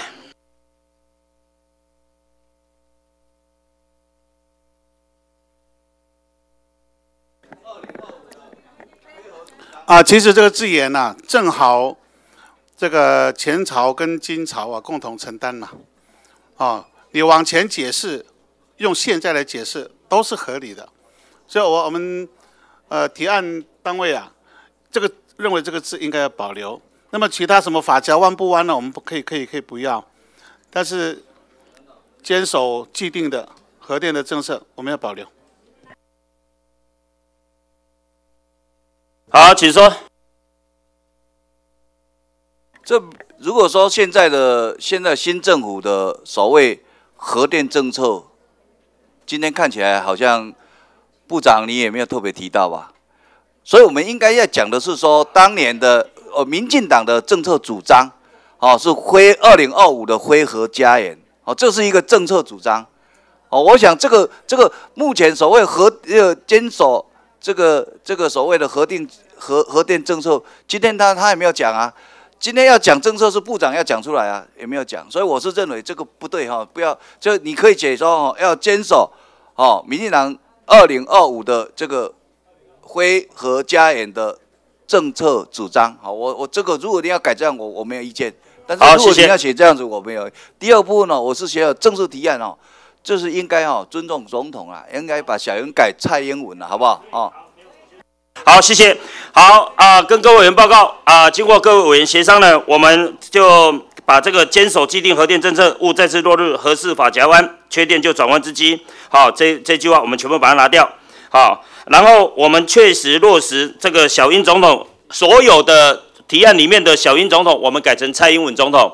好，这是一个尊重。好，谢谢。那我们就照文字修正来通过。来，我们进行第九案，有意见？好，第九案有有意见的，请说。报告那个刚刚跟呃廖委员报告啊，因为桃园机场的水灾事件已经查明跟区域排水无关，但是这里要来呃督导水利署，这个是一定要做的，所以我们是不是建议把最后第二行那个再次那个再次删除？就是并不是 水利署又一次了哈，再次啊，另外要提醒各单位。都是要注注意这个排水防洪，所以在最后一行的同防汛防灾的效能插列这下面的文字，就是各单位应均就其所管理设施范围逗点，做好内部防灾准备工作逗点，落实完全执政完全负责，就是插列提醒各单位的这样的一一句话。好，可以，然后。各位委员有意见没意见？我们就照文字修正来通过。好，我们进行第十案，有意见？第第第十案呢？请说。来跟大家报告一下，就是把第一段的第一句那边拿掉，然后呢就建议那个宜就改为建议，就是第一段的第一句的那两个字就把它来就是带领国家哦经济发展的经济部来说，这样连起来就好。啊，然后呢？提案要求应尽速检讨那个拟定啊，最后那一那一那一句话呢？第一段的最后一句话，提案要求应尽速检讨立法计划，并送请本会同意后予执行。哈，那个拟定改为检讨。哈，好，谢谢，感恩。好，各位有意见？好，没有意见，我们就照文字修正来通过。好，那么进行第十一案，有意见？好，没意见，通过。十二案，好，没意见，通过。呃，十三案有文字修正，请议事人员宣读。报告委员会，第十三案修正的部分，在倒数第三行的部分，文字修正为最后一句修正为：今年夏季用电期间不能出现民生用电限电、大规模断电之情形。宣读完毕，其余相同。宣读完毕。好，各位有邮件？好，没意见，我们就照文字修正来通过。好，第十四案邮件？好，没意见通过。十五案，没意见通过。十六案，我这边没有写。十六案，好，十六案，好，有意见来，请说。好，十六案，因为那个专利审查的期限哈，刚才已经跟我呃那个张立善委员报告最新的状况，所以啊建议这个文字修正哈，就是在倒数。啊，第三行开始，就是在那个缩短审查期、审查案件进度之后的文字删掉，然后改成并于两周内提出报告。好，各位委员有意见？好，没意见，我们就照文字修正来通过。好，第十七案，好，十七案，请说明。好，这个案子我也跟张立善委员报告过哈，就说因为游览车是交通部主管了，所以我们是不是基本上同意哈？就说我们来做哈，但是。文字稍微做修正，就是倒数第三行啊，原要求经济部那个责成两个字啊，是改成协调交经济部协调交通部经管会等相关单位于这个两周内啊，因为我们还跨部会哈，所以我们是希望一个月内针对相关产业的时候一底下都一样的这样改。好，各位委员有意见？好，没有意见，我们就照文字修正来通过。好，我们进行第十八案。好，十八有意见？没意见，我们通过十九案；没意见，通过二十案；没意见，通过二十一案；没意见，通过二十二案；没意见，通过二十三案。有文字修正，请议事人员宣读。报告委员会，第二十三案协商后修正，在第二段的部分，第二段第二行要求一星期修正为二星期，其余内容相同。宣读完毕。好，各位有意见？没意见，我们照案通过。好，我们进照修正通过。我们二十四案有意见，好没好有意见来，请说明。是呃，报告一下这个部分呃，是要求经济部哈，针对台电民营电厂，因为台电跟民营电厂的合约是属于私契约，我们建议说是不是修改两个字哈，是要求经济部督促台电民营电厂啊，严体内可行性分析这样。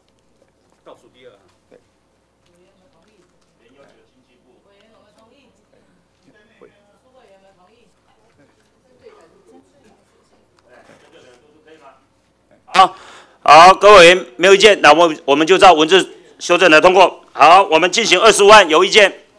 好，没意见，我们通过二十六案，有意见？报告。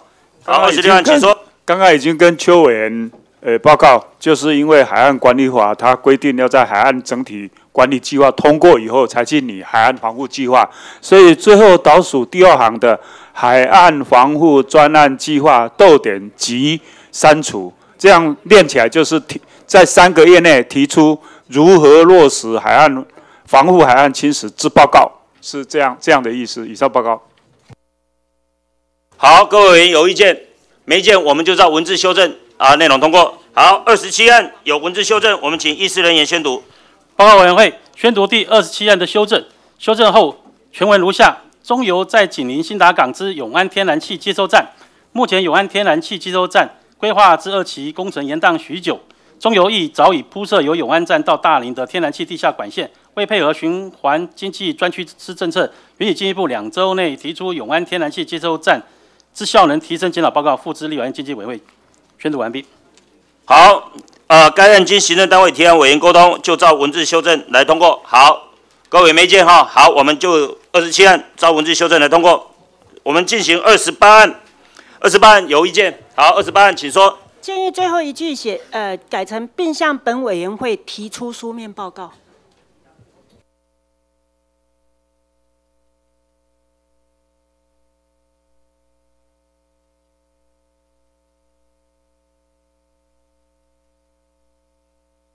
好啊，各位委员呃同意我们文字修正，好，我们就照文字修正内容通过。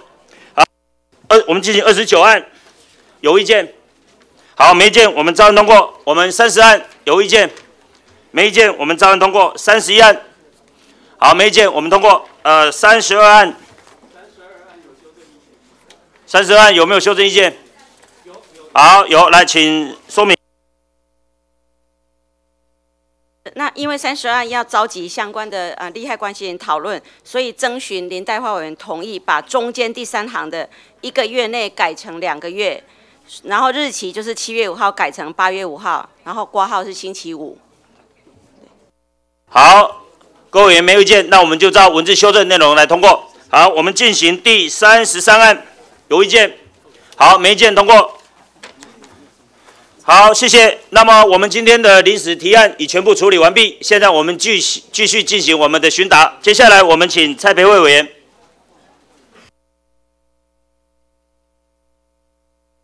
好，谢谢主席，麻烦请李部长。好，请一下部长。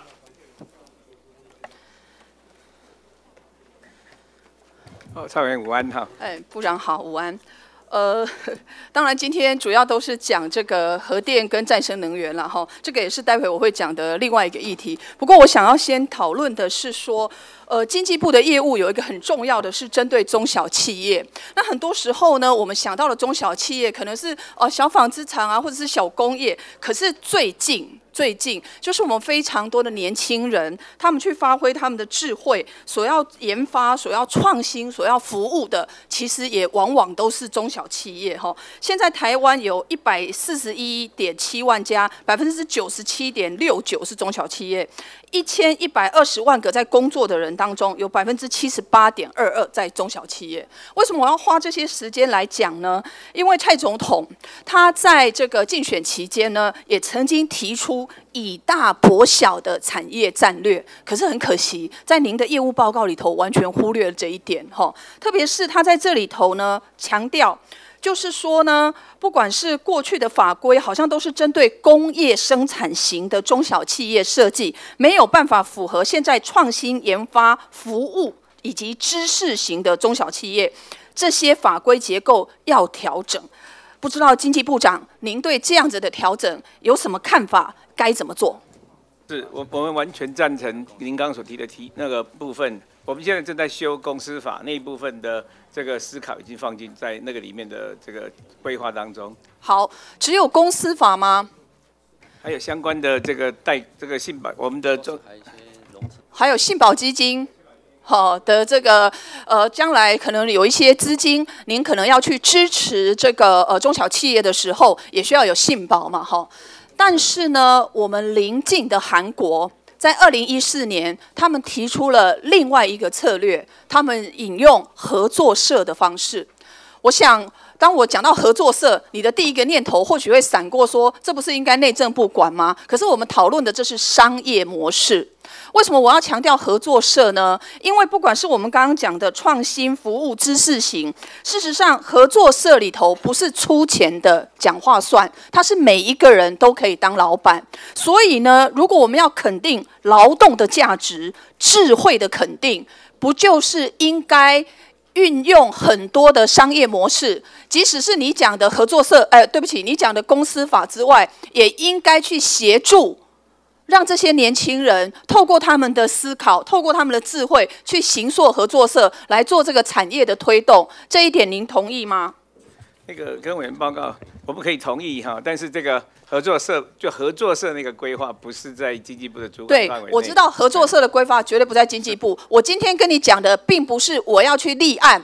比如说，我要去做一个呃公益团体 NGO，他也可以去做企业啊。我要去成立合作社，也可以做企业。我要跟你讲的是说，如果你今天没有好好的去思考跟年轻创业，特别是创新，特别是智慧型产业的沟通模式的话，运用过去的，你就是集中在工业型发展嘛，哈。我再跟你讲一个数据然后你可能很难想象，国际合作社的资料提到，全台呃全世界的三百个合作社，在二零一五年创造了二点四兆美元，也就是七十二兆台币，相当于全世界第七大经济体，也就是巴西的 GDP 哦。所以我要说的就是说，未来。有没有可能，如同我们刚刚讲的，我们可以参照首尔，也就是韩国他们的社会投资基金，他们的投资基金一年大概有八亿，其中有二点八亿是合作社，二点八亿是社会企业，其他的是社会创新产业。这件事情，我们有没有可能未来结合经济部、结合中小企业处，到北中南东，好好的来跟这些新创的年轻人好好的沟通？对，那个跟委员报告，那个到全全就北中南三地去做这个呃沟通，那个完全没有问题。那您刚提到的信保基金的投资中小企业在知识创新领域，这个也没有问题。OK，那我们今天就这么做决定了，请注意是北中南东然后，因为中小企业里头那个农林渔牧业的比例还是蛮高的哈。好，这是第一个。那第二个我想要呃回头去讲，因为刚刚您提到就是合一绝对不言义嘛，哈。我觉得这件事情很重要，因为二零二五年的二零二五年的飞核家园绝对不会是空口白话。但是呢，从早上听到现在，我发觉呢，不管是这个台电或者是您这边，大部分的想法都是集中在要不就是限电，要不就是怎么供电。换句话说，你们把这件事情呢，非黑即白。分成两边，可是我觉得在过去的作业里头，你们太去忽略了尖峰负载的管理跟调度。我举例啦，我们用电最多的是一点到三点嘛，可是百货公司还是很冷啊，这样合理吗？所以能不能积极的去思考尖峰负载的管理跟调度？那个跟委员报告哈，刚刚那个议题在好几位委员的咨询当中，我们也一再的说明，那不是一个非黑即白的议题。那么绝对不是说没有核电就一定会限电，这两件事情不得不是一个对，这就是我要说的，不是。所以你们要讲出来嘛，而且也不是只有说供应不用核电的话，我用其他的再生能源供应。我要讲的是节约用电啦，不要是一个口号啦。你要怎么做？你要什么时候开始做？你的效果会怎么样？你们想过吗？怎么做？有的，我来，我跟委员报告一下，像今年我们在工业部分就有虚量竞价，也就是说，他前一天他可以假设我们明天负载会高，那这些都是比较工业大户，所以他们可以调整他们的排程。如果如果他省下来，我们付给他钱。对，等等于是这样，或者他少缴电费这样，应该是不是我们付给他钱吧？他本来就应该省啊，少缴电费。那呃这样的话，他今年我们呃五月份开始加强这个作为以来啊，在最困难那一天，六月一号、五月三十一号，大概有四十几万、四十几万千瓦的量。是因为这样被省下来的。对，好，那我刚刚其实我们在临时提案也特别提到了哈，希望你们在两个礼拜之内提出积极的哦。针对怎么去降低尖峰负载电力的管理跟调度计划，好吗？刚刚在临时提案已经提过了。好，那接下来我想要跟呃部长讨论第三个部分啦，也就是我们想要去创造二零二五年的非核家园，一部分当然是节制这个核电的使用，可是另外一个部分就是再生能源了哈。我知道您前几天也提出你们的你的那个百日的政绩里头有特别强调一万公顷的光电产业了哈，要作为试验场地。当然这一万公顷是地层下线或者是狼黄金廊道然后，可是可是难道用电一定要跟人民抢粮食吗？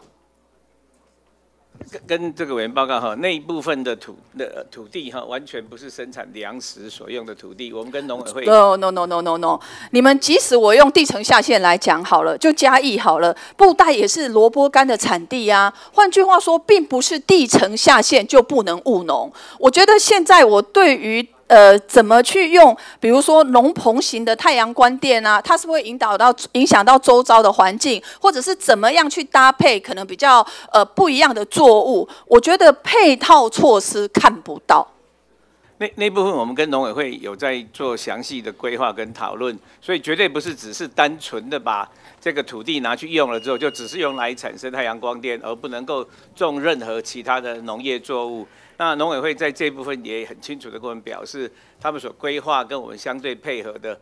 不不会超生您刚刚谈的那个现象，但是事实上，呃，如果您仔细的去回溯过去半年的报道，是有影响了哦。非常多的他号称他愿意要继续耕种的土地，可能最后还是荒耕了啊。那你怎么去防堵这样的措施呢？甚至于真的已经有这个农棚型的发电的时候，你怎么样去查核农耕，或者是怎么样去协助农民转型呢？这不就是你们应该要合理的而且审慎的跟。农委会来规划的吗？那接着我要讲的就是吼，我们不应该。我知道那个部长您是光电的 专业了哈，但是我要说的是，再生能源不是只有太阳能。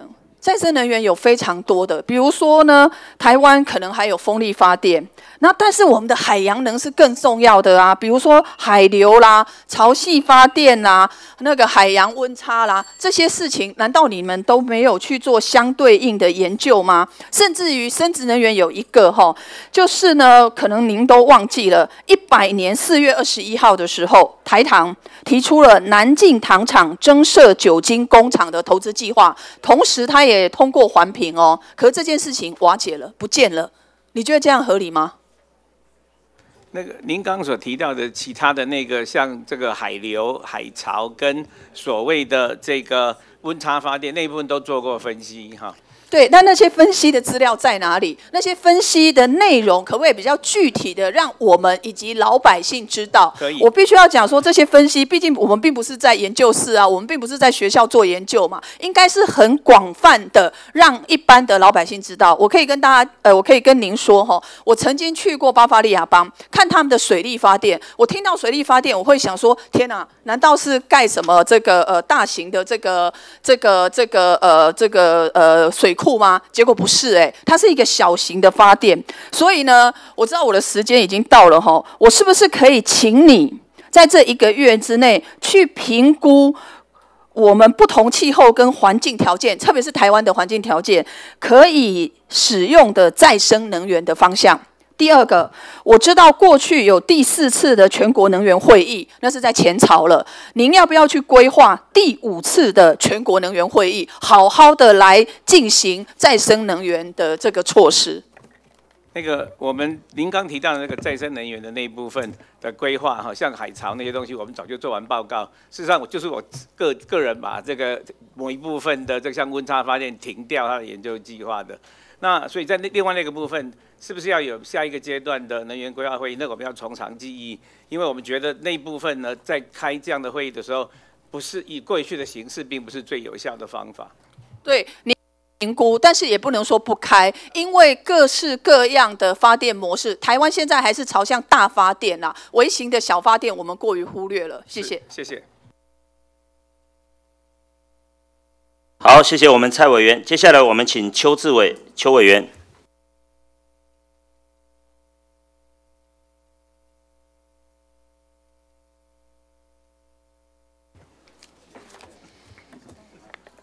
谢谢主席。呃，有请经济部李部长。有请李部长。呃，国贸局，国贸局杨局长。好，好，邱委员午安这样，我就看你的报，我在讨论这个电力的问题啊，哈。之前我先就你的这个业务报告提几个询问了哈。这个你的报告第五十二页，我特别关心说，针对投保协定你们签订的状况哈。你目前跟三十二个国家啊，台湾跟三十二个国家地区签署投保协定或者经贸合作协议哈。那这三十二国家有没有包括东协十国？来，杨局长。嗯，邱委员你好，我想那个东协十国有几个国家，我们现在都没有驻管，像辽国跟柬埔寨，所以事实上是有包括其他的国家，比如说泰国、呃印尼、越南、马来西亚，都有投保协定，比较旧的，嘿。已经有具体的投保协定。对，那是投资保障，都是。越南有吗？有，但是那个都是比较旧的，嘿。那越南有投资保障协定，为什么这个武夷山排华，我们厂商还受了那么大的损失跟伤害？如果有投保协定去保障的话，应该他们的投资在越南应该获得一定程度的保障跟保护啊！啊，为什么这个台上损失基本上只能靠保险呢？呃，邱委员，有关于那个排那个越南那个案子，可不可以请那个处长来？来，处长你说明一下。呃，跟委员报告，刚刚委员垂询的有关于这个我们跟东南亚国家的这个 BIA，现在目前东南亚十国，就东协十国里面有六个国家跟我们有 BIA。那呃，委员您提到这个五一三的这个暴动事件，其实我们也有根据这个投保协议里面的规范，跟越南政府提出啊，你说辽协商跟对这个过这个过程我了解，除了辽国跟柬埔寨没有，缅甸也没有嘛哈？缅甸没有。那还有哪一个国家没有？呃，文莱也没有。所以其他六个国家都有，都有，但是跟委员报告因为比较旧，有没有效？目前为止都有效，但是比较旧，所以我们现在在努力更新。比较旧里面这六个国家最新的是哪一个？什么时候签订的？最新的你旧就你旧就没有办法去保障新的投资状况嘛？委员，我跟你报告，最新的就是新加坡的台台新投资协定，它包括的层面非常广。跟台纽那个时候，台新台新台新台纽那个时候在二零一三年签的。是。啊，除了台新之外，其他都是大概十二十年前签的，对不对？对。对嘛，我我要讲就是一点嘛，你要去更新，那你要跟这些国家。去积极聚会商，要求他们能够针对这个新的投资状况来签订新的这个投保协定嘛，或者 BIA 啊。有，我们有在跟这些国家洽。那这些国家有时候会跟我们讲说他很忙，但是呢，有一两个国家正在谈的当中。事在人为啊，哈，这个六个国家都有住宿，都有国贸局派出的这个这个国贸专员。是。你要给他设定一个目标啊。是。不能哎，没有一个目标管理的话。他每天做哪些工作？你国贸局应该要很清楚啊。包括你要给他一个一个年度的工作目标，你今年一定要完成哪些事项？是，我们会的，我们会的。我希望明年在这边在执行的时候，要具体的。你那刚那个除了新加坡之外，五个国家二十年前签的这个投保协定，都要全部 review review 一次。好。有没有把握？哎，会努力的完成。如果没有住宿，我就算了。好，你要有住处，而且我们有国贸局派出人员，那边应该很熟啊。是，怎么你说没有时间？然后他们很忙，没有时间就不跟我们签，事在人为哈。新政府的这个心态就是说解决问题呀。我我会努力啦。那个那个他没有时间是托辞了。好，那个另外你们针对侨外跟这个台商回头诶回台投资的部分哈。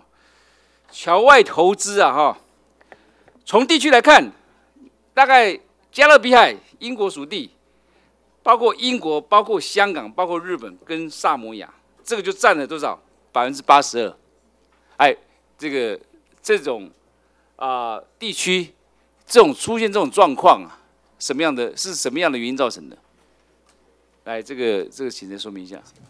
跟委员报告，因为他们呃，我们用的是这个投审会，就是看这个外资来注册地的那个外资流入的那个注册地的资料。那很多现在都是透过第三地或在第三地登记的公司来投资台湾。这是投资常态吗？呃，这个部分在各国来讲都是有这样子的状况，是有这样子的包。括你要去南韩投资，包括你要去日本投资，你要去中国投资，都是透过这种在第三地设立一个一个一个公司，然后透过这个公司去投资的吗？跟委员报告，因为跨国跨国企业这样子的这个全球营运，然后呃财务的规划是很普遍的。哦，这个这个，所以这个是一个常态了哈。好，另外台商回来投资啊，我们今年一到四月只有吸引十一件，一百八十四亿，但入资来台啊，却核准四十九件，却核准四十九件。啊，为什么我们这个台商，这个很我据我了解，很多台商愿意回国来投资，过亿还乡。啊，因为劳力劳这个投投资环境的问题、土地的问题、劳力成本的问题，所以他们转就转到其他的国家去，反而是入资来台呀、这个是台商回台的这个四倍五倍啊！为什么出现这种状况？我想请教一下这个这个部长。呃，我跟邱委员报告哈，就陆资来台企业，它大部分还都是比较小的案件，虽然说件数多，但是但是它大部分都是只有几百万的投资而已，新台币几百万投资。但是台商回台的话，它事实上有很多台商回台，它事实上是虽然虽然说账面上没有，因为它台商它可以用自己本国人的名义去投资啊，事实上不需不一定会经过统计，哎。所以你你看这个两个数字就觉得很奇怪了哈。照理说，我的理解应该我们要大力的啊，这个协助台商回台投资嘛，哈。对入资来台，我们当然有一定的风险管控嘛，哈。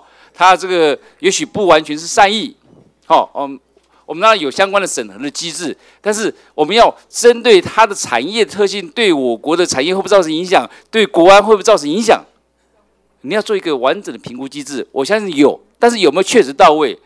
否则，同样的时间点来看，今年的一到四月，竟然入资来台投资是呃台商回台的五倍。这部分不要你们检讨一下就好了哈，看看这个这中间有没有什么、哦、我们可以去检讨的部分。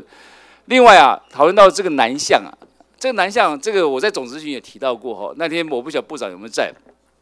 新南向，但跟旧南向在内涵上也完全不同嘛哈，一定要用战略观从地缘经济来看。现在的东协跟过去的东协不一样，现在东协共同体呀、老共跟东协搞一个东协十加一，搞了快十年了。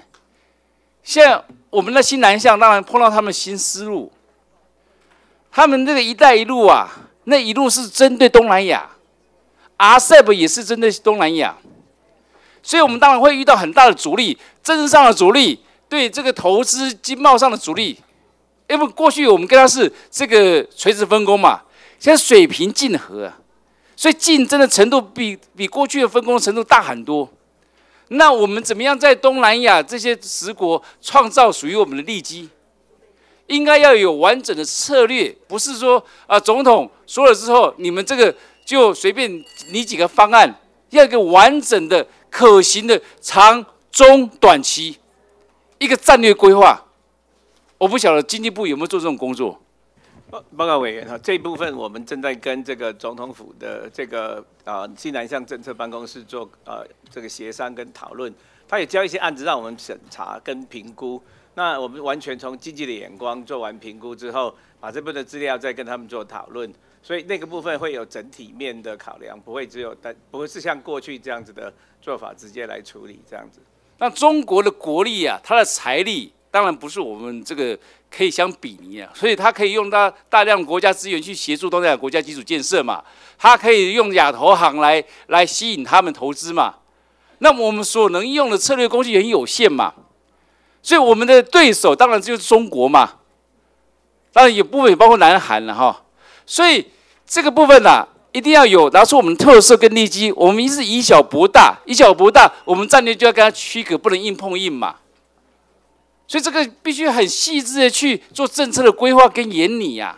我我我好好几次都都都咨询，我是因为很担心说没有一个很完整的战略观去形成这个这个长中短期的这个这个策略的执行啊，到时候变昙花一现，或者效果有限，不是昙花一现就效果有限。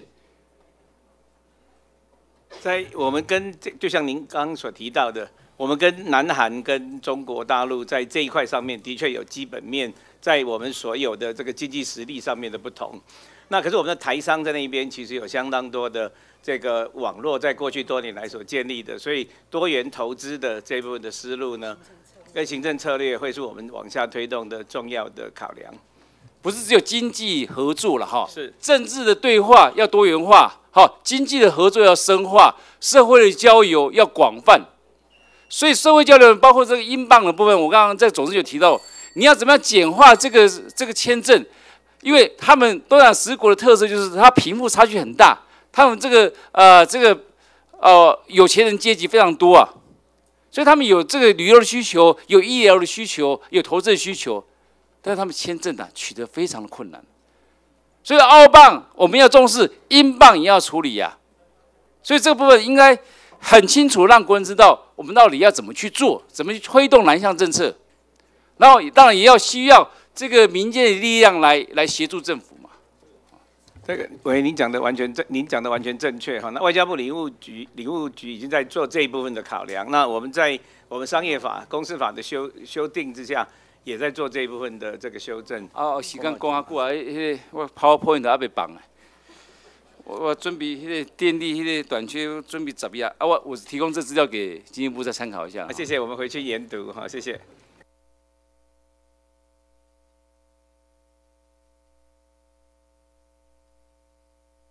接下来，我们请苏志芬委员，请苏委员。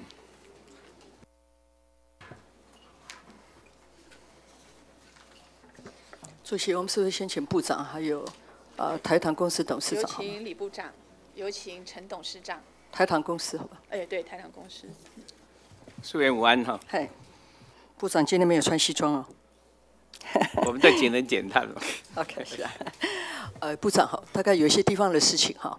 呃，海洋大学的话，如果他有能力啊，或者说他们有一些科系的话啊，可以来协助地方。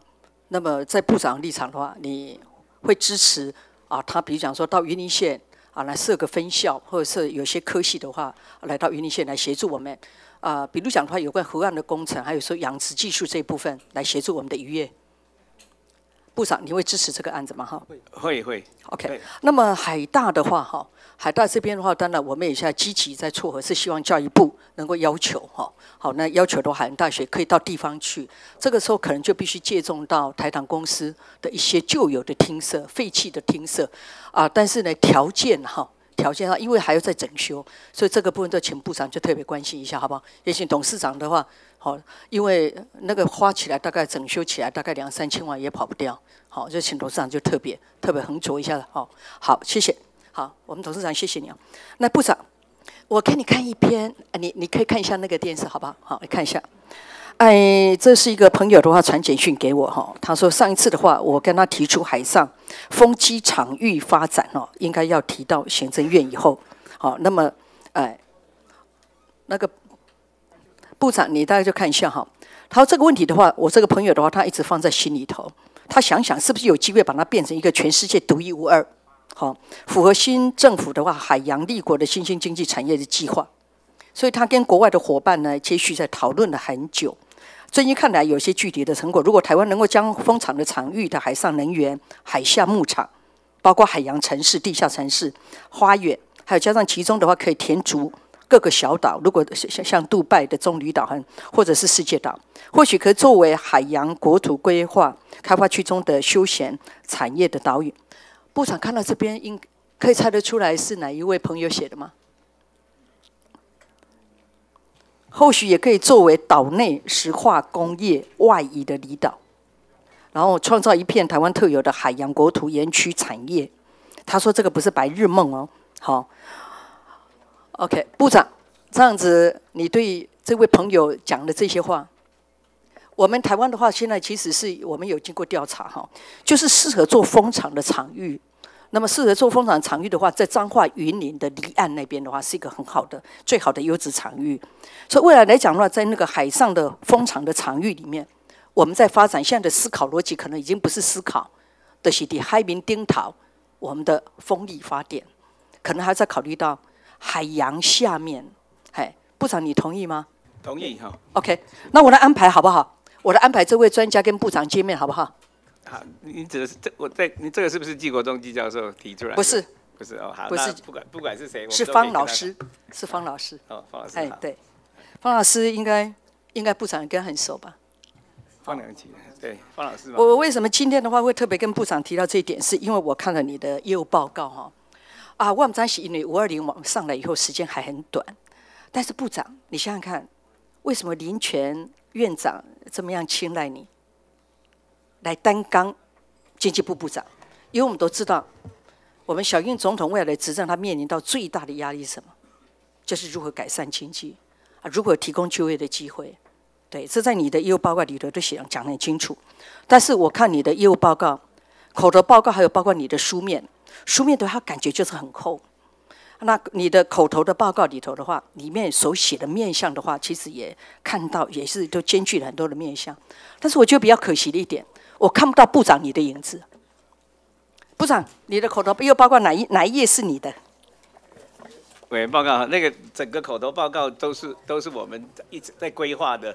事实上，我在就职记者会所用这个部分，几乎就是就职记者会。可是我看这一本的话，应该是各个业务单位给你的。我们有修过一遍。哦，修过一遍修过一遍，不是就直接这样照抄。好，那部长的话，你对你口头报告，你觉得这里面所讲的话都是代表，就是你个人的部长未来要实行的，对不对？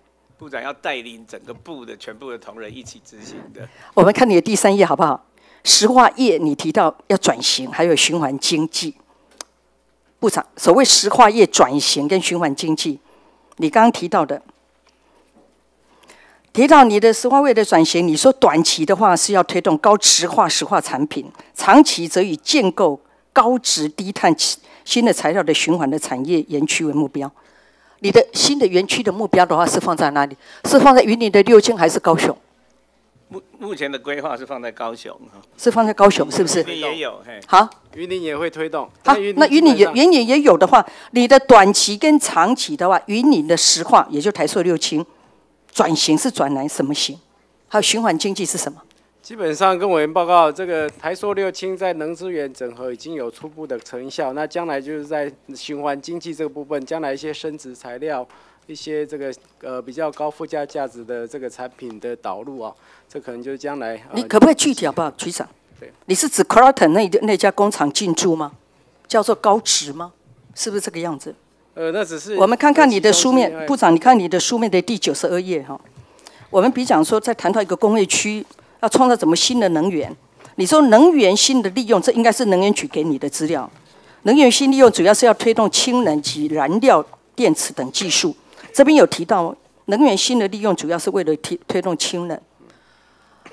部长，你知道台塑六氢的话，它除了产出石化，它还有氢，你知道吗？氢气嘛。嘿，对。所以呢，我以为我会看到，就你的石化业的转型，包括因为台塑的石化带来我们地方负面的，好，它有负值的这个部分呢，就是也在我们在思考整个循环经济里面的一环嘛，对不对？所以我就很想看到有没有这个部分。好，我总算翻了翻的话，翻到你这边的话，哎，能源新利用主要推动氢能。部长，氢能是什么？你要怎么推动？跟委员报告哈，那个氢能的部分哈，传统上这一般在讲到氢能的时候，都讲最常提到的是用这个再生能源，然后把水电解。在台湾这个方法完全不可行，它的确就是你所谈的，从石化业产生的这个 这个排气里面、余气里面就有氢，把这个氢做再进一步的利用，就是我们在台湾真正可行的氢能的发电。能所以台塑六千的氢气的产出，你觉得是没有办法再利用？没有没有，我刚刚讲的就是这一部分是可以再利用，可以再利用。OK，所以日本就发展很多的氢气汽车嘛，对不对？氢能汽车嘛。OK，那未来要发展吗，部长？跟委员报像工业区里面哦，因为这个氢基本上没有部长，我是想请问你哈，大概是什么时候的话会发展到这个部分来？还有，因为你的刚提我刚提到的话，石药业的转型跟循环经济，你的短期还有长期，可不可以给我时程好不好？您刚刚提到那个问题，就是利用氢能汽车那一块，现在不是我们短期推动的重点，因为全世界在这一部分看起来只有日本把它五千个专利丢出来了。那可是我们整个分析内部的的价格，同时也跟这个美国做进一步的评比。那个部分离我们台湾可以用的范围还相当的远。可是把氢能拿来做发电这一部分，在中长期、在中期的部分应该可以完成。OK，那么部长，你认为新加坡的玉郎岛，你对他的评价怎么样？跟跟委员报告，它的规模跟台塑呃这个规模差不多。那它主要是各国的这个石化业去进驻。你你两个两个园区啦，两个石化园区，你这样子比较优缺点是什么？呃，我我想这个基本上它是一个呃新加坡基本上欢迎各国去投资啊，所以呃它的相关的规范，呃我想两两边基本上发展的呃程度其实是差不多了。它是高值化呢？呃，我想它是两边低质化吗？呃，新加坡基本上它炼油的部分会比较多，哦，嗯哼，那这个但是石化业部分也有，但是这个呃两两边其实呃基本上都是以呃整整体的石化园区在做规划。好，好，部部长，那个我最近的话，就是休会期间，我就会去参访新加坡的一个玉郎岛哈。那么也希望部长经济部这边也可以派人，大家一起去看一看，好不好？看去看他们优缺点，可以，好不好？好，部长，我们在谈到说创造新的能源哈。啊，二零二五的话要完成一些非核家园，那么再生能源发电的比率一定要达到，一定要达到百分之二十嘛，二十个 percent 的才能够补上核电的缺口嘛，对不对？嘿，那大家的一般的观念都会会觉得说啊，不是太阳能，那不然的话就是风力发电，但会着重在这一块嘛。还有的话，我们经济部的话也跟农委会，那么也要有部会有一些密切的合作。但是我看这整个来讲的话，基本上我们的目前呐、从文字上可以看得到的，大部分都是太阳能发电。那我想要提醒部长哈，云林县是农业大县哈，啊，咱讲的时哦，起低来讲的时是台湾的时加主要的迄个产业啦。好，那么今年六月，我们的省议，我们的省省议文会的话，今年六月又会再召开。我就是特别提醒部长一定要注意，好不好？有关于啊农业的啊养猪业者抵塞的这个趸购费率啦，趸购费率的话，这个真的要特别关心，因为趸购费率如果不够不够有诱因啦。那那么这个部分的话就很难推动，所以我们在创造新的能源来讲，早期发电的话，是未来新的政府也要着手去努力的一点吧。对这个议题，农委会已经对我们提出来了。那我们现在跟农委会还有环保署是每个月碰至少碰一次面，谈这部分的议题。所以您所提出来的早期发电那一部分，农委会正式提案了。好，正式提案。是。那部长知道已经进度到哪里吗？现现在他们做了一些规划，那我们希望在我们的趸购跟其他相关的措施上做。部长可以透露吗？趸购费率会到多少？一度多少钱？那个还没有分析。对了哎，部长，部长你觉得呢？当然是有独立审议委员会啊，但是部长你就是在你们每个月的话，大家聚会在讨论的时候，目对猪笼要有诱因的话，一度应该到多少钱？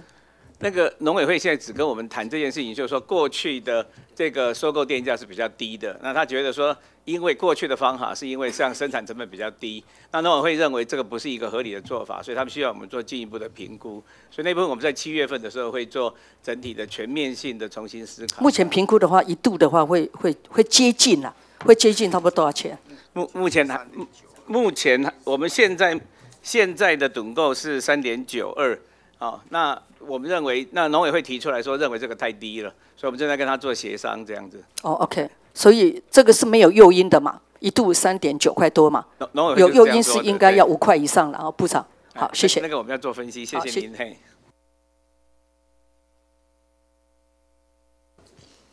好，接下来请张立善委员，请张委员。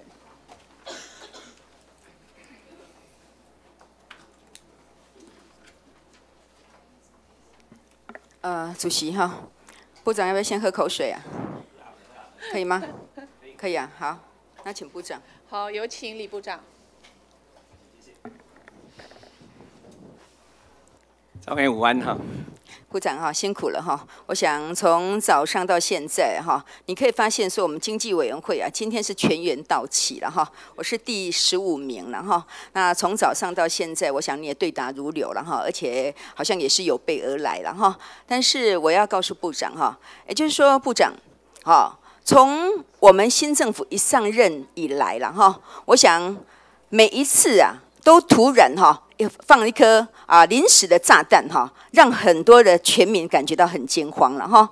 比如说呢，农委会主委还没上任的时候呢，他就说啊，好未来含有瘦肉精的猪肉哈要进口是没有办法。没有能耐抵挡的哈，所以引起啊，不只是猪农，还有消费者哈，很大的震撼了哈。那当然，这个是因为要加入 TPP 嘛哈，所以呢哈，就丢下了一个震撼弹了哈。那现在呢，又因为啊，哦，本来说我们是二零二五要达到非核家园，但是这几天呐，从五月底到六月初，哎，开始气温飙高啊，哦，高到三十八度，三十八度是有史以来。全国最高的一个温度，包括去年的同月都只有到三十七度一而已了哈。那所以呢，持续的这个气温飙高，我要告诉部长，如果人体呀达到三十八度要怎么样？发烧了嘛，对不对？可能要睡冰枕呐，哦，可能啊就要开始吃退烧药了哦。所以就是这个气温持续飙高的时候，可能就是有人会中暑哦，就会发生生命的危险。啊，但是呢，哎，我们转弯的还真快哦。本来说飞核家园哦，说因为呀，哎，只要是核能发电，对我们所有哦所有乡亲的生命财产可能会面临很大的威胁。那也因为这样，就马上转弯了嘛，哈。所以呢，就说哎，核一厂有可能就要重启。哦，要重新启动哈，因为本来已经已经啊啊停止了十七个月了嘛哈。那当时因为发生一些问题嘛，那现在我想能源局哦跟台电公司都说已经没问题了，一直要向好我们的教育委员会来报告。但是我觉得你们是不同调哎哎，为什么林权院长说要重启，但是目前辞职民进党的委员呐完全不帮他排入议程，所以好。我想在这里，我要请问部长哈，假设你坚持非核家园，你跟院长不同调，不要启动合一。那如果不启动合一的话，我请问你，现在缺电的情况已经达到，已经达到黑灯了呢，对不对？好家在这天公伯啊，小看哈，哎，对咱的未歹啦，这两天哦，稍微下点雨，降点温，哦。所以呀，好，没有拉到那个警戒线，好，那但是呢，我要请问部长，你可以明确告诉我，哈，假设核一厂不启动的话，这个缺电的情形，你如何处置？是那个跟委员报告哈，那个我没有跟这个林院长不同调哈，那非核家园的这个政策也没有转弯，嗯，好。在那样的思考情绪之下，这样这样的政策规划之下，刚刚已经一再的提出来说，我们必在真正这个部分的架构底下，我们必须要考虑的，其实是我们做尖峰负载、虚量反应等等这些做法。那同时采购这个这个气电共生电厂这些步骤都做完之后，那么我们如果还面临极端气候，那个时候才会进入所谓的这个这个并联发电的这部分。来，部长，你现在的意思是怎么样？就是说，我们可以去跟这些大型企业啊、哈工业啊买电呐，用十块钱去买电呐，来让我们的这个电力充足啊。如果这个情况还没有办法做的时候，才会启动核一厂吗？是吗？是这样吗？是，是的。哦，那也就是说，还有一段时间，你们还可以做调配。那你想想看呢，哈，现在我们卖电一度卖多少？两块多啊，拿十块钱去买电。那这谁来负担呢？呃，我跟委员报告，嗯，平均是这个两点五几块，那是所有民生跟工业平均。不过，在夏天电价在，尤其是在工业，它其实是有分段的这个电价，所以那个工业电价并没有便宜到两点几块。嗯，所以呃，你是买工业用电来给民生用嘛，对不对？不是，但是工业用电如果它在最尖峰的时候它不发，省下来的电其实就。对机组来说就不用掉，因为我们最高尖峰的时候，嗯，有时候发的电是八块、九块、十块，嗯，所以这个是我们是就是在尖峰那一段要把它省下。那现在部长的意思就是说，哦，虽然林权院长说呢，哈，核一厂要开始启动了，但是其实呢，你还有应应的措施，也就是说呢，先买工业用电来用，假设不敷使用才启动，是吗？是是吗？是。是这样吗？所有的这些程序都做完，嗯我们还面临极端气候造成电源不足的时候，才会做这个启动的工作。好，那我现在要再请教部长了哈，也就是说哈，哎，现在了哈，核一厂不启动的话了哈，目前呢哈，目前我们所有哈什么再生能源呐、绿色能源呐哈，所有的这些能源发电，你觉得哪一个啊？好，无论是风力发电、水力发电、太阳能发电、火力发电、核能发电，哪一个电这个效果最好、最稳定，而且价格最便宜？那个跟委员报告嗯。哈，就在刚刚您所谈的这些不同的电源，嗯。在它的这个操作的电源跟后废后续的废料处理是目前的电价计算是两块，以两个不同的部分来考虑的。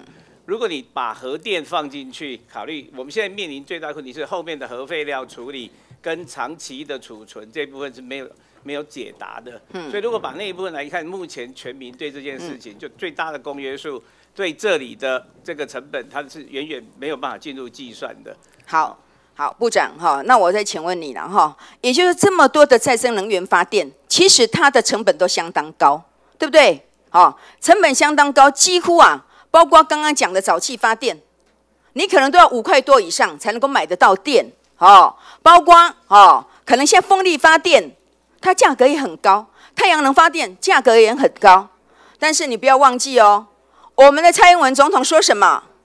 十年不涨电价。啊，应该是十年不太涨电价了。哦，那我要请问你啊，十年不涨电价做得到吗？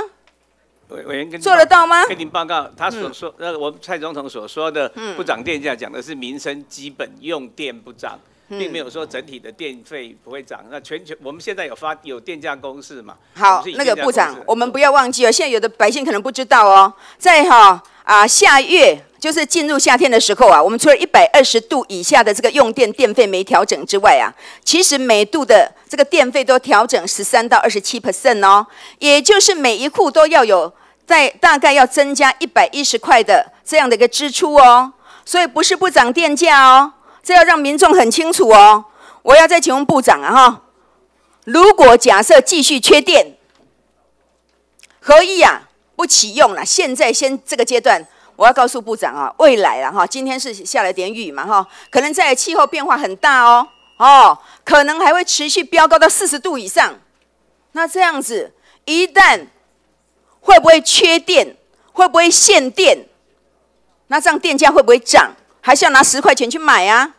你能保证你的所有的这些政策绝对不会跳电，也不会停电，也不需要限电？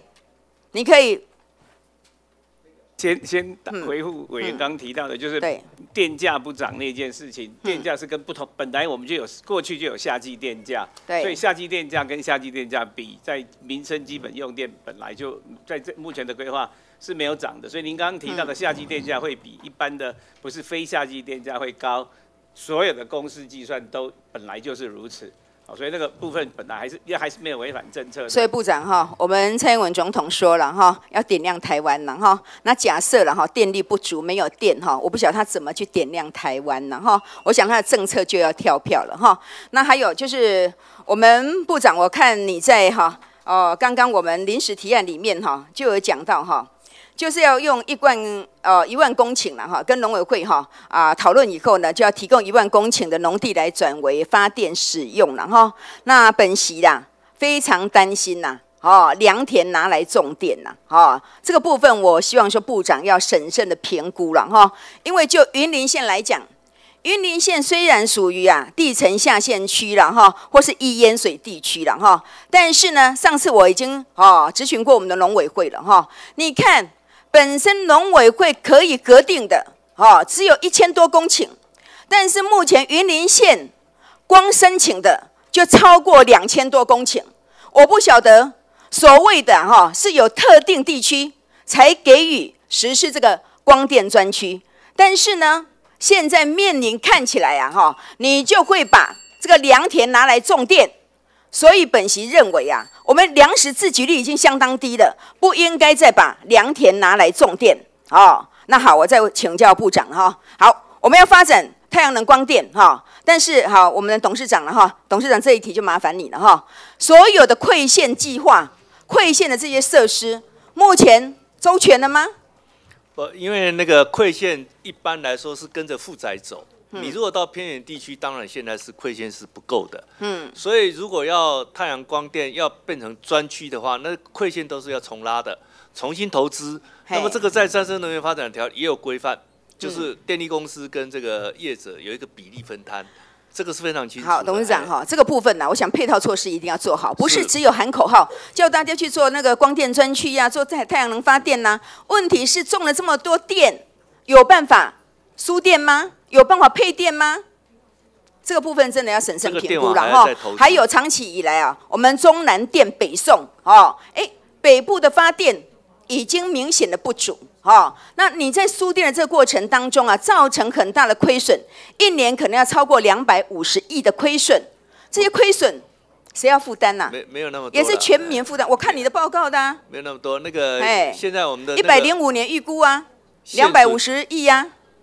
现损率大概台湾跟韩国做到全世界最好了，四点几个 percent 嘛，四个 percent 左右，嘿。你看四点多 percent 多宝贵啊！对，没有错，但是那个是物理现象，那是一定会发生的，嘿。嘿，所以我拜托了哈，光北部啊哈，哎，要中南部来输电给他，那北部有没有办法自给自足呢？因为这输电的过程真正劳民伤财，浪费太多的资源。好，所以我想部长这个部分也要麻烦你哈，跟台电公司啊哈，跟能源局好好的做一个规划。好，谢谢。哎，谢谢。好，接下来我们请陈曼丽委员，陈委员。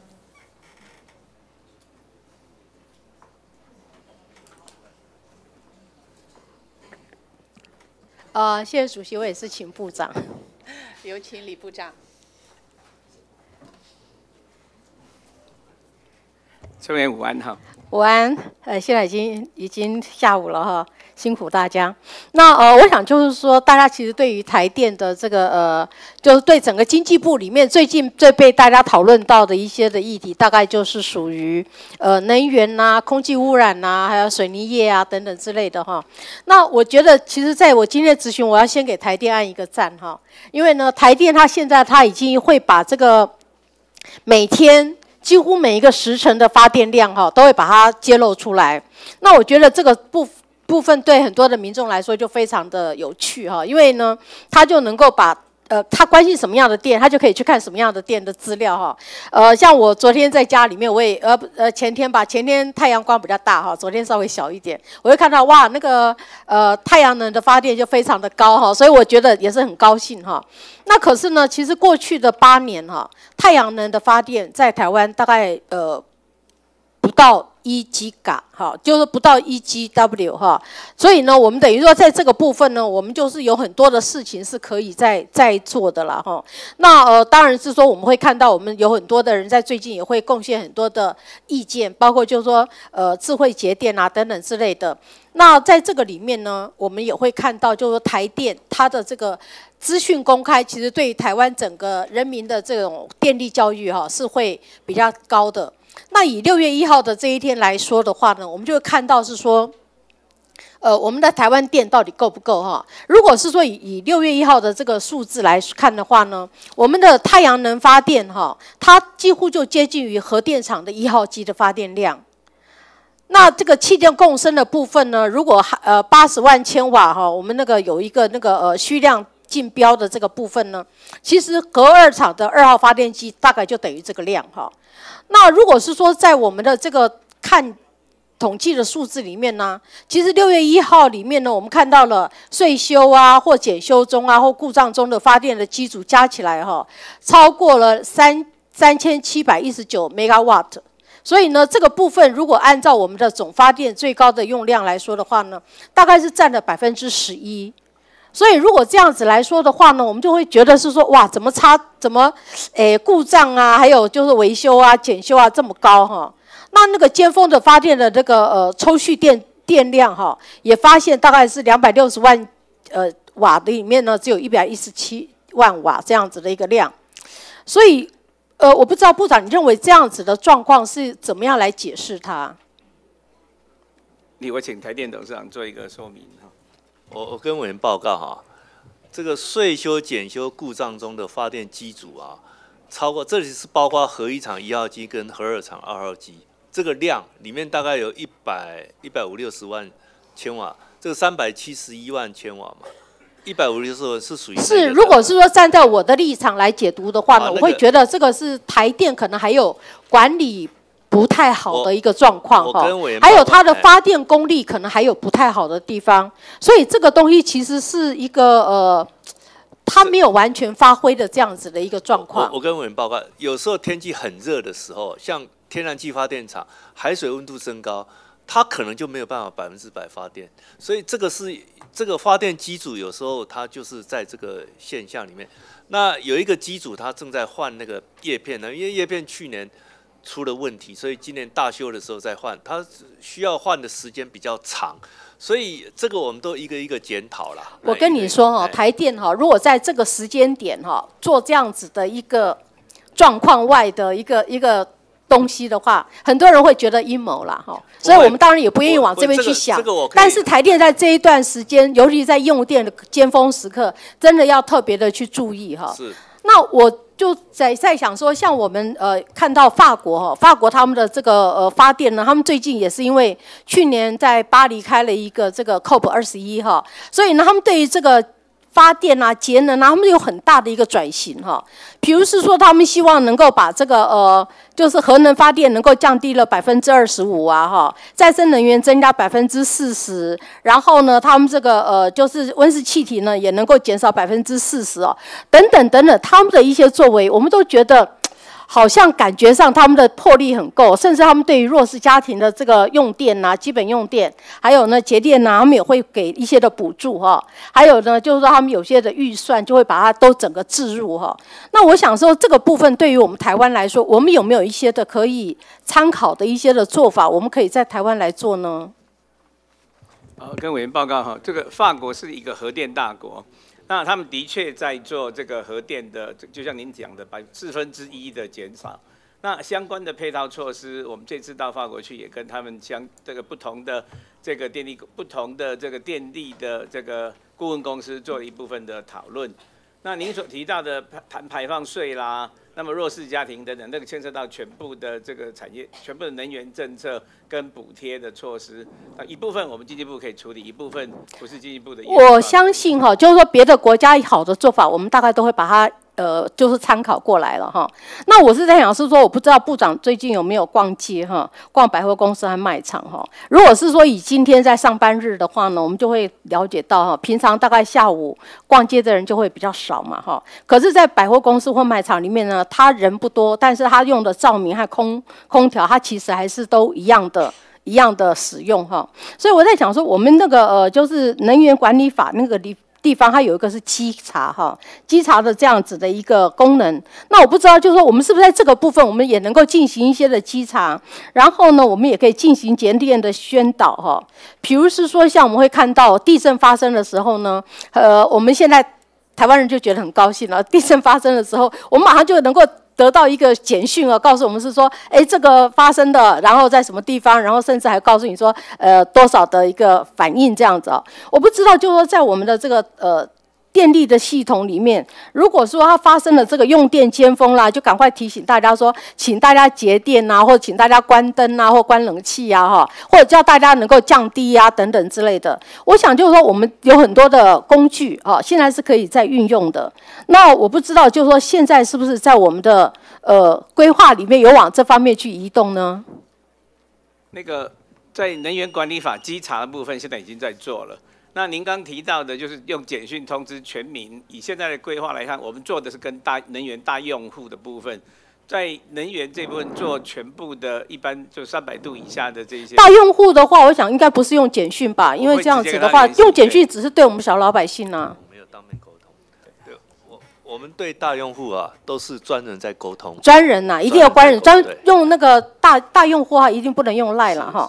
那我想说，我们的地方政府呢，其实现在也都希望能够发展一些的绿能啊、节能啊这样子的一些的呃业务哈，甚至很多的厂商也知道台湾要进行飞核家园，所以他们现在也都会来这边询问、探寻一下这个市场哈。那我不知道，就是说我们的这个有没有一些是呃单一窗口？因为其实他要去联络很多的部门哈或部会，他们觉得非常的痛苦，包括地方政府也很痛苦。然后呢，呃，一些想要来投资的这些业者，他们也是非常的痛苦。有没有可能建立一个单一的窗口？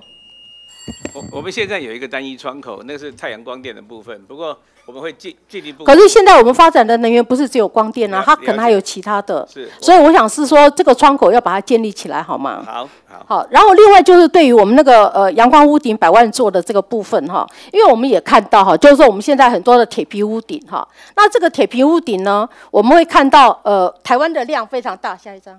那我们再看到下这个部分呢，我们也觉得这些。违章建筑、原违章的屋顶当然都不能了哈。可是我不知道，就是说，呃，我们在经济部里面有没有一个考量哈？就是说，能够用什么样的方式，能够让这些的屋顶也能够好好的来使用，然后呢，让我们的这个呃屋顶呢，它能够充分的利用。或者是说，它也许是说在太阳光最强的时候，他们就发了很多很多的太阳能。那但是呢，他们除了自用之外呢，他们也可以用一个什么样的方式能够折抵呀，或者交换啊等等之类的。委员，呃，那个您所提出来这个议题哈，那么我们这几天在征询各地的民意跟地方政府的时候，也都提出您现在所指出来问题。现在这一部分到底能不能使用这个我们的补助案等等，在不同的县市政府，现在是桃园市、桃园县跟高雄，他们是同意的。好，那我希望能够尽量让全国是统一的做法哈，不要是说一国两制或三制，这样子会让老百姓更加的错乱哈。那而且这个对于管理单位，不管是经济部还是台电公司，可能也都会有点困难了哈。那我想是说，我们就是说，在这个部分呢，能够看到我们国家要发展的事情，真的是还蛮多的，千头万绪。所以，呃，部长来做这个位置，真的大家对你的期待也很大哈。可是呢，我们就看到就是说，像呃。水泥呀，哈，像前一阵子，呃，环保署就说了，啊，这水泥的不准再开发了，哈。还有就是说，像六轻这个空屋的问题，那我想就是说，呃，不管是能源空屋还是水泥呢，我是希望，呃，就是我们的部长呢，是不是有个机会能够跟一些的关心的团体一起面对面的，能够做一些的沟通。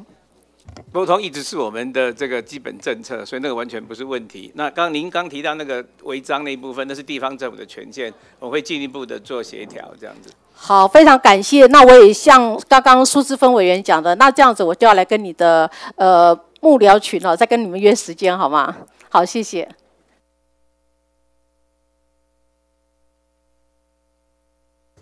好，接下来请黄昭顺委员。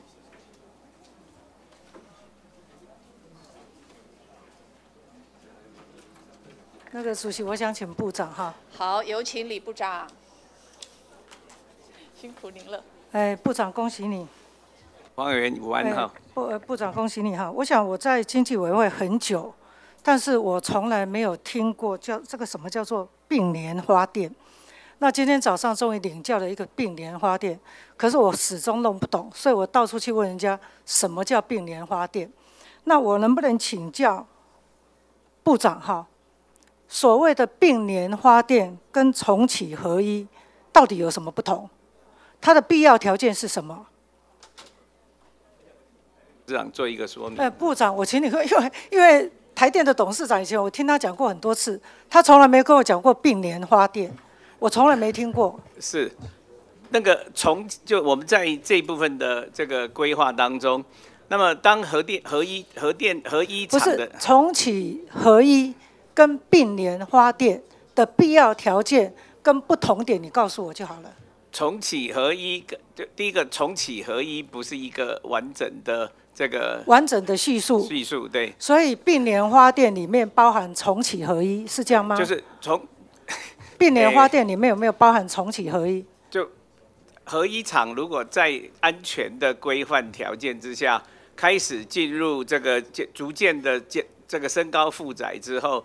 那么到了它负载满载之后，或者是负载到一个这个经过原委会的原能会的规划跟监督之后，那么接近电网，这样才进程才完成所以才能够重启重启合一，才有并联发电的问题，对不对？就是我这样讲对不对发电进去之后，整个系统才重启核电厂所以换句话讲，要并联发电，一定也要重启合一，就是这样吗？在那那个根本没有重启的问题，因为就是他把它转税到，修完成之后，经过安全的这个所以我，想哈，部长你比林前院长不够老实。不过院长一开始他就讲说，他考虑重启合一，但是你就给我发明一个并联发电，害我到处去学，因为我真的是不懂，所以我就去学。那我发觉到说，要并联发电的必要条件就是合一要动起来才有并联的问题嘛，是这样嘛？对不对？和就我们就是有有动起来才会有并联的问题嘛，对不对？对是，对嘛？那你就告诉我们嘛，所以合一一定要用嘛，对不对？是吗？第一个我没有说合一一定要用，我说你你合一没有动起来就没有并联的问题呀、你现在只是把重启又改了一个名词嘛，对不对？它不是一个单纯的名词的转换，那是复杂的名词，不不是 它不是那是什么名词？你告诉我，因为我我真的不太懂。当我们刚提到的，就是所以我在我在这里要告诉部长一件事哈，有很多的事情必须要诚实面对。你要把合一拿出来用，你就说你要拿出来用，你不要重启，但是你要并联，是这样吗？我我应该没有讲错，它在在我们把合一做完税修之后，就是合一去检查有没有问题等等等等之后，经过交易委员会同意了以后，你就要把它拿起来，然后怎么样动一动动一动，然后并联去使用，这样是不是？是这样吗？那个委员，那我们不能在经济部的立场不能用动一动动一动这样的字眼，就是当我们把税修哦反正就是要用嘛，对不对？当我们就是合一没有除以嘛，简单讲是这样嘛，对不对？合一从来没有到现在为止，合一还没就是有除以啊。不准备合一要除以嘛，对不对？我想部长哈有一些问题哈，现在本来就没有除役，我知道没有除役到时，间但是要被除役但是你讲的很多哈，你一开始你就讲合一、合二、合三场不言议，这是你一上任就讲的嘛，对不对？是。那所以你如果如你说什么除役？如对，如期除以嘛，对不对？但是现在合一有很多的状况在检查中嘛，对不对？所以你的意思是说，如果检查好了，你觉得立法院的交易委员会同意了，那你就会把他的电拿出来。我怕讲错哈，因为我我不太懂，去并联去发电是这样吗？不是跟委员报告哈，当这个我们今天一再的强调，就是启动了以后，因为我刚刚也问了哈，他说启动了以后要达到并联的标准要四天，是。所以你就把启动这几个字把它拿掉，好，对不对？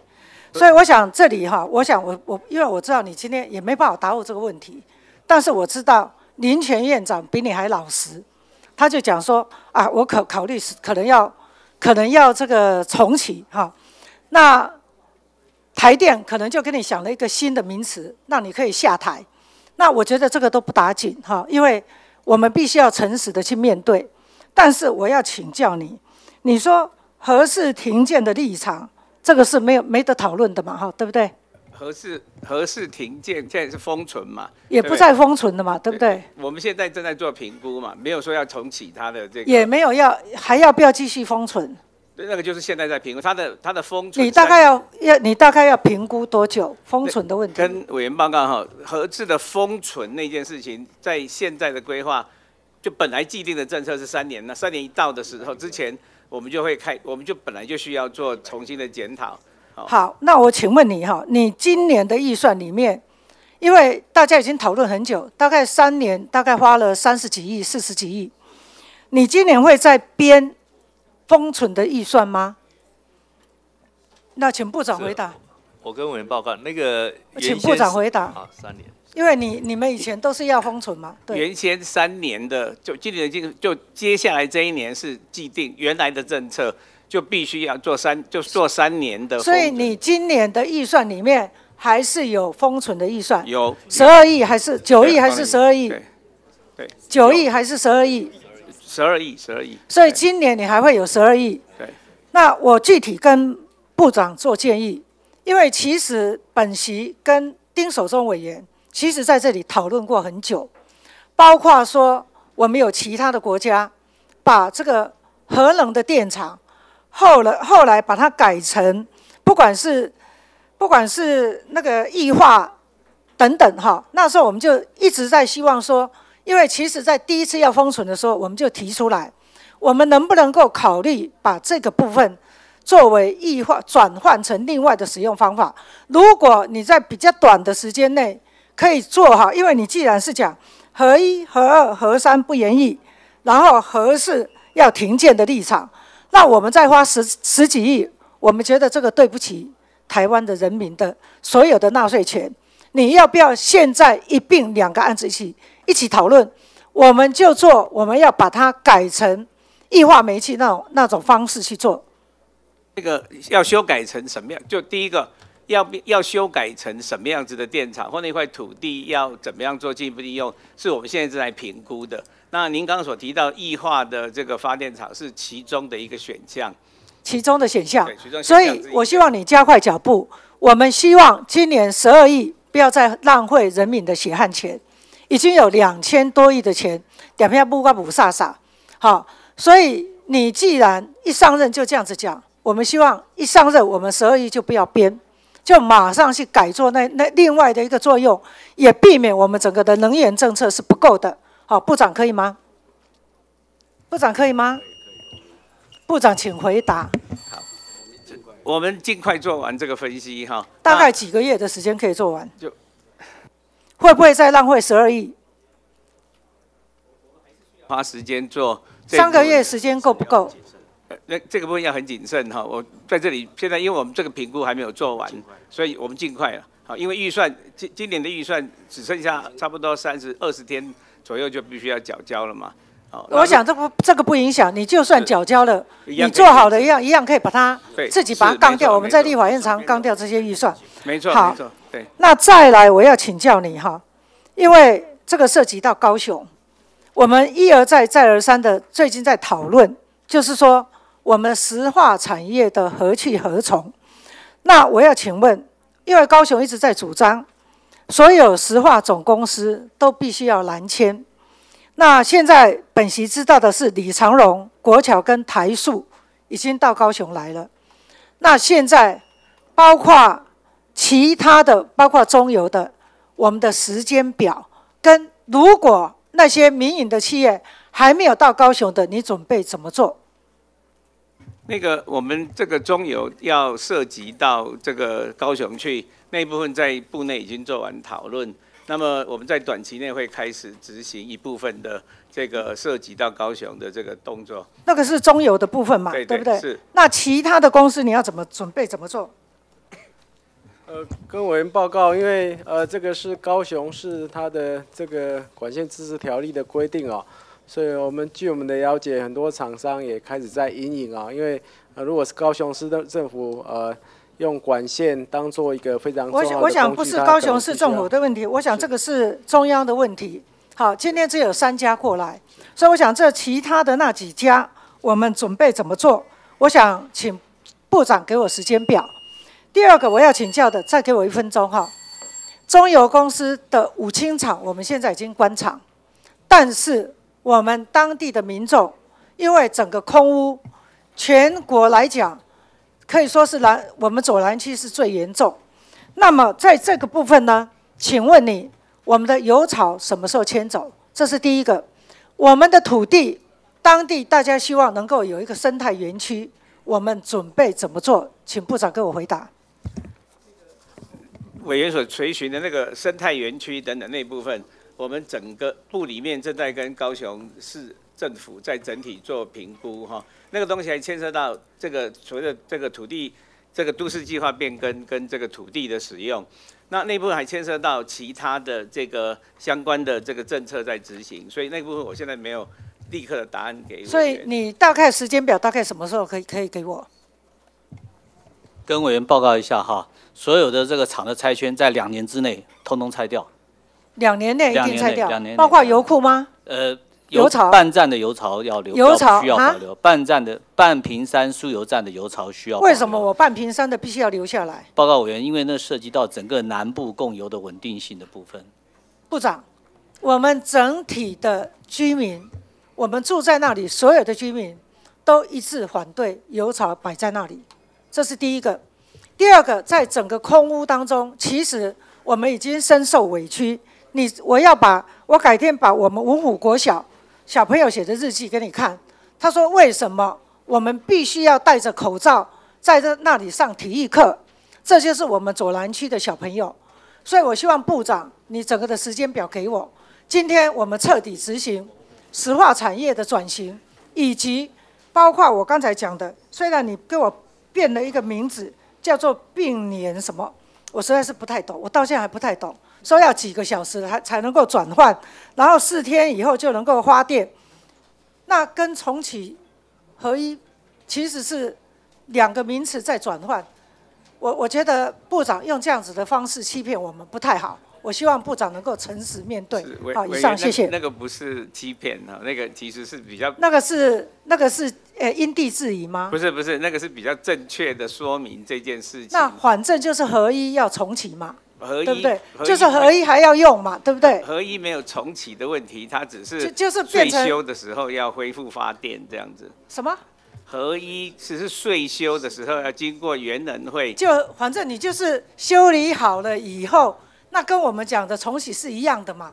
我觉得哈，不要把几那几个名词把它在这里玩文字游戏，真的是不太好哈。以上谢谢。好，谢谢。好，我们接下来请郑天才委员。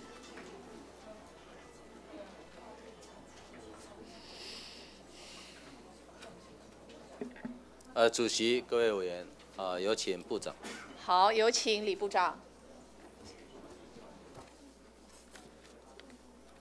郑委武安好，哎，部长好啊。这个 海岸呢，海岸过去啊，这个经济部水利署相关的这些防护的这些经费啊，非常非常的少。当然，基本上主要的经费都是在河川呢，啊，河川河川的堤防。也不足了啊！事实上，这个地方的需求啊，非常的多，尤其是海岸的，非常非常的少，国土不断的流失哈，不断的流失。这个海岸管理法，这个在立法院第八届上一届已经完成了啊法律的制定。那特别啊，在海岸管理法啊特别明定了，这个 为了防治。啊，为了防治海岸的灾害，啊，为了这个防范这个国土的继续的流失，哈，啊，所以特别啊明定要保护民众生命财产的安全了，所以制定了这个在第十四条特别要求政府部门呢，应该要啊订定这个啊防护的计划，这个防护啊海岸的防护计划。这个水利署啊，就是一个经济部，就是一个主管机关。呃，请问一下，经济部这个海岸管理法，这个已经三读通过，也也施行了。你们有什么不同的？跟以往有什么不同的？呃，应用作为，无论是在呃施政计划上，或者是在相关预算的编列上，有什么不同的作为？水利署说你好，好是报告郑委员，那个整体的海岸海岸是要福音那个内政部的永续海岸发展方案，那个目的呢是让我们的海岸海堤尽量不要失色，尽量维持天然，并且逐年来增加天然海岸的长度，是这样一个发展的趋势。不过对于局部的海岸，如果影响到人民的生命财产安全，还是要去保护。所以在海岸管理法发布以后，我们在依照海岸管理法的规定，是内政部要去提出整体海岸管理计划。那这个整体海岸管理计划出来以后，经济部再根据整体海岸管理计划提出一级海岸防护计划。那至于二级海岸防护计划，就由所辖的县市政府来提出来。所以现在因为呢，中部还没有提出来海岸整体的。这个管理计划，所以我们还是本离永续海岸发展方案的这样一个原则，每年来编列自己的经费来改善。要做一个很大的调整。是这个永续这个计划是在海岸管理法，啊，海岸管理法还没有公布，还没有制定公布施行之前就有的，对不对？是。这个你们要考量到经济部。这个国家要考量到当初立法的时候，在海岸管理法、在内政委员会在立法的时候，特别去强化了防护的部分了。是啊，和防护的部分并并不是说就不做。你们现现在的那个永续那个发展那个海岸计划，那根本就是任由国土流失了，任由人民的生命财产流失，是这样的一个所谓的一个哦要自然自然，不是这样啊。海洋管理法制定之后啊，在尤其是在内政委员会在讨论的时候，啊，这个我我我那时候在内政委员会啊，哦，特别考量到这个国土流失啊。守土有责，这个国土不能一直让它让它减少，何况现在的科技，以现在的科技是可以防护的，啊，是可以防护的，而防护的做法当然不是只有那个，啊，现在的那个过去的做法，可以有更好的做法，啊，能够让这个海岸更为美丽，是可以的。是有有这样的科技吧？我我可以吧？我可以补充一下啊。我们对于人民如果会遭受到生命财产的危险，是一定会去做的哈。对于土地的部分，因为没有海岸管理法之前，就没有一个机关专责去做。在海岸管理法以后，其实在行政院协商的时候，经济部是站出来承担说。所有他所列的各项的海岸防护，经济部来拟计划，那一级海岸的部分经济部来做。那我们目前也在评估海岸防护计划的要去定定的原则，这些相关的呃准则，我们也在研拟当中。那等内政部定好整体海岸管理计划以后，我们就会有我们的防护计划。那个组长好，部长，这个不必等，因为基本上这个整体的那个已经很快就会出来了。你们的这个防护的啊计划，透过这个防护计划，你才可以去跟行政院主计总处，包括国发会，啊，包括国发会要争取经费啊。今天不是在哦，经济部不要哈，水利署不要再框框在这个你现在的状况、现况的预算呢，我知道非常少了哦。这个就是要给你，给你一个。要求国国发会，要求行政院主计总处，要求行政院来增加你的经费的一个非常好的一个法宝啊！你要把它当成法宝啊！那个跟委员报告哈，增加经费从来不是经济部的主政的方向哈，这只是怎么把这件事做好才是我们的主政方向。那在那个部长这样讲是不对了，是因为你不知道有很多要防护的啦。有很多的国土是一直在流失了，一直在流失的。那过去因为有一个大很很那个名称在那边，那是因为因为经费不足才会用过去的那个传统的呃那个那个防护的方式嘛。哦，那现在有了这个法，就是要要能够做做的最好的。何况我们的防护的这个专呃技技能啊技术啊是没有问题的。是哦，是可以做的非常漂亮的。我们的技术跟我们达到的效果，对，能能够跟这个更更美丽，让海岸更美丽的技术是有的。有有，只不过是因为经费不足了，好不好？我们从留意留意治理那个地方也看到它的成果嘛。就在谢洪池做完之后，那么景观其实也跟着做调整。那他这样的做法才是一个合理的，同时达到泄这个解决汛期的问题，同时产生景观的。所以你所讲的部分完全正确。在我们在海岸管理这个部分，除了防止国土流失以外，景观也是我们必须考量的。那我们必须在那个母法的架构底下做这个整体的这个推动。哦，这个这个部分应要加强的做哈。好，接下来那个台电，呃，董事长也进也上来啊。这个部长，这个你们一直在做台电哈，一直在做这个潜在处置母岩特性调查评估，这个哈不要再做了，那花很多钱了。上次你们本来在秀林乡啊要做，哦被我们阻止了，现在又跑到其他地方，都是在选原住民地区了。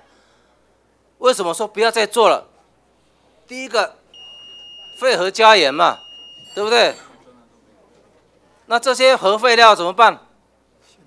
不可能留在台湾呐。经济部，你们都很清楚，台电更清楚。所谓的地方设性处置厂，你要遴选，你要公投嘛，地方政府不会愿意办公投嘛。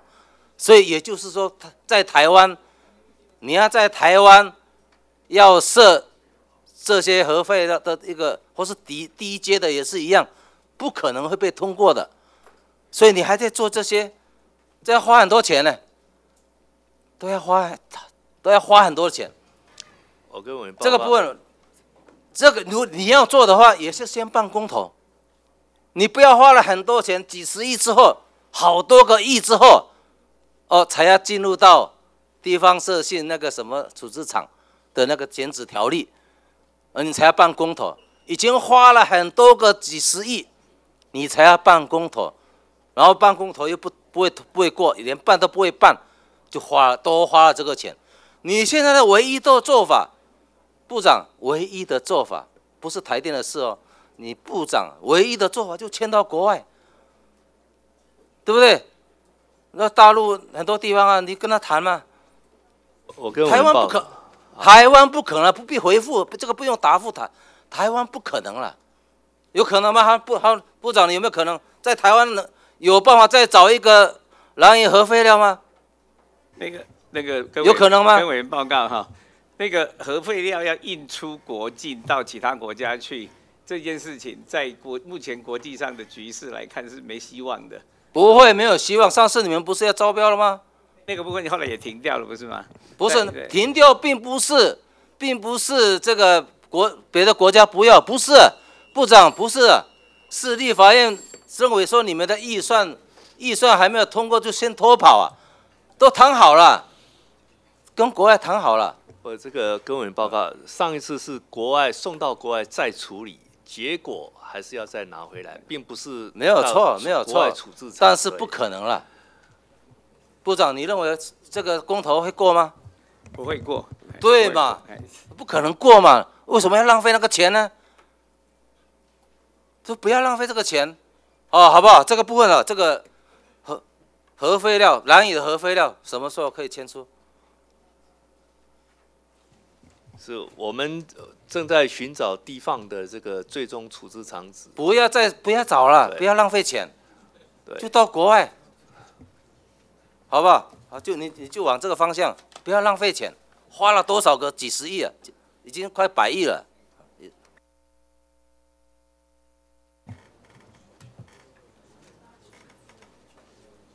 好，接下来请肖美琴委员。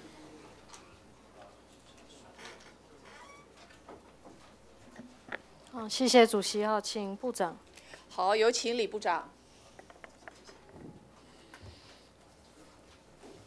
校园关哈，哎，部长好，呃，我想经济部的业务报告哈，相较于其他各部会提给立法院的初步报告，算是呃这个内容相当丰富的哦。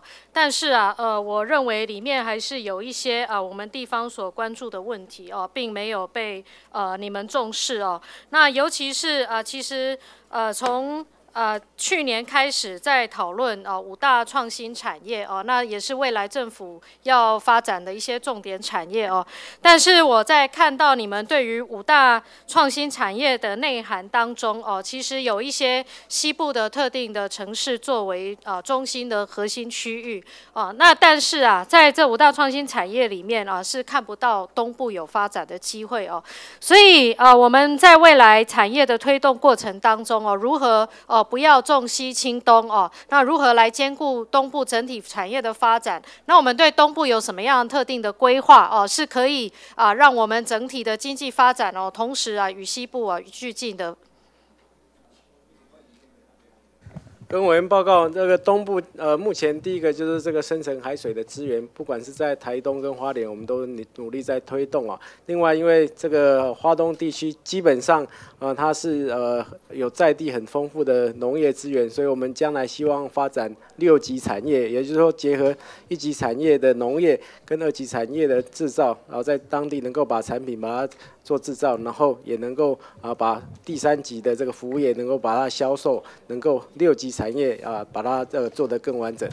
不过局长刚刚讲到的这两个产业哈，包括深圳海水产业哦，其实所参与的就业人口是相当有限的哦。那尤其是目前是以这个国营事业的子公司哦，台肥为主要的这个呃参与对象，所以目前它的一个成果虽然有一些初步成果，但是它所衍生的相关的产业周边效应，并没有让多数的东部居民感受得到哦，或者是碰触得到，也并没有形成啊一个产业的聚。落，所以我想，如果我们在依赖这样的一个产业来带动，哦，恐怕目前前的作为还是不够的哦。那你们刚刚局长谈到的第二个，就呃农业的产业六级化，其实这个我已经讲好几年了哦。不管是在你们这里，或者是在国发会也核定了农业的产业六级化，在农委会也是哦。但是目前却是啊，只这个。这个完全是看不到哦，它一些具体的成果哦。那包括整个产业辅导的过程当中啊，那在尤其在二级加工哦，农产加工的这个区块，在西部是是比较普及的，但是东部是相对匮乏的。那尤其我们现在对于啊食品的安全哦，农业的新农业的。附加价值的要求是更高的。那对于加工设施本身的标准哦，不好，不管是废弃物的排放，或者是本身设置符合国际的这个食品安全跟标准的要求，其实是更高的。那但是在东部地区相关的加工设施还是非常有限。那目前的作为都仅止于补助。啊，一些地方的农民团体哦，或者是一些比较小规模的个体户，那像尤其是啊，这个原原民会哦，也有相关的补助，但是还是没有办法形成一个呃有高度附加价值的整个产业聚落哦，那导致我们东部农民平均来讲，当然有少数农民是比较成功的，但是平均来讲还是没有办法系统性的来带动整体的这个附加价值以及农民收入的提升，所以我还是要回来讲，在五大创新产业里面少了东部，好，所以我还是希望说这个部分我们还是要要更积极的来做研议哦。那尤其是啊这些啊怎么带动其他的附加价值跟周边的外溢效应哦。那当然农业观光一直是东部最重视的，它。当然是有成长的空间，可是我觉得，如果说我们在未来整体国家资源的配置上面，哦，还是以西部为主，西部这五大创新产业为主，而忽略东部，我想会加深整个区域发展的落差。哦，所以这个部分还是希望你们能够重视哦。好，谢谢。那个我们原来在这个撰写这个书面报告的时候，有考虑新农业，因为那本来也是总统的政见。那不过因为那部分主政的单位是由农委会来处理，那我们是配合的，所以我们就决定暂时不要放在我们的书面报告里面。但是那一部分我们已经规划相关的措施，在跟农委会做进一步的合作。好，那我希望你们能够尽早提出你们相关的这个措施跟未来的规划方向，而且希望是有别于过去几年只听得到在讨论而已，还没有到具体落实的阶段哦。那尤其是东部啊，前一阵子地方上也非常关心哈，在我们环保署长啊宣誓说水泥产业退出泰鲁格国家公园哦这样子的一个政策，那我想大大家都是支持。啊，有污染性的产业退出我们的国家公园，毕竟国家公园要以最高的环保标准哦来守护它哦。那它相对地质脆弱，它相对周边的环境也是我们更需要去珍惜的。但是如果涉及到国家公园以外的，这些区块，那我们要做整体的产业的转型，这个就如同在西部面临的石化产业的转型哦，或者是其他高度污染的产业的转型。像我知道很多云林乡亲对于六轻它所造成的相关的污染也非常的有意见。那在东部地区，如果说呃长远的政策方向是往落日跟退场的方向来走哦，我们希望这过程当中要有非常充足的配套。那我讲的就是说，我支持马上哦，要求相关产业退出国家公园内部的范围，但是国家公园以外的范围，我们要有一套规划，要有一个整体的一个。到底这个产业的去留的问题的相关的规划，如果是我们认为它不该继续在东部存在，那我们一定要有替代的就业的方案，不管是就业市场，或者是尤其是啊长期在这些相关产业里面工作的劳工哦，有一些是数十年的这些啊劳工也身负家里的这个生计的责任，那我们相关的配退场机制时程哦转型就业。到底是什么？我希望这个部分呢，经济部也能够啊详加研议。那个就像委员刚提到的，其实，在那个国家公园退出那部分，我们刚刚已经提出来说，在国家公园里面，它本来就已经在逐渐恢复地貌等等这样的架构。在国家公园外面的部分，长期来看，那么怎么样子做所谓的这个？在地的居民的这个生活的这个工作的转型等等，这个不管是您这里还是很多位在地的居民，其实也反映了这个事实，所以我们会把这部分列入考量，同时它的转型跟工作的规划跟产业的调整。都会是我们在规划当中一部分配合，同时跟环保署一起做一部分的这个推动，这样子。我想早期在东部林业也是很发达哈，可是我们基于保护山林的政策哦，也逐渐的让林业这个产业在台湾哦来做了很大的调整哦。目前山区是禁止伐木的哦，但是在林业退场，我们也看到一些过去依赖林业为生的这些啊城镇的一个没落哦，所以在这整个转型。的过程当中哦，那如果我们有新的计划，尤其是涉及到观光产业或者是其他呃需要做就业辅导、需需要做重新安置的呃部分，我们真的是一定要作为一个重点，好不好？好的，谢谢委员指正哈，我们会全力以赴来做这件事情。好，那么另外哦，在我们整体的电业政策也应该是部长上任的一个施政重点哦。可是，在今天的业务报告里面，我们并没有看到呃，就电业法的一个修法时程跟规划方向哦。那里面提了很多 idea，包括智慧网的啊形成啦，包括这个能源的效能的提升哦等等哦。但是我们都知道，其实现在呃民间可以产电，但是民间不能卖电哦，是？台电是输配电的一个垄断机制。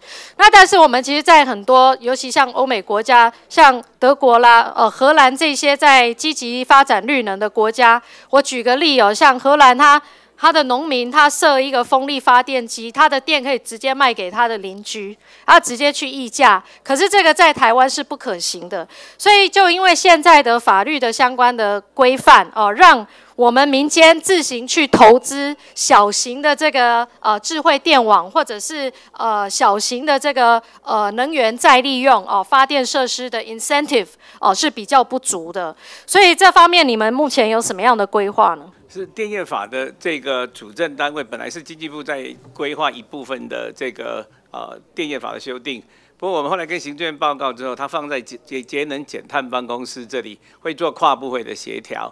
那其中一个主要的考量点，当然是因为 COP twenty one 之后减碳这一部分的议题同时跑进来，它会牵涉到环保署跟其他的单位，所以这个电业法的修订，除了您刚所提到的，到底分成两段、三段，民间可不可以售电，那么甚至电网怎么配置等等，都是在电业法里面必须一并思考的。所以在那部分，我们原来的规划是到明年初的时候去提出电业法的这个修正。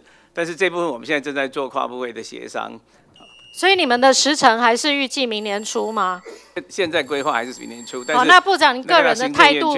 个人的态度就于这个就啊民间自行售电哦，或者是输配电系统的非垄断化哦，或是这个啊民营化、自由化这样子的一个态度是怎么样？基基本的态度是没有违背的，好，就在那一部分，我们没有不不认为说民间售电这件事不可行，可它必须要跟现行的电网的结构能够有一个搭配。那避免不避免造成断电的危机等等，这些是我们在考量的一部分，所以我们会把台电的这部分的电源也同时纳入考虑。我想这是一个非常庞大的工程啊，不管不只是修法，包括台湾整个电力结构的调整哦。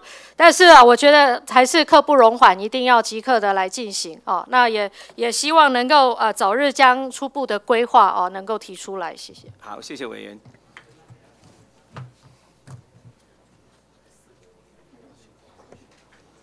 好，接下来我们请曾明忠委员。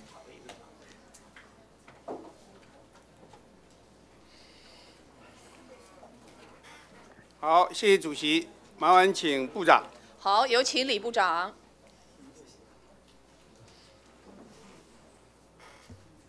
这位午安哈。啊，部长恭喜。呃，请教您几个问题。第一个，您作为经济部长，您的愿景是什么？希望达到，希望把台湾的经济带向哪个境界？也不谈谈您的愿景。我们的愿景是。在我们把产业的这个结构做完调整之后，让我们全民的所得增加，那么同时它有公平分配的这个结构，在过程当中，我们的年轻人有比较好的薪资，同时所有的其实事实上不只是年轻人啊，事实上是全民都有更好的这个工作这样子。谢谢，谢谢你这个愿景。呃，这个愿景其实愿景就是这样，要有一定的高度，所以我赞同你这个高度。但是你这个愿景，我相信只有您经济部长做不到。我觉得这个愿景至少要到副院长层级以上。没有关系，跟继续跟您讨教。您对当前的经济的情势的看法怎么样？现在经济的情势，国际上的这个投资疲软，那国内已经连续十五黑，所以在整体的经济环境上，客观环境是不好的。但是这并不表示我们可以因为这样松懈，其实这个时候就更需要做更多的努力，尝试让这个部分能够找到一个新的这个气这个经济成长的动力。没有错，今天今年的经济主计总处预估是一点零六。第一季是负零点六八，面对当前的经济，你要达成您刚刚提到的第一点的愿景的部分，短期内你有没有什么应应措施？您刚刚讲连十五个月，呃，出口负增长，看这个情况，连十六个月负增长都有可能，甚至连十七个月都有可能。面对当前的经济短期的低迷，您的哪有哪些应应措施？站在整体的经济面来看的时候，就是国国外的这个经济形势是一样不好的，所以在那样的架构，在这样子的整体环境的情况之下呢，扩大内需，那么让台湾的这个产内部的这个公共建设跟我们整体的产业在内部的投资，才是以目前来看短期内不是我经济没有特效药哈，但是在比较短的时间内可以让我们的产业。跟我们的这个经济形势变好的一个一个做法，没有错，我也赞成你这样的建议，扩大内需，扩大公共建设。但是，呃，行政院整个总体的行政院基本上目前没有这样的应用措施。那就您经济部的部分，你能做到的是哪些项目？在我们在规划这个部分，以以经济部主管的业务范内。范围内立刻面临的是我们需要做再生能源的投资，可在这的投资里面包含好几项，刚刚不同的委员也都提出咨询了，不管是太阳光电，不管是离岸风电，或者是沼气发电等等这些部分，那有一部分其实是不需要政府投入大量的资金，只需要调整政策跟做跨部委的协商，譬如说太阳光电。在这个离岸风电或者是风力发电的这一部分的这个推动呢，我们希望在推动过程当中，不仅仅只是产生风力发电的电源，同时也希望能够建有一定程度的自制率出现在台湾的这个您讲的这个都非常好，那我抢抢跟您讨教，你预估半年内或者一年内可以增加多少投资？以太阳光电，我们目前跟台湾的业界谈。那么，如果我们在土地这一部分能够解决，同时跟台电的馈线的部分能够一并解决的时候，那么在那个部分当然是政策面的推动。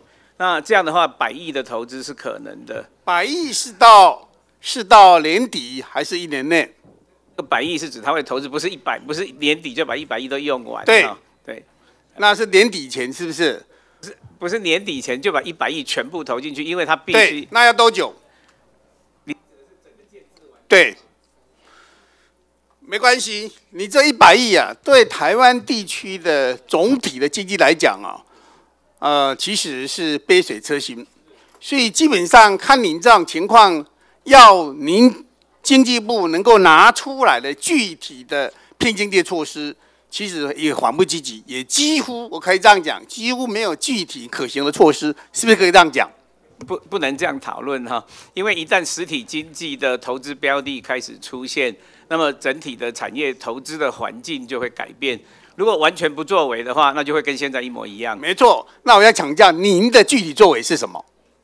刚刚提到的，我们在推动所谓的产业的再创新跟投资的时候，短期是再生能源，可是其他的像新创事业、像中小企业的转型等等，都是我们在规划跟目前。但是您讲的这些啊，都缓不积极。即使您这一百亿，恐怕也要真正建制完成啊，也是也是一年后，没关系，因为也不怪你，因为很多的工具不在经济部你手上。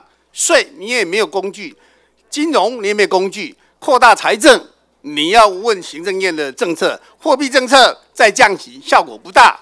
不过假设假设新政府这样下去，我对今年的经济会非常的悲观。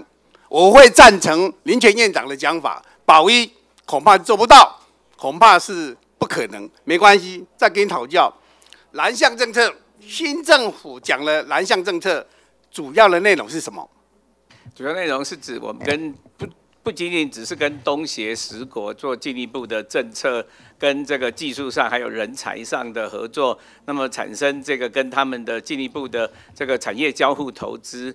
那除了那个以外，其实整个南向政策同时也包含跟先进国家做人力、跟技术、跟投资的进一步的协定。所以说，您的。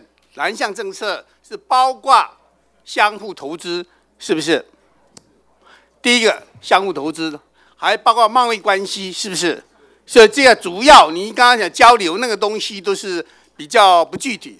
真正的内容就是第一个直接投资关系，第二个是贸易关系。那我跟你讨教，现在我们对所谓呃新政府提到了南向政策的主要国家。就是东协加印度，现在的贸易占我们比例是多少？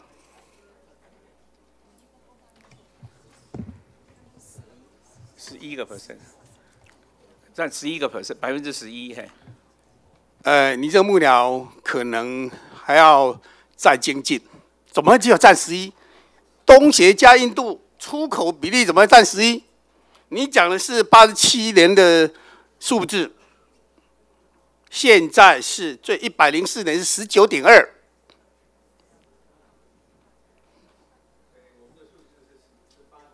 对，看看怎么算，至少都是八十九，啊，所以那您认为多少年之后南向政策可以产生效果？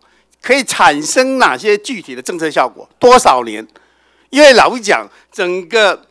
外贸的关系从民国八十九年的十二点九，增加到一百零四年度是十九点二。我的数字也是来自经济部的对外披露的资料，或许统计上会有不同的想法。那我想请教您的问题是：南向政策多久要发生政策上的效果？那那个部分就像您刚刚提到的。就经济部在做这一部分的评估的时候，我们有一部分的工具是在经济部的手里，一部分是在其他的部会手里，所以我们会跟这些部会做进一步的协商跟讨论。好，所以这个部分不是只有经济部就直接能够预测这个数字的。那林总，您好，你这样答复我也接受。那我请教你，经济部的部分，你想多久产生新南向政策的具体效果？目前我们遇到的一部分的困境，的确是我们在双方签订这个、这个、这个双呃交互投资跟呃保护的协定等等，所以那部分我们会持续的努力。那那个部分也是台商投资一部分的这个考量点。不过在过去我们所这个接触的这个台商的范围内，即使有一部分的签订协定还没有完全签订完成。甚至遇到刚刚几位委员问到的排华政策、排华策、排华排华的这个情势的时候呢，那么即使他们得到受到损失，如果经济形势对于厂商是有利的，他还是会回去做进一步的投资。那我们必须做进一步的协助跟帮忙。好，来。呃，报告委员，就是有关于这个投资的部分呢，其实我们未来要改，呃，从过去单向的一个关系改为一个双向的关系，就是刚刚部长有提到建立跟东协还有这个印度国家一个多元的连接，所以我们未来会从台商网络的这个方向去努力，加也同时也加强跟东协各国官方呃跟各个层级工协会台商之间的联系关系，来尽力促成呃多元的连接。好，那。部长，就你的政策的部分，您的具体的做新南向政策的具体的目标是什么？我们你的部分应该可以讲嘛？我们的部分策略布局是我们在这部分的产业连接策略布局跟这个台商的连接是我们的整体策略在经济部的部分哈。好，其实我刚刚从开始问到结束了，其实我也不为难部长。但是整体来讲，要您因应当前的经济形势，或者是未来的新南向政策，真的要产产生具体的效果，真的很困难。谢谢。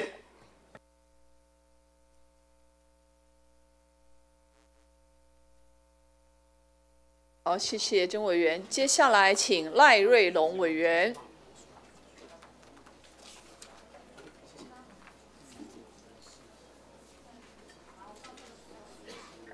好，谢谢主席啊，请李部长跟那个台电黄董事长。好，有请李部长跟黄董事长。赖元午安哈，部长辛苦了哈。好，黄董事长。好，我我首先想请教了，因为我的这个选区是在前镇小港了哈，那基本上呃临海工业区是很重要的一个重镇了哈，在工业上的一个重镇。我想先跟先请教董事长了哈，台电的。这个部分哈，因为大家都在谈到很多些缺电哈，甚至未来有可能限电上的问题。我想问一下，在管理面上这一段时间台电做的好不好？我们尽量努力把它做好。不过这个有一些，因为单位多嘛，这个人多，总还是有一点其他的。如果这一年来的表现，台电的整个表现，你给几分？你自己给几分？这个分数很难打，也不应该由我自己来打。好，没关系。那个。部长想先跟你沟通一个想法了哈，就是说，其实我觉得很多问题的，其实在我们谈整个，包括是不是要重呃重启合一等等其他这些议题之前，我认为有一个部分是行政部门可以做得很好的是，他应该先检讨内部到底在行政管理上面做得好不好，做得够不够哈。我们现在看第一张这个图了哈，这是这一年来了哈，在呃台电发生的公公安意外了哈，那其他其实有几个比较重大的，都是在我的选区小港哈。从呃去年的九月十八号，这个非常严重了哈，中林路的坍塌哈，呃浅盾工程的坍塌哈，然后整个造成了到现在为止道路还没有完全恢复哈，当然已经有恢复部分的通车，但是还没有完全的恢复哦，因为它里面下面牵涉到非常多的管线的问题哈，这里这一条路也是大概在全台湾少见哈，有十七条的管线在下面在走哈，包括石化的管线哦，我想待会让都。呃，我先问董事长啊，董事长，这个路的坍塌，呃，有没有这个造成供电上的问题？这个路坍塌，因为它是新的线路，为了那个未来的基础设，所以不预定什么？原来预定什么时候要完成的？我细节不太晓，不过原来预定那个大林第二号机组之后上来的时候，那个高压电要往这边送。哦，所以这个部分的坍塌，如果以你们现在抢修的进度，什么时候可以完全的恢复？诶，现在那个抢修的部分，呃，如果通车应该是在七月底，当初预定是这样。我知道通车啦，那个通车是上面装，我说下面浅盾那个的那个，它会牵扯到供电上的问题嘛，哈。下面的复工，我记得那个六月四号，高雄市政府要审，可不可以复工？对，那复工完，你开始复工之后，到你整个管线恢复需要多长的时间？要一年，一年以上。要超过一年以上了，哈。哎，哦，所以这个工程光重大的工程的。好，部长，您您了解一下，未来你有机会可以再了解一下这么重大的一个潜盾，而这还不发生在我小港，后来在另外一端在大寮也出事了哈。这个部长回去也许可以了解。好，再来我们来看去年的八月的时候，台电的也像现在大林厂了哈，在更新机组哈，也是一样发生了这个一个五百六十亿的工程。这个我之前也开过记者会哈，五百六十亿的工程，然后测试的时候发现这个设备明显是有瑕疵的，IHI 公司印尼做的。有严重的瑕疵，后来台电就要求，因为已经装上去了，哈，不能拔下来，所以台电是要求这个整个全部要重新在现场了哈，做一些修补哈。所以我我请同事秀一下那个影片了哈，那个照片的部分，哦，看起来非常的在下哈，在下这个好，好部长你看了哈，这样的照片，一个新的五百六十亿的工程，然后买到这样的设备，我请问董事长，这个这个部分有没有影响到供电？呃，这个部分会延迟一年之后。一号机组八十万瓦千瓦，本来是在今年七月一号要供电了，是吧？对。现在延延后多长时间？延后到明年六月左右要接受调度。呃，我的资料是要到一百零七年的二月十六号。那是正式商转。正式商转。夏天的时候。所以至少要延后一年了哈。所以这一年，如果你的工程不要出现这么重大的一个采购上的瑕疵的话。至少不会在今年七月一号这一个八十万千瓦就可以进去了。这个这个如果进来的话，对我们的电力的舒缓有没有大的帮助？董事长诚实说，八十万千瓦两个 percent，两个 percent 会增加，哦，应该有帮助啊。当然有帮助了哈，两个 percent，现在以现在这么吃紧的状况下，对，就也许这样的议题就不会让部长这么伤脑筋，要在讨论要不要重启这些问题了。这个就是两个 percent 增加嘛，嘿。不止这个啦，另外一个基础的部分也会 delay 了哈。另外一个基础哈，这是两个基础哈，加起来一百六十万千瓦的部分这个整个哈，整个那个主要不是只有在现场，整个最大的部分还是整个切下来，呃，日本那边重做，重做。我我知道，我知道，我在现在跟你讲的那个弊端归弊端，有没有弊端可以清查了哈？我在讲的是发生这么重大的事情之后，这是内部管理控管上的问题。这个事情如果不要发生，我认为以前的台电文化非常优秀，这些事情是不应该发生的。但是如果不发生这样的事情的话，其实现在不会有遇到这样的。我们也很意外，因为日本 IHI 是一个非常有名的公司。我现在我没现在没有跟你探讨说那个了哈。如果公司优不优秀，跟后面发生没有绝对相关原因啦。好，如果后面的品管做的不好，或者我们采购过程中有瑕疵什么的，就会产生很多奇怪的问题了哈。再来，我要谈，因为时间有限一下，在今年的五月二十九号，大林发电厂又发生了一个很夸张的。鹰架倒塌造成了两死五伤。鹰架这个事情也不是现在第一次挂，是这已经做了非常久的一个一个一个经验的东西了，而且那也不是第一座，好也好几座了。还会鹰架下面，不管是下面的软脚的部分，还是说因为塌的没有靠近那个壁倒塌掉，这是非常非常夸张的部分。台电这么大的一家公司，而这个部分竟然发生了，但这个部分你们后来停工了，停工的影响。对供电的影响，因为比前面不会比前面那个严重了哈，时间扣在里面的，所以也不会实质上的效果，因为前面那一件影响的更大，那个一拖就拖了一年。我要跟这个部长讲的是，部长，台电的内部的管理如果不加强的话，这个不只是很多的公安事故意外，包括我们的缺电的问题，恐怕都不能有效的解决。整天如果台电内部一直在出这样的公安事故以外的的话，你光停工，你光这些工程的部分，我看你整天就要。莫得修了，我希望部长这一块能够详细的去严查，把台电的螺丝锁紧一点。这个部长可以吗？可以的，可以。再来，我想请教一下哈，那个董事长，我想请教你了哈。这个台电浅段那个工程啊，这个坍塌之后哈，影响了这么重大了，最后的部分我们要求要做一些查明跟惩处。这个报告后来惩惩处状况是怎么样？我们这个。把南区施工处的处长有有调离这个这个位置，哎，不是只有记呃继承，不是只有记这个警告而已，哎。哦，我看到是你们最后记了两次申诫了哈。哎，他有把他把他调职。哦，调职啊，记了两次申诫。对。好，这件事情就结案。不，因为这个是。这个是施工上的一些问题，我们也这个问题的调调查报告是不是只有台做到台电而已，没有上到经济部？我说是不是只有台电做了这份报告？这个报告，这个报告我们做上来，甚至有送到这个立法院过来，因为立法院我我知道，就是以台电的部分，好，没关系。部长，我想提这件事情之后，您刚上任啊，我认为有很多事情你可以好好的去了解一下哈，追查一下了哈。第一个，发生这么重大的一个事故哈，浅段的造成中林路的坍塌。记了这个只记了两次的申诫，我们都知道了，两次申诫再记个功就回来了啦。随便都会有那个。我的意思是说，发生中林路坍塌，当时造成这么多的民众困扰，那到现在道路没有完完完全通，这里面难道没有更多的一些相关的责任疏失吗？然后既然只记了两个圣界，就难怪所有的人大家不会有太大的压力啦，因为出了事情，其实官官相护后的结果，其实就是不会有太大的压力。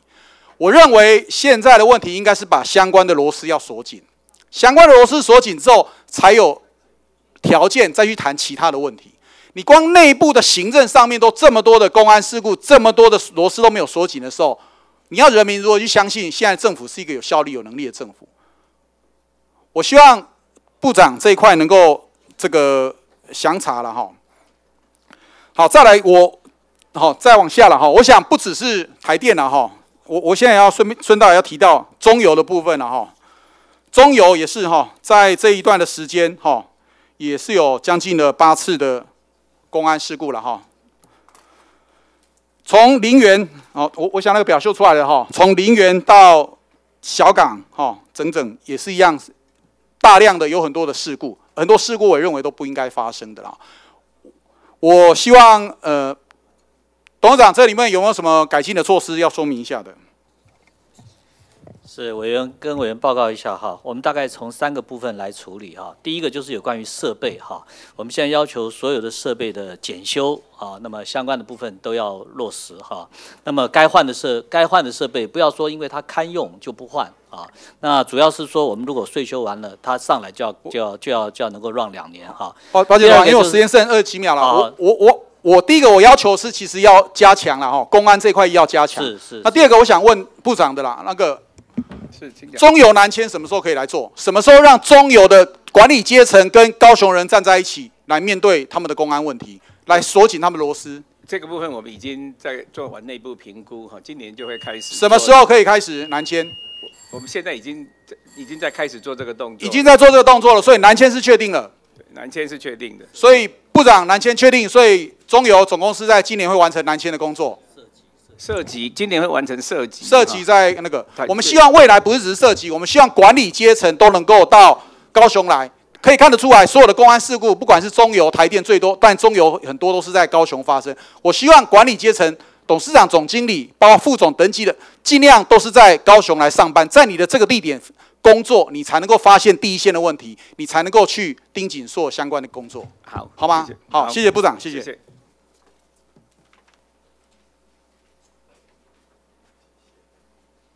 好，接下来有请 Glass 委员。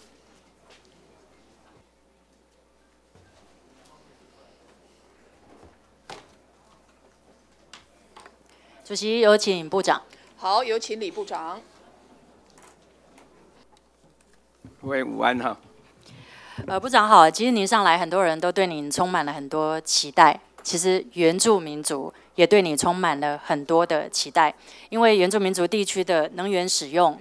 矿业的政策，还有水权，还有蓝屿核废料的迁移，其实都是跟您息息相关的，都是经济部主管的业务的，都不是大家以为刻板印象中以为原民会可以主导决策的。您以及您所带领的经济部，才是直接跟原住民族地区的经济产业发展息息相关、直接相关的机关。尤其是原住民族地区，我再说一次，原住民族地区的能源、水权、矿产的同意使用权的开放，都是您可以决定的，不是原民会决定的。您同意我这样子的理解吗？经济部是主管刚刚您所提到的那几个业务范围的部会，但是因为它牵涉到原民的这个地区的时候，就必须跟原民会做进一步的协商。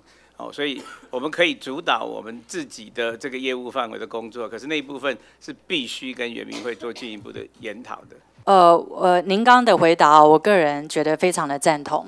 呃，也感谢部长给我们这样的回答。的确，我们来看到底什么叫做原住民族地区？原住民族地区这个是行政院核定的，在山地原住民族地区有三十个原住民族乡镇市区，然后这也是法律定义的。二十五个平地原住民族乡，也包括我们现在所罗列的，加起来，我们中华民国的法律所定义的，每每我们提到原住民族地区，它的地区就包括包括这五十五个原住民族乡镇市区。所以，当我们在座所有的同仁看到原住民族地区这个专有名词的时候，您特别要提高警觉，因为尤其是。经济部在这边要施行的不只是矿业法，我们的政府还必须要遵守原基法。那我刚才就有特别提到矿业的问题，因为我要先跟部长说，我今天要跟您讨论哦，我们整个矿权的问题。我们再来看法律也定义什么叫原住民族土地。原住民族基本法二零零五年通过了，它的第二条第五款就是说，原住民族土地是指原住民族的传统领域，还有原住民保留地。那我们看这些范围占多大的台湾？这些范围就是这个亮绿色的部分。占三分之二个台湾，有那么多叫做原住民族土地。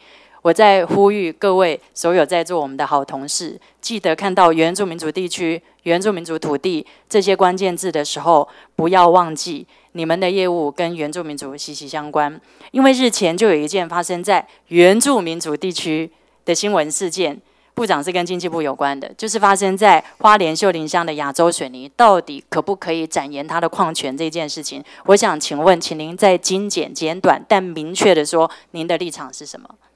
在这个部分，我们在这个国家公园的部分是完全依照这个原来它的这个规划，已经开始在做这个复建的工作。那在于外面的，就是在这个泰鲁格国家公园外面的地区。现在因为已经有这个矿权的这个部分，所以我们矿业师在矿业局在这一块其实有进一步的这个跟业者在协商，同时也跟呃在在地的居民也做进一步的讨论。那这个东西牵涉到了他们的工作转型等等的问题在内。好，不只有工作转型，还有很多其他。我们现在看到这一块就是亚洲水泥的范围，红线画出来的是亚洲水泥，但是大家看到哦。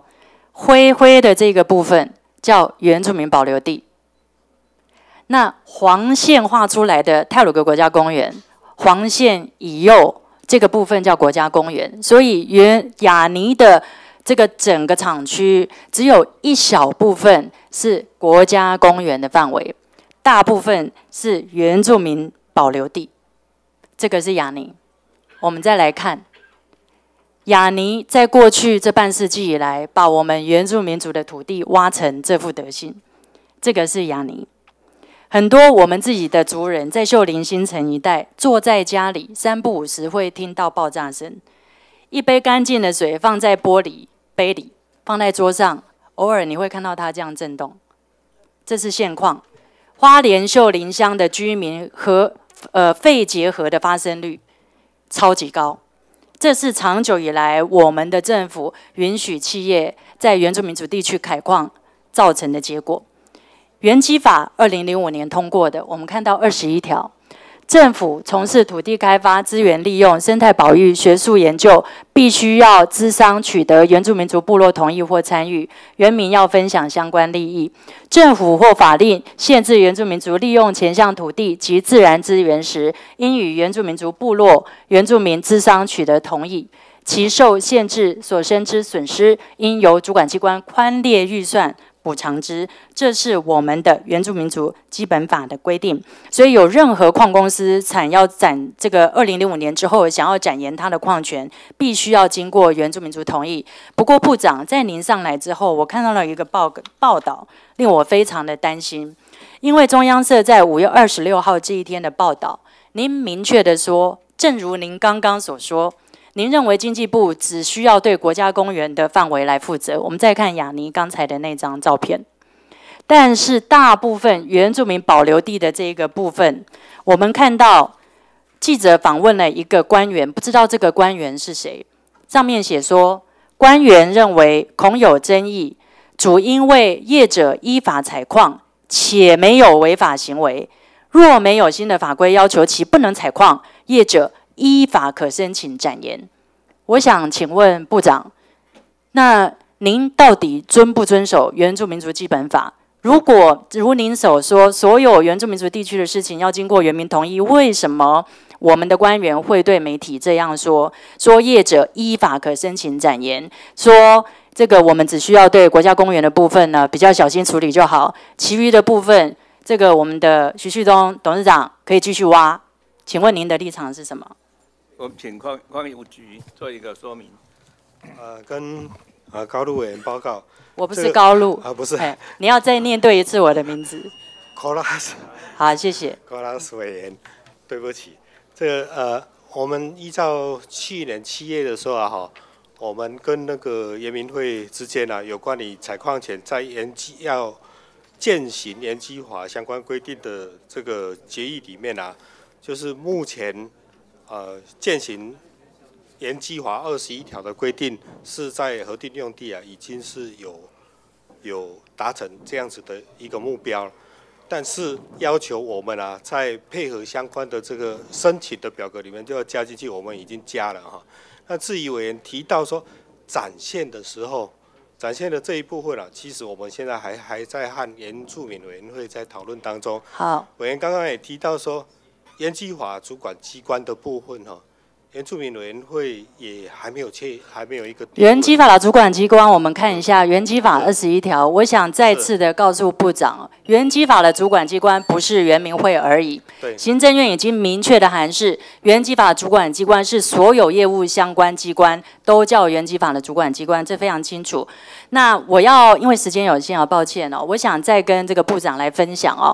我这边有一份你们给我的资料，这份清单，这份清单是过去哦这个半世纪以来。矿业法民国十九年通过以来，中华民国到台湾以来，半世纪以来，我们核准给民间的企业在原住民族地区，我们看到它地目都是原住民保留地所开矿的这个内容。这些我们的企业在原民地区挖哪些矿？这个矿务局很清楚，珍贵的蛇纹石、大理石、滑石矿、白云石、水晶矿、长石矿。都在我们的原住民族地区挖出来的。我们有一家叫亿元股份有限公司，在花莲万荣乡挖蛇纹石，它可以继续挖到二零二一年。有一家李先生开的，在吉安的七角川可以挖滑石矿，可以继续给它挖到二零二四年。另外还有一家叫做东义石矿股份有限公司，可以在秀林的河中继续给它挖，挖到二零二四年。我们有一家在花莲万荣的马远，叫大兴水晶股份用这个有限公司，继续挖挖到二零一九年。我特别邀请大家来看，有一家公司，我想请教部长，这一家公司它竟然可以挖到二零三零年之后，这个是在我们的原住民族基本法通过之后，我们赶快来看。二零三四年，有一家台湾水泥股份有限公司在秀林的和平祈能府这个地方，我想请问矿务局，为什么你们会核准它到二零三四年？而且在核准的时候，有没有经过原住民族的同意？相关的会议资料，还有同意资商的记录，您能不能提供？是，这就是刚刚跟委员报告的，在去年七月的时候啊，人民会协商的意见就是践行原计划二十一条的时点是在核定用地的时候。那这个在展现案的时候，也分别有邀请相关的机关，分别都有审查。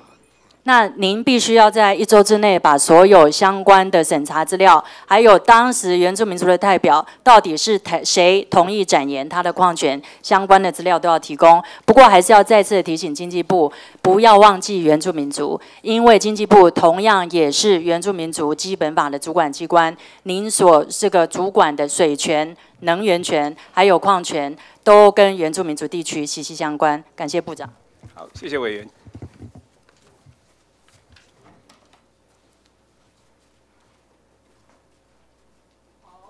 接下来，请黄国昌委员。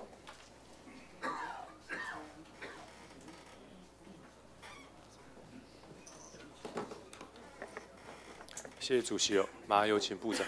好，有请李部长。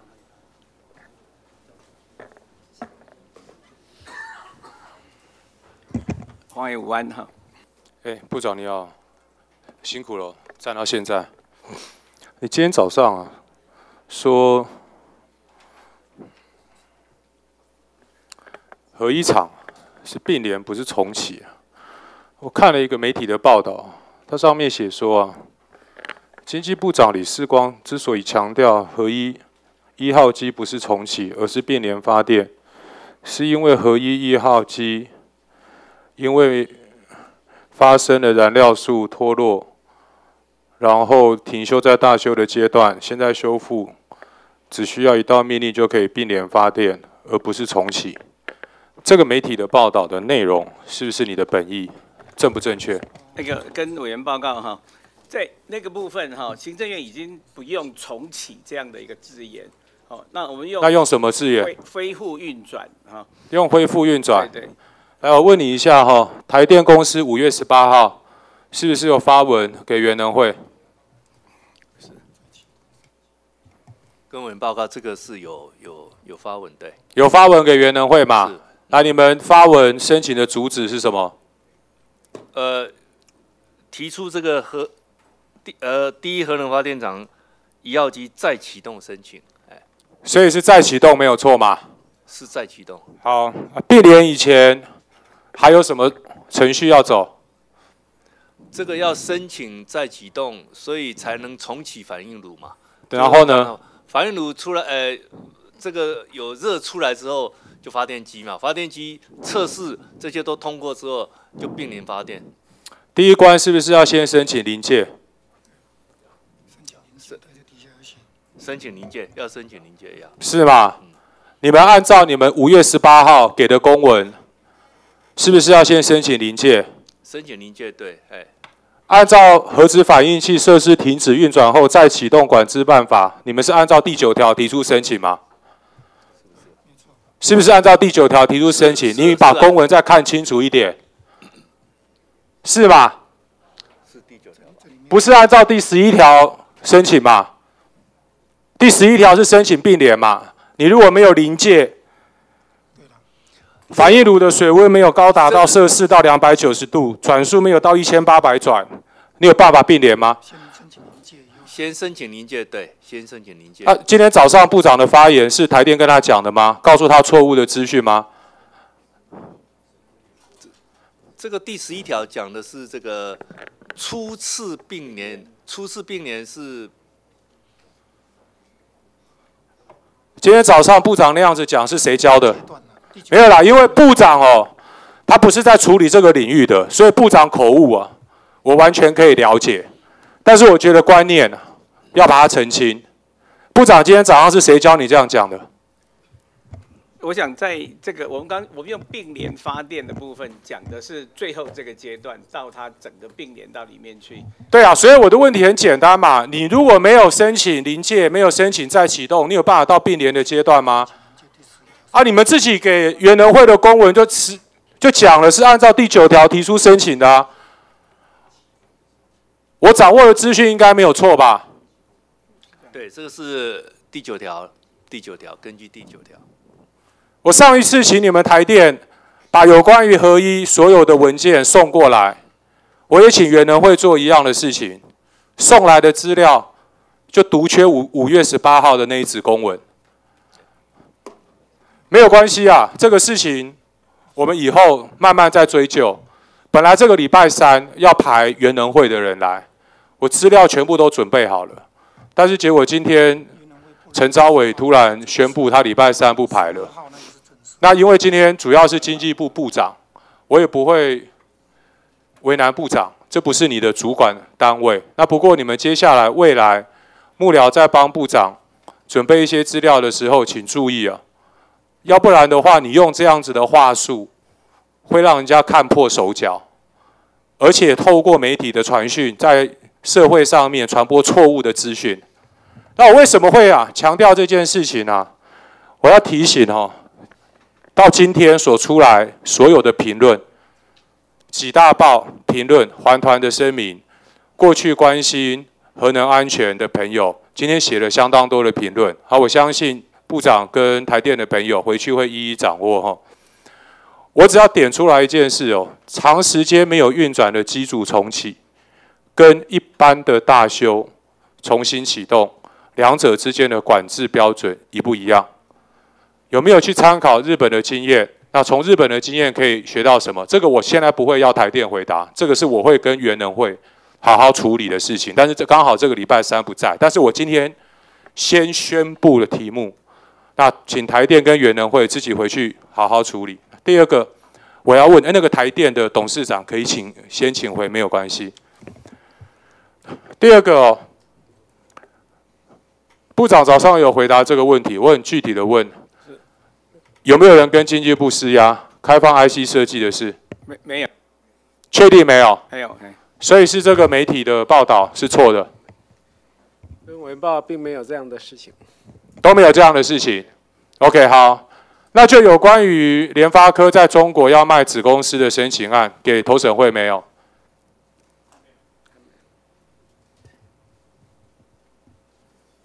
呃，跟委员报告，据我们了解，他是在第四季才会去做相关的相关的处理，所以应该不会那么早。嘿，所以之前是先在媒体上面放消息吗？测测水温吗？他应该是就是他在签订协议的时候，他依照证券交易法，他就是必须要发布重大讯息。嘿，那当初你允许他们到中国那边去设立那家公司，投资的金额多少？呃，是美金五百五十万。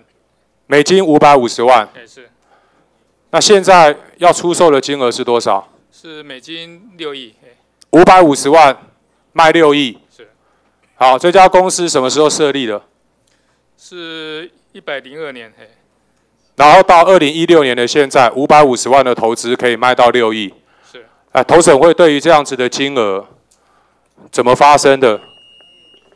你们有没有分析？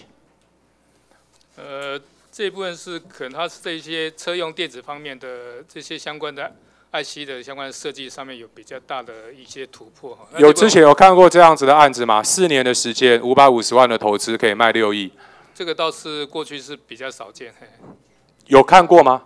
呃有看过这样的案子吗？我呃，跟我们那个吴局长比较有一些经验。嘿委员报，因为这种科科技的公司经过十几年的时间，呃十几年，它的价价十几年。刚刚他在讲二零一二才过去的，你没有听到吗？一百零二年，二零一三才过去的，哦现在是二零一六年，三年的时间，五百五十万美金投资，现在可以卖到六亿美金。对，因为科科技公司事实上就看他新创团队，或者说跟他的这个客户结合。我现在具体的问一个问题，反正审查案还没送到你们那边，我现在问一个问题：IC 设计禁止开放中资入股的这个立场有没有改变？现现在没有，哎，到目前为止没有任何改变嘛？那不管是业者透过公开或者是私下的施压，经济部顶不顶得住压力？跟委员报任何的呃任何的开放前面都一一定要经过程序哦，所以并不是说任何的官说可以影响。经济部有没有叫说反对开放的业者应该要出来说一些话？我们并没有这样说哦，没有，所以今天媒体包括一些教授在评论的时候都误会了经济部，经济部从来没有要反对的业者出来讲话，对不对？呃，我们基本上持中立的立场，产业如果有需求，我们在适当的时机我们会呃走相关的程序，但是我们并没有去呃跟相关的工协会说相关的公司说要他们主动出来做一些游说。OK，好，没有关系哦。我们接下来会继续的观察经济部还有投审会在这件事情上面的表现。哎，奈博基哦，不好意思，我现在剩下最后一点时间了，因为那天总执行的时候啊，刚好部长不在，那我已经把我的问题啊，事实上很直接的跟院长说明了哈。我第一个关切的事情啊是。两岸协议监督条例是本院要审查的，没有错。但是冲击影响评估报告，这是行政部门要做的。那新的政府，我已经说过了哈，过去的那个 Z 大于 B 啊，在过去黑箱服贸的审查过程当中，在公民社会所引发的争议跟批判，我相信大家都记忆犹新。新的政府针对于服贸，什么时候要进行冲击影响评估，什么时候可以提出结果？针对哪一些产业应该要继续的签，哪一些产业应该要做修正，哪一些产业应该要禁止？这些规划什么时候提得出来？局局长做说明。啊，报告委员，啊，这个案子是上个礼拜那个院长有说他要重新评估，那我们现在看这个案子在院里啊是要由陆委会跟经济部哪个单位一起来来主导？我要拜托经济部哦，这一次的评估啊，好好做，不要再让人家看笑话。如果最后出来的报告还是利大于弊的话，我相信没有人可以接受。是我们在上礼拜的政务会议里面，其实已经提出这个议题，告诉全部的内阁了。哎，OK，好，谢谢谢部长。谢谢委员哈。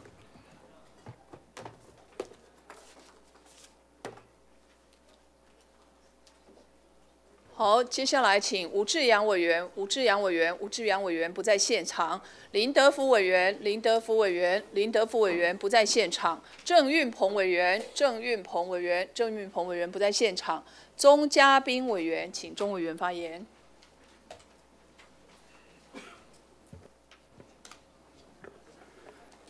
啊，主席，与会的委员先进，列席的机政府机关首长官员，我们在场的媒体以及工作同门，哈，大家午安。那么有请部长。有请李部长。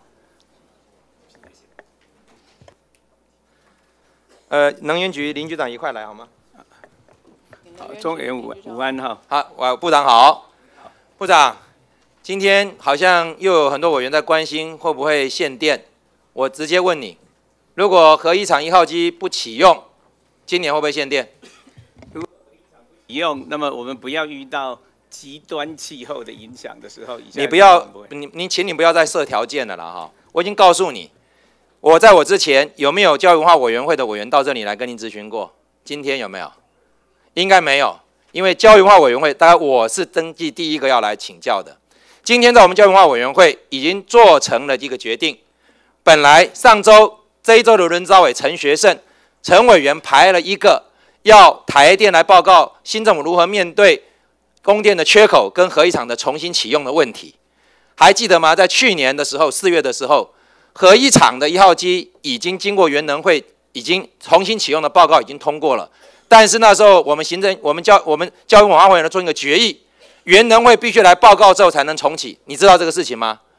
那你可能在上周听到了说，教育文化委员会又排了一个报告，要原能会来报告关于核一厂的问题，所以你以为可能这个星期如果报告了核一厂就可以重新启用，你有没有这样的预设？没有，没有。那我告诉你，不用预设了，肯定不会重新启用，因为陈学胜委员今天已经公然的表达。他后天要排的那一个专案报告取消了，纵使核一厂一号机原能会已经通过了检查，只要我们教育文化委员会没有排准他与专案报告，核一厂重启无望。今年的夏天不会有核一厂的一号机来加入并联发电。在目前的情况之下，请问经济部做好了因应本年夏天用电高峰的准备工作没有？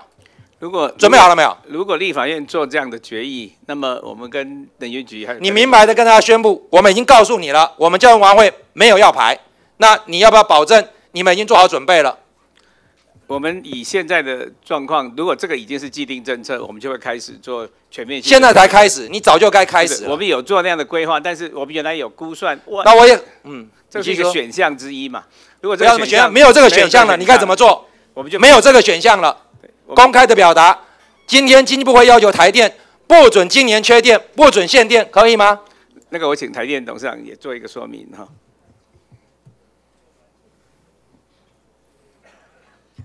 来，黄董事长，你可以承诺吗？还是你要走淘机董事长的下场？不，这个什么下场都没关系。我觉得这个台电原来的。说今年不限电是假设所有可用的机组在安全许可的范围，包不包括核一厂的一号机？当然都包括。原来那已经告诉你不包括核一厂的情况下，你怎么准备？这个恐怕要再精算一下。要多久可以报告？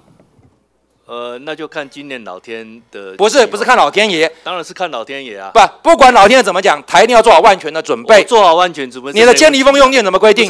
有没有可能调整建立风用电的用电价格？可以做，我们尽尽我们的可能。请将你们可以做的尽可能的做手段列出来，好不好？不可以做这个事情。如果董事长没有交出来，换掉可以吗？没问题。我们刚刚这个经济委员会已经做成，刚才一个礼拜之内要。其他国民党的立委在呼吁了，我们这些在前朝任命的这些国营事业的董座啊，请赶快不要等出事了再负责任下台，宁可在您还安全的时候。先把责任切清楚，不然的话，今年台电限电为台电试问，好不好？是这个好，部长，我就没事要问董事长了，因为他不知道什么时候走人。是部长要有决心。今天淘气的事情发生，前国民党的立法委员说的很好，他说前朝要负八成的责任，国民党负八成的责任，民进党两成在那里？没有一上任就把董事长换掉。我希望在今年不要发生，因为核一厂。没有重新启用，然后被台电造成限电缺电的借口，到时候没有撤换台电的高层，就是你部长的责任，你清不清楚？了解。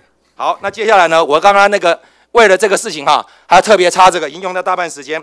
接下来很快的时间跟你们制裁局有关的，我把这个 PowerPoint 拿出来给大家看一下。今天呢，我来自教育文化委员会，这这几年来 OTT 我们的 Over the Top 是一个我们目前呢、国内内容产业发展的很大杀手。那么主要的问题呢，来自于我们的内容产业。如果说我们的制裁局、制裁局、制裁局有有来吗？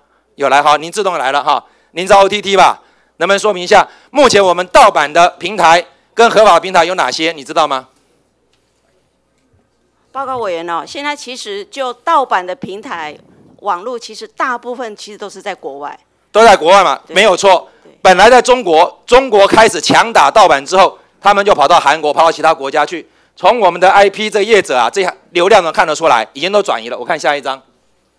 目前呢，我们国内合法的正版的 OTT 平台呢，有这些业者，我去了几家，用户都很少，二十三万、六十万、二十五万，都还在努力中，都还不能获利。我们再看下一张。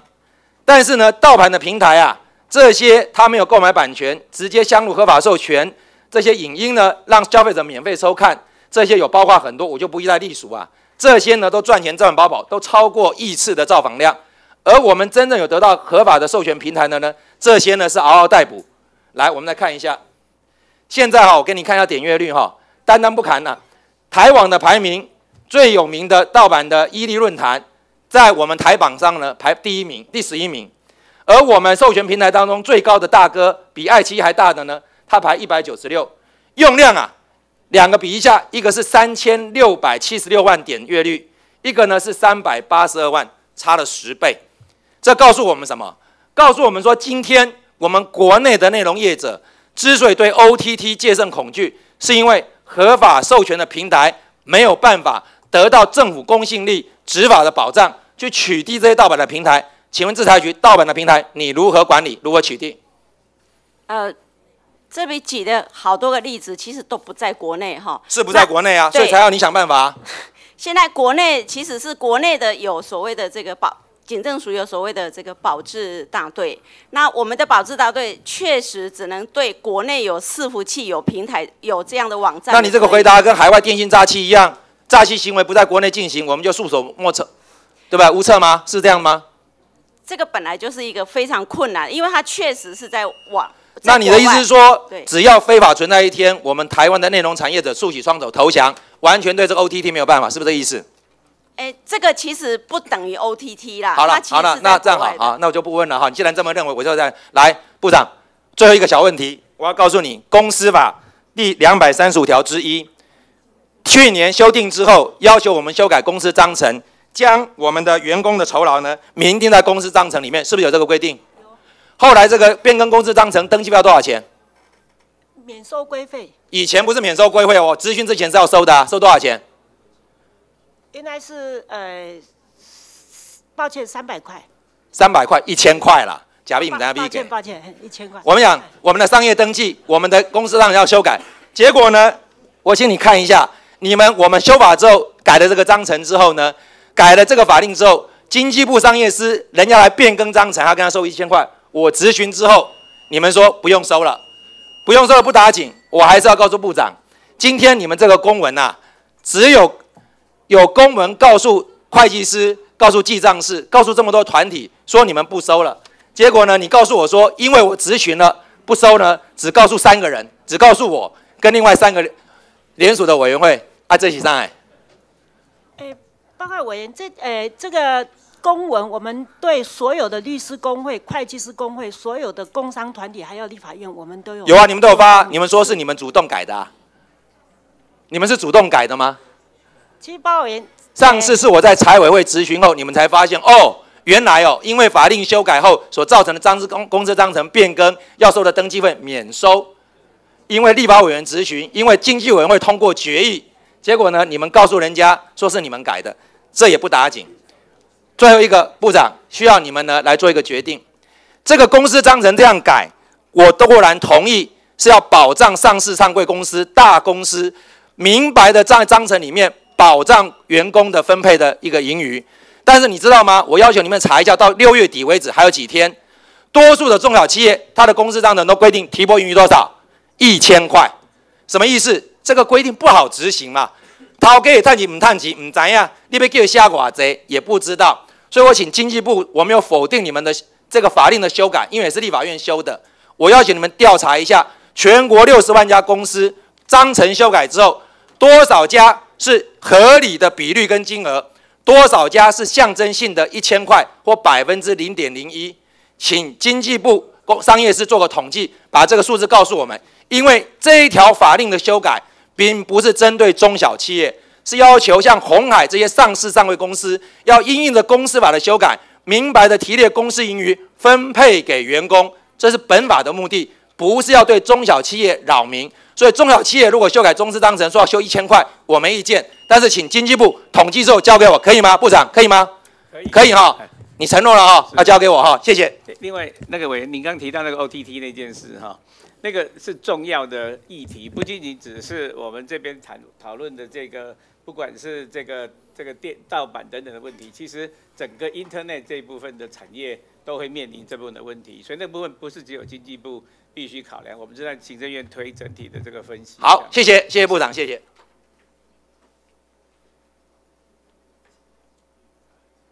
好，接下来请卢秀燕委员发言，卢委员，卢委员不在现场。陈欧破委员发言，陈委员，陈委员不在现场。赖世宝委员发言，赖世宝，赖委员不在现场。徐真卫委员有请。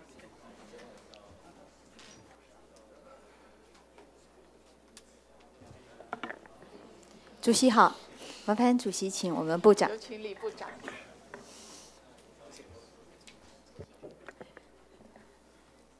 学院午安哈。哎，部长好，今天您是大红人啊，辛苦啦，站了一天了。哎嘿。首先恭喜部长啊，那这个我们蔡总统说，这个演讲的结束就是我们政策执行工作的开始。好，那其实在这十多天来啊，真的是我们这个这个法夹湾的内阁，大家现在几几乎都司空见惯了。无论是美猪啊，这个很多的政策，还有这个原来二零二五年要这个飞核家园，现在这个刚才听的我们的合一又要重启，又要开始这个恢复供电，好，所以这个法家湾内阁啊，我想大家都已经习惯了，也不晓得该说什么了。所以现在在本席，呃，想要请教一下哈。我们有三个主题要请教。那现在第一个主题是我们新南向的部分。我们的南向政策啊，其实之前我们在李登辉总统的时候已经有提过了南向政策。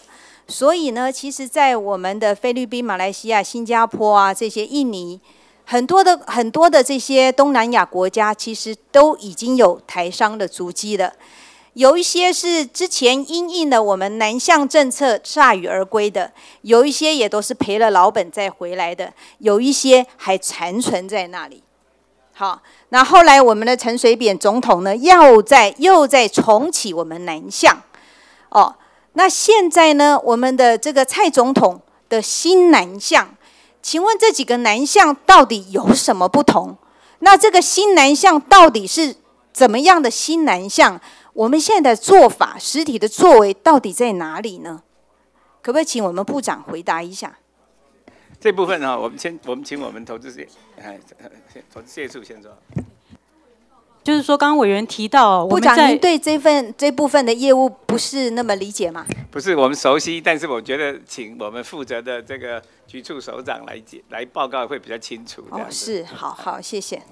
呃，抱歉，委员，刚刚您提到，就是说我们在台，我们在阿斯 n 十国的台商已经有达到二十五万人，所以刚委员提到如何善用在当地台商的一些网络，还有台商的关系，对于现在我们推动新南向是非常重要的。所以现在目前呢，我们大概会运用台商的网络，协助台商转型升级，并且跟台湾的呃商机做联好呃连接的部分。那我想象，我想请教一下，那之前的南向是有没有成功啊？成功与否？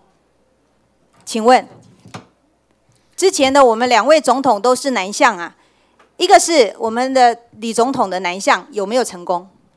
你只要告诉我有还是没有。相对于到大陆去的这个取得的，哎，南向，南南向部分没有大陆南向，我就说相对就是相对投资的时候那一部分不算成功这样。所以您说李总统的部分不算成功，陈水扁总统呢？就在您的您的这个定义，就是单纯就厂商所取得的经济利益是不是最高的？答案是不是的，都不是。单纯那我们这一次蔡总统的新南向呢，是很辛苦的新，还是哪一个？是新旧的新，还是我们的非常艰辛的辛？这个不是一厢情愿的问题，耶。这个包含了很多方方面面的问题，如何让台企、台资企业能安心、安定、安全的在我们要推的南向政策，在这些的国家里面能有这个三安。我想这么多年我们的排华，大家都知道，尤其在两年前的排华，这是更严重，这是历历在目啊。是跟委员报告，对，呃，这个部分分成两个部分，就是说新呃呃，现在目前在推动的新南向，我们主要是强调就是说双向的，尤其在投资的部分。那过去的南向呢比较偏重您怎么双向去？好，那您怎么双向？哎，这个部分我们就是希望，就是说，在当地的台商多跟台湾的发展，以及多跟台湾的商机作为连接。例如说，在当地台商我需要呃自动化或者是节能的服务，那么在台湾的自动化跟节能产业也可以其实这个部分台商自己这个利益为先，他们都会去解决。我们的政府是要如何保障台商在那里是安全的，是安定的。呃，公务员报告，我们也我们不是有新南向政策的办公室已经专责的办公室成立了吗？是这个部分，我们也会呃，在经济部的部分，我们也会积极再去呃更新我们已经签署的双边的投保协议。你的投保协议确立在哪？以前不是签过吗？那现在呢？呃，现在的部分已经有在更新，跟部分国家开始展开呃部分哪一些国家？呃，报告委员，因为这些国家都是还在呃非常正式的讨论，一旦确定的话，我们你什么时候？再一次说明，这不是一厢情愿，这已经是国家既定的政策，蔡总统既定的政策。我们现在还在讨论，那我们讨论新两项到底是讨论什么？你双边都没有一个安定，没有一个 deal，那现在在讨论什么？我我们的讨论不是我们内部的讨论，现在是在跟双两个双边两个国家双边的讨论。了解，所以我们现在也不是 RCEP 的会员国啊，也不是啊。所以那您要让台商有什么利基可以引诱他们过去，让他们过去呢？我们也不是免税啊，所以你让他们如何竞争？他的竞争力在哪里？没有安心，没有安定，没有安全，然后又没有任何的优势，您的新南向几乎是空话嘛。呃，跟委员报告，当然安心还有保障台商的权益，这个是一定是经经济部要呃努力去争取的。那在当地的这个呃，虽然台商在当地没有一个呃，虽然台台商在台湾的投资没有免税出口到东协或者是其他台湾的优势，但是透过呃我们协助台商在当地群聚布局的方式，它就可以掌握东协的内需市场。您要掌握东协的内需市场，你其他你你 RCEP 都进不去了，更何况我们 TPP 不是还在谈吗？我们的这个美国的 CR 还有其实还有另外一个，那个是哪一个？川普都不赞成啊，他觉得这个东西对美国的薪资没有注意，对他们的就业率没有注意啊。那请问这个部分对台湾有什么注意吗？这是两个东西。我们现在经济部都说，国家也说哦，我们要加入 TPP，我们要加入 RCEP。可是它的问题，它的现实点在哪里嘛？这是第一个。刚刚您提的那国际协定那一部分是跟出口的部分有关系，但是对产业布局是没有直接关系的。这个布局绝对会有关系。所以在这里哦，这个我们新南向政策，我们的专业办公室真的要整合，那个办公室就是整合所有的所有的部会嘛。所以在那里，那个不是就是一个窗口嘛？在这里还有第二项，所以新南向政策，请给委员给本席这个书面的答询，好不好？回复好。第二个就是我们的雅尼的部分。我们现在环保署说要进水泥，其实，在泰鲁格国家公园里面，其实它已经没有采没有开采水泥了，它已经在做绿化，而且做得非常的成功了。那另外，对于我们全国的水泥业者来说，请问现在还是拉回来，我们对目前亚尼的部分，经济部您的看法，您的立场是如何？您想怎么做？这有数千个家庭啊，战战兢兢，每一天不想不敢睡觉，而且不晓得该怎么办，前途茫茫。对那一部分，我们在我们上一次矿业局的这个对外的说明，已经清楚的说明我们的政策。那但是在整说明的政策，请问这个政策是什么？就是禁采了吗？没有没有，我想矿业局做解释好了。哎，西伟你好，呃，当初您就请告诉我，就是时间只有剩下一分多钟。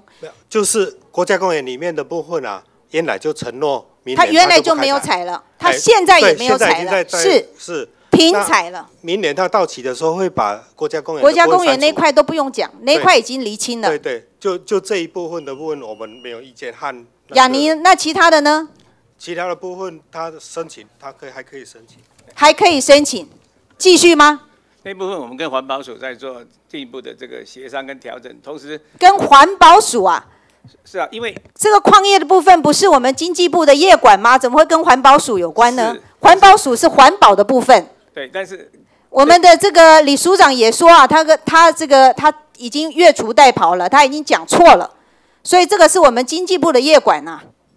那全国的我们水泥业者该怎么办？你们有没有一致的方向？那一部分我们不仅仅只是就我们有。我们这个经济部自己的这个规章跟法规在执行，但是其实还牵涉到这个在地的这个人民。有你刚提到，您刚提到那一千三百户的这些民众的这个就业，这个只是雅尼的部分哦。如果您对全国的水泥业者的来说的话，那可能有无数万个家庭呃，跟委员报告，就我们在雅尼的产量大概占全国水泥大概三三成左右啊。所以这部分可有可能会造成缺口啊，所以这部分好另好谢谢这个成本。水泥，你只要告诉我，现在全国的水泥产业你们要怎么走？继续开采还是不要？就这样子。如果不要，是不是有配套的措施？以现在的状况，它是继续在开采的。你们呢？现在当然是继续还在开采啊。你们的你能不能这做法呢？呃，跟委报，我们是希望能够在检讨水泥工业发展政策来总体考量哦。那基本上这水泥目前还是以满足内需为主，但是目前显然就如果目前还在满足内需为主，所以现在全国的水泥矿继续开采是这样子吗？呃，就是说希望将来你们根本就在模糊空间嘛。同意的话，同意开采的话，当然也也尽量都是以国内市场的需求为主，因为目前我们现在要提的就是一个安家政策。这些人怎么安定？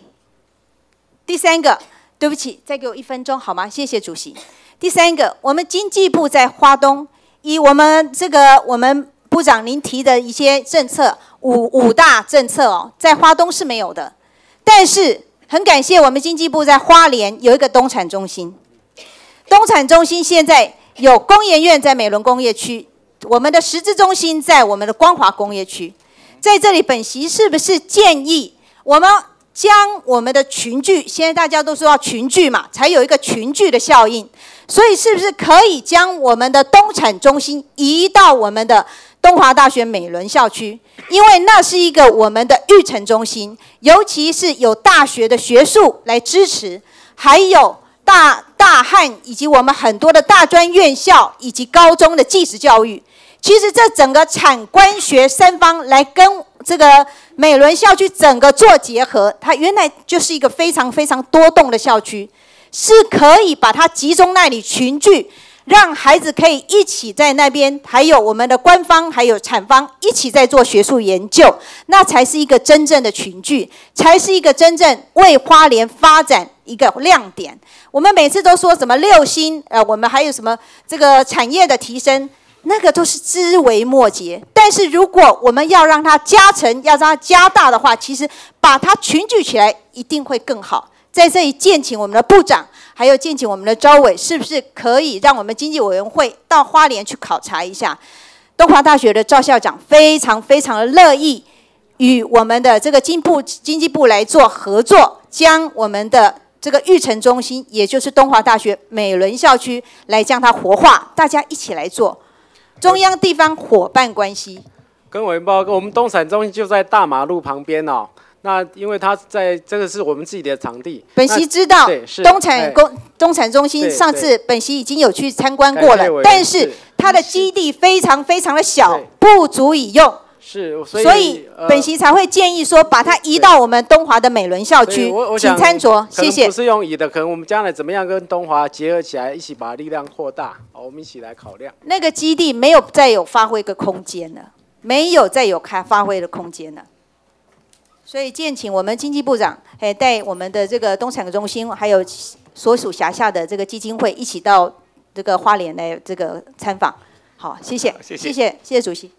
谢谢，谢谢好，呃，接下来请刘世芳委员、刘委员、刘委员不在现场；严宽恒委员、严委员、严委员不在现场；蒋乃新委员、蒋委员、蒋委员不在现场；徐国勇委员、徐委员、徐委员不在现场；高金树梅委员、高金委员、高金委员不在现场；李彦秀委员、李委员、李委员不在现场；罗明才委员、罗委员、罗明才委员不在现场；陈廷飞委员、陈委员、陈委员不在现场。王定宇委员、王委员、王委员不在现场；简东明委员、简委员、简委员不在现场；林俊宪委员、林委员、林委员不在现场；何新纯委员、何委员、何委员不在现场；呃，陈赖树梅委员、陈赖树梅委员、陈赖树梅委员不在现场；蔡义宇委员、蔡委员、蔡委员不在现场。周陈秀霞委员，周陈秀霞委员，周陈秀霞委员不在现场。吕玉玲委员，吕委员，吕委员不在现场。好，登记委员除不在场者外，其余均已发言完毕，询答结束。委员刘世芳、徐祯卫、陈欧博、林俊宪所提书面质询列入记录，刊登公报。书面质询未及答复的部分，请相关单位于一周内书面答复并付之本会。委员质询中要求提供资资料，请提供本会全体委员。本日议程处理完毕，散会。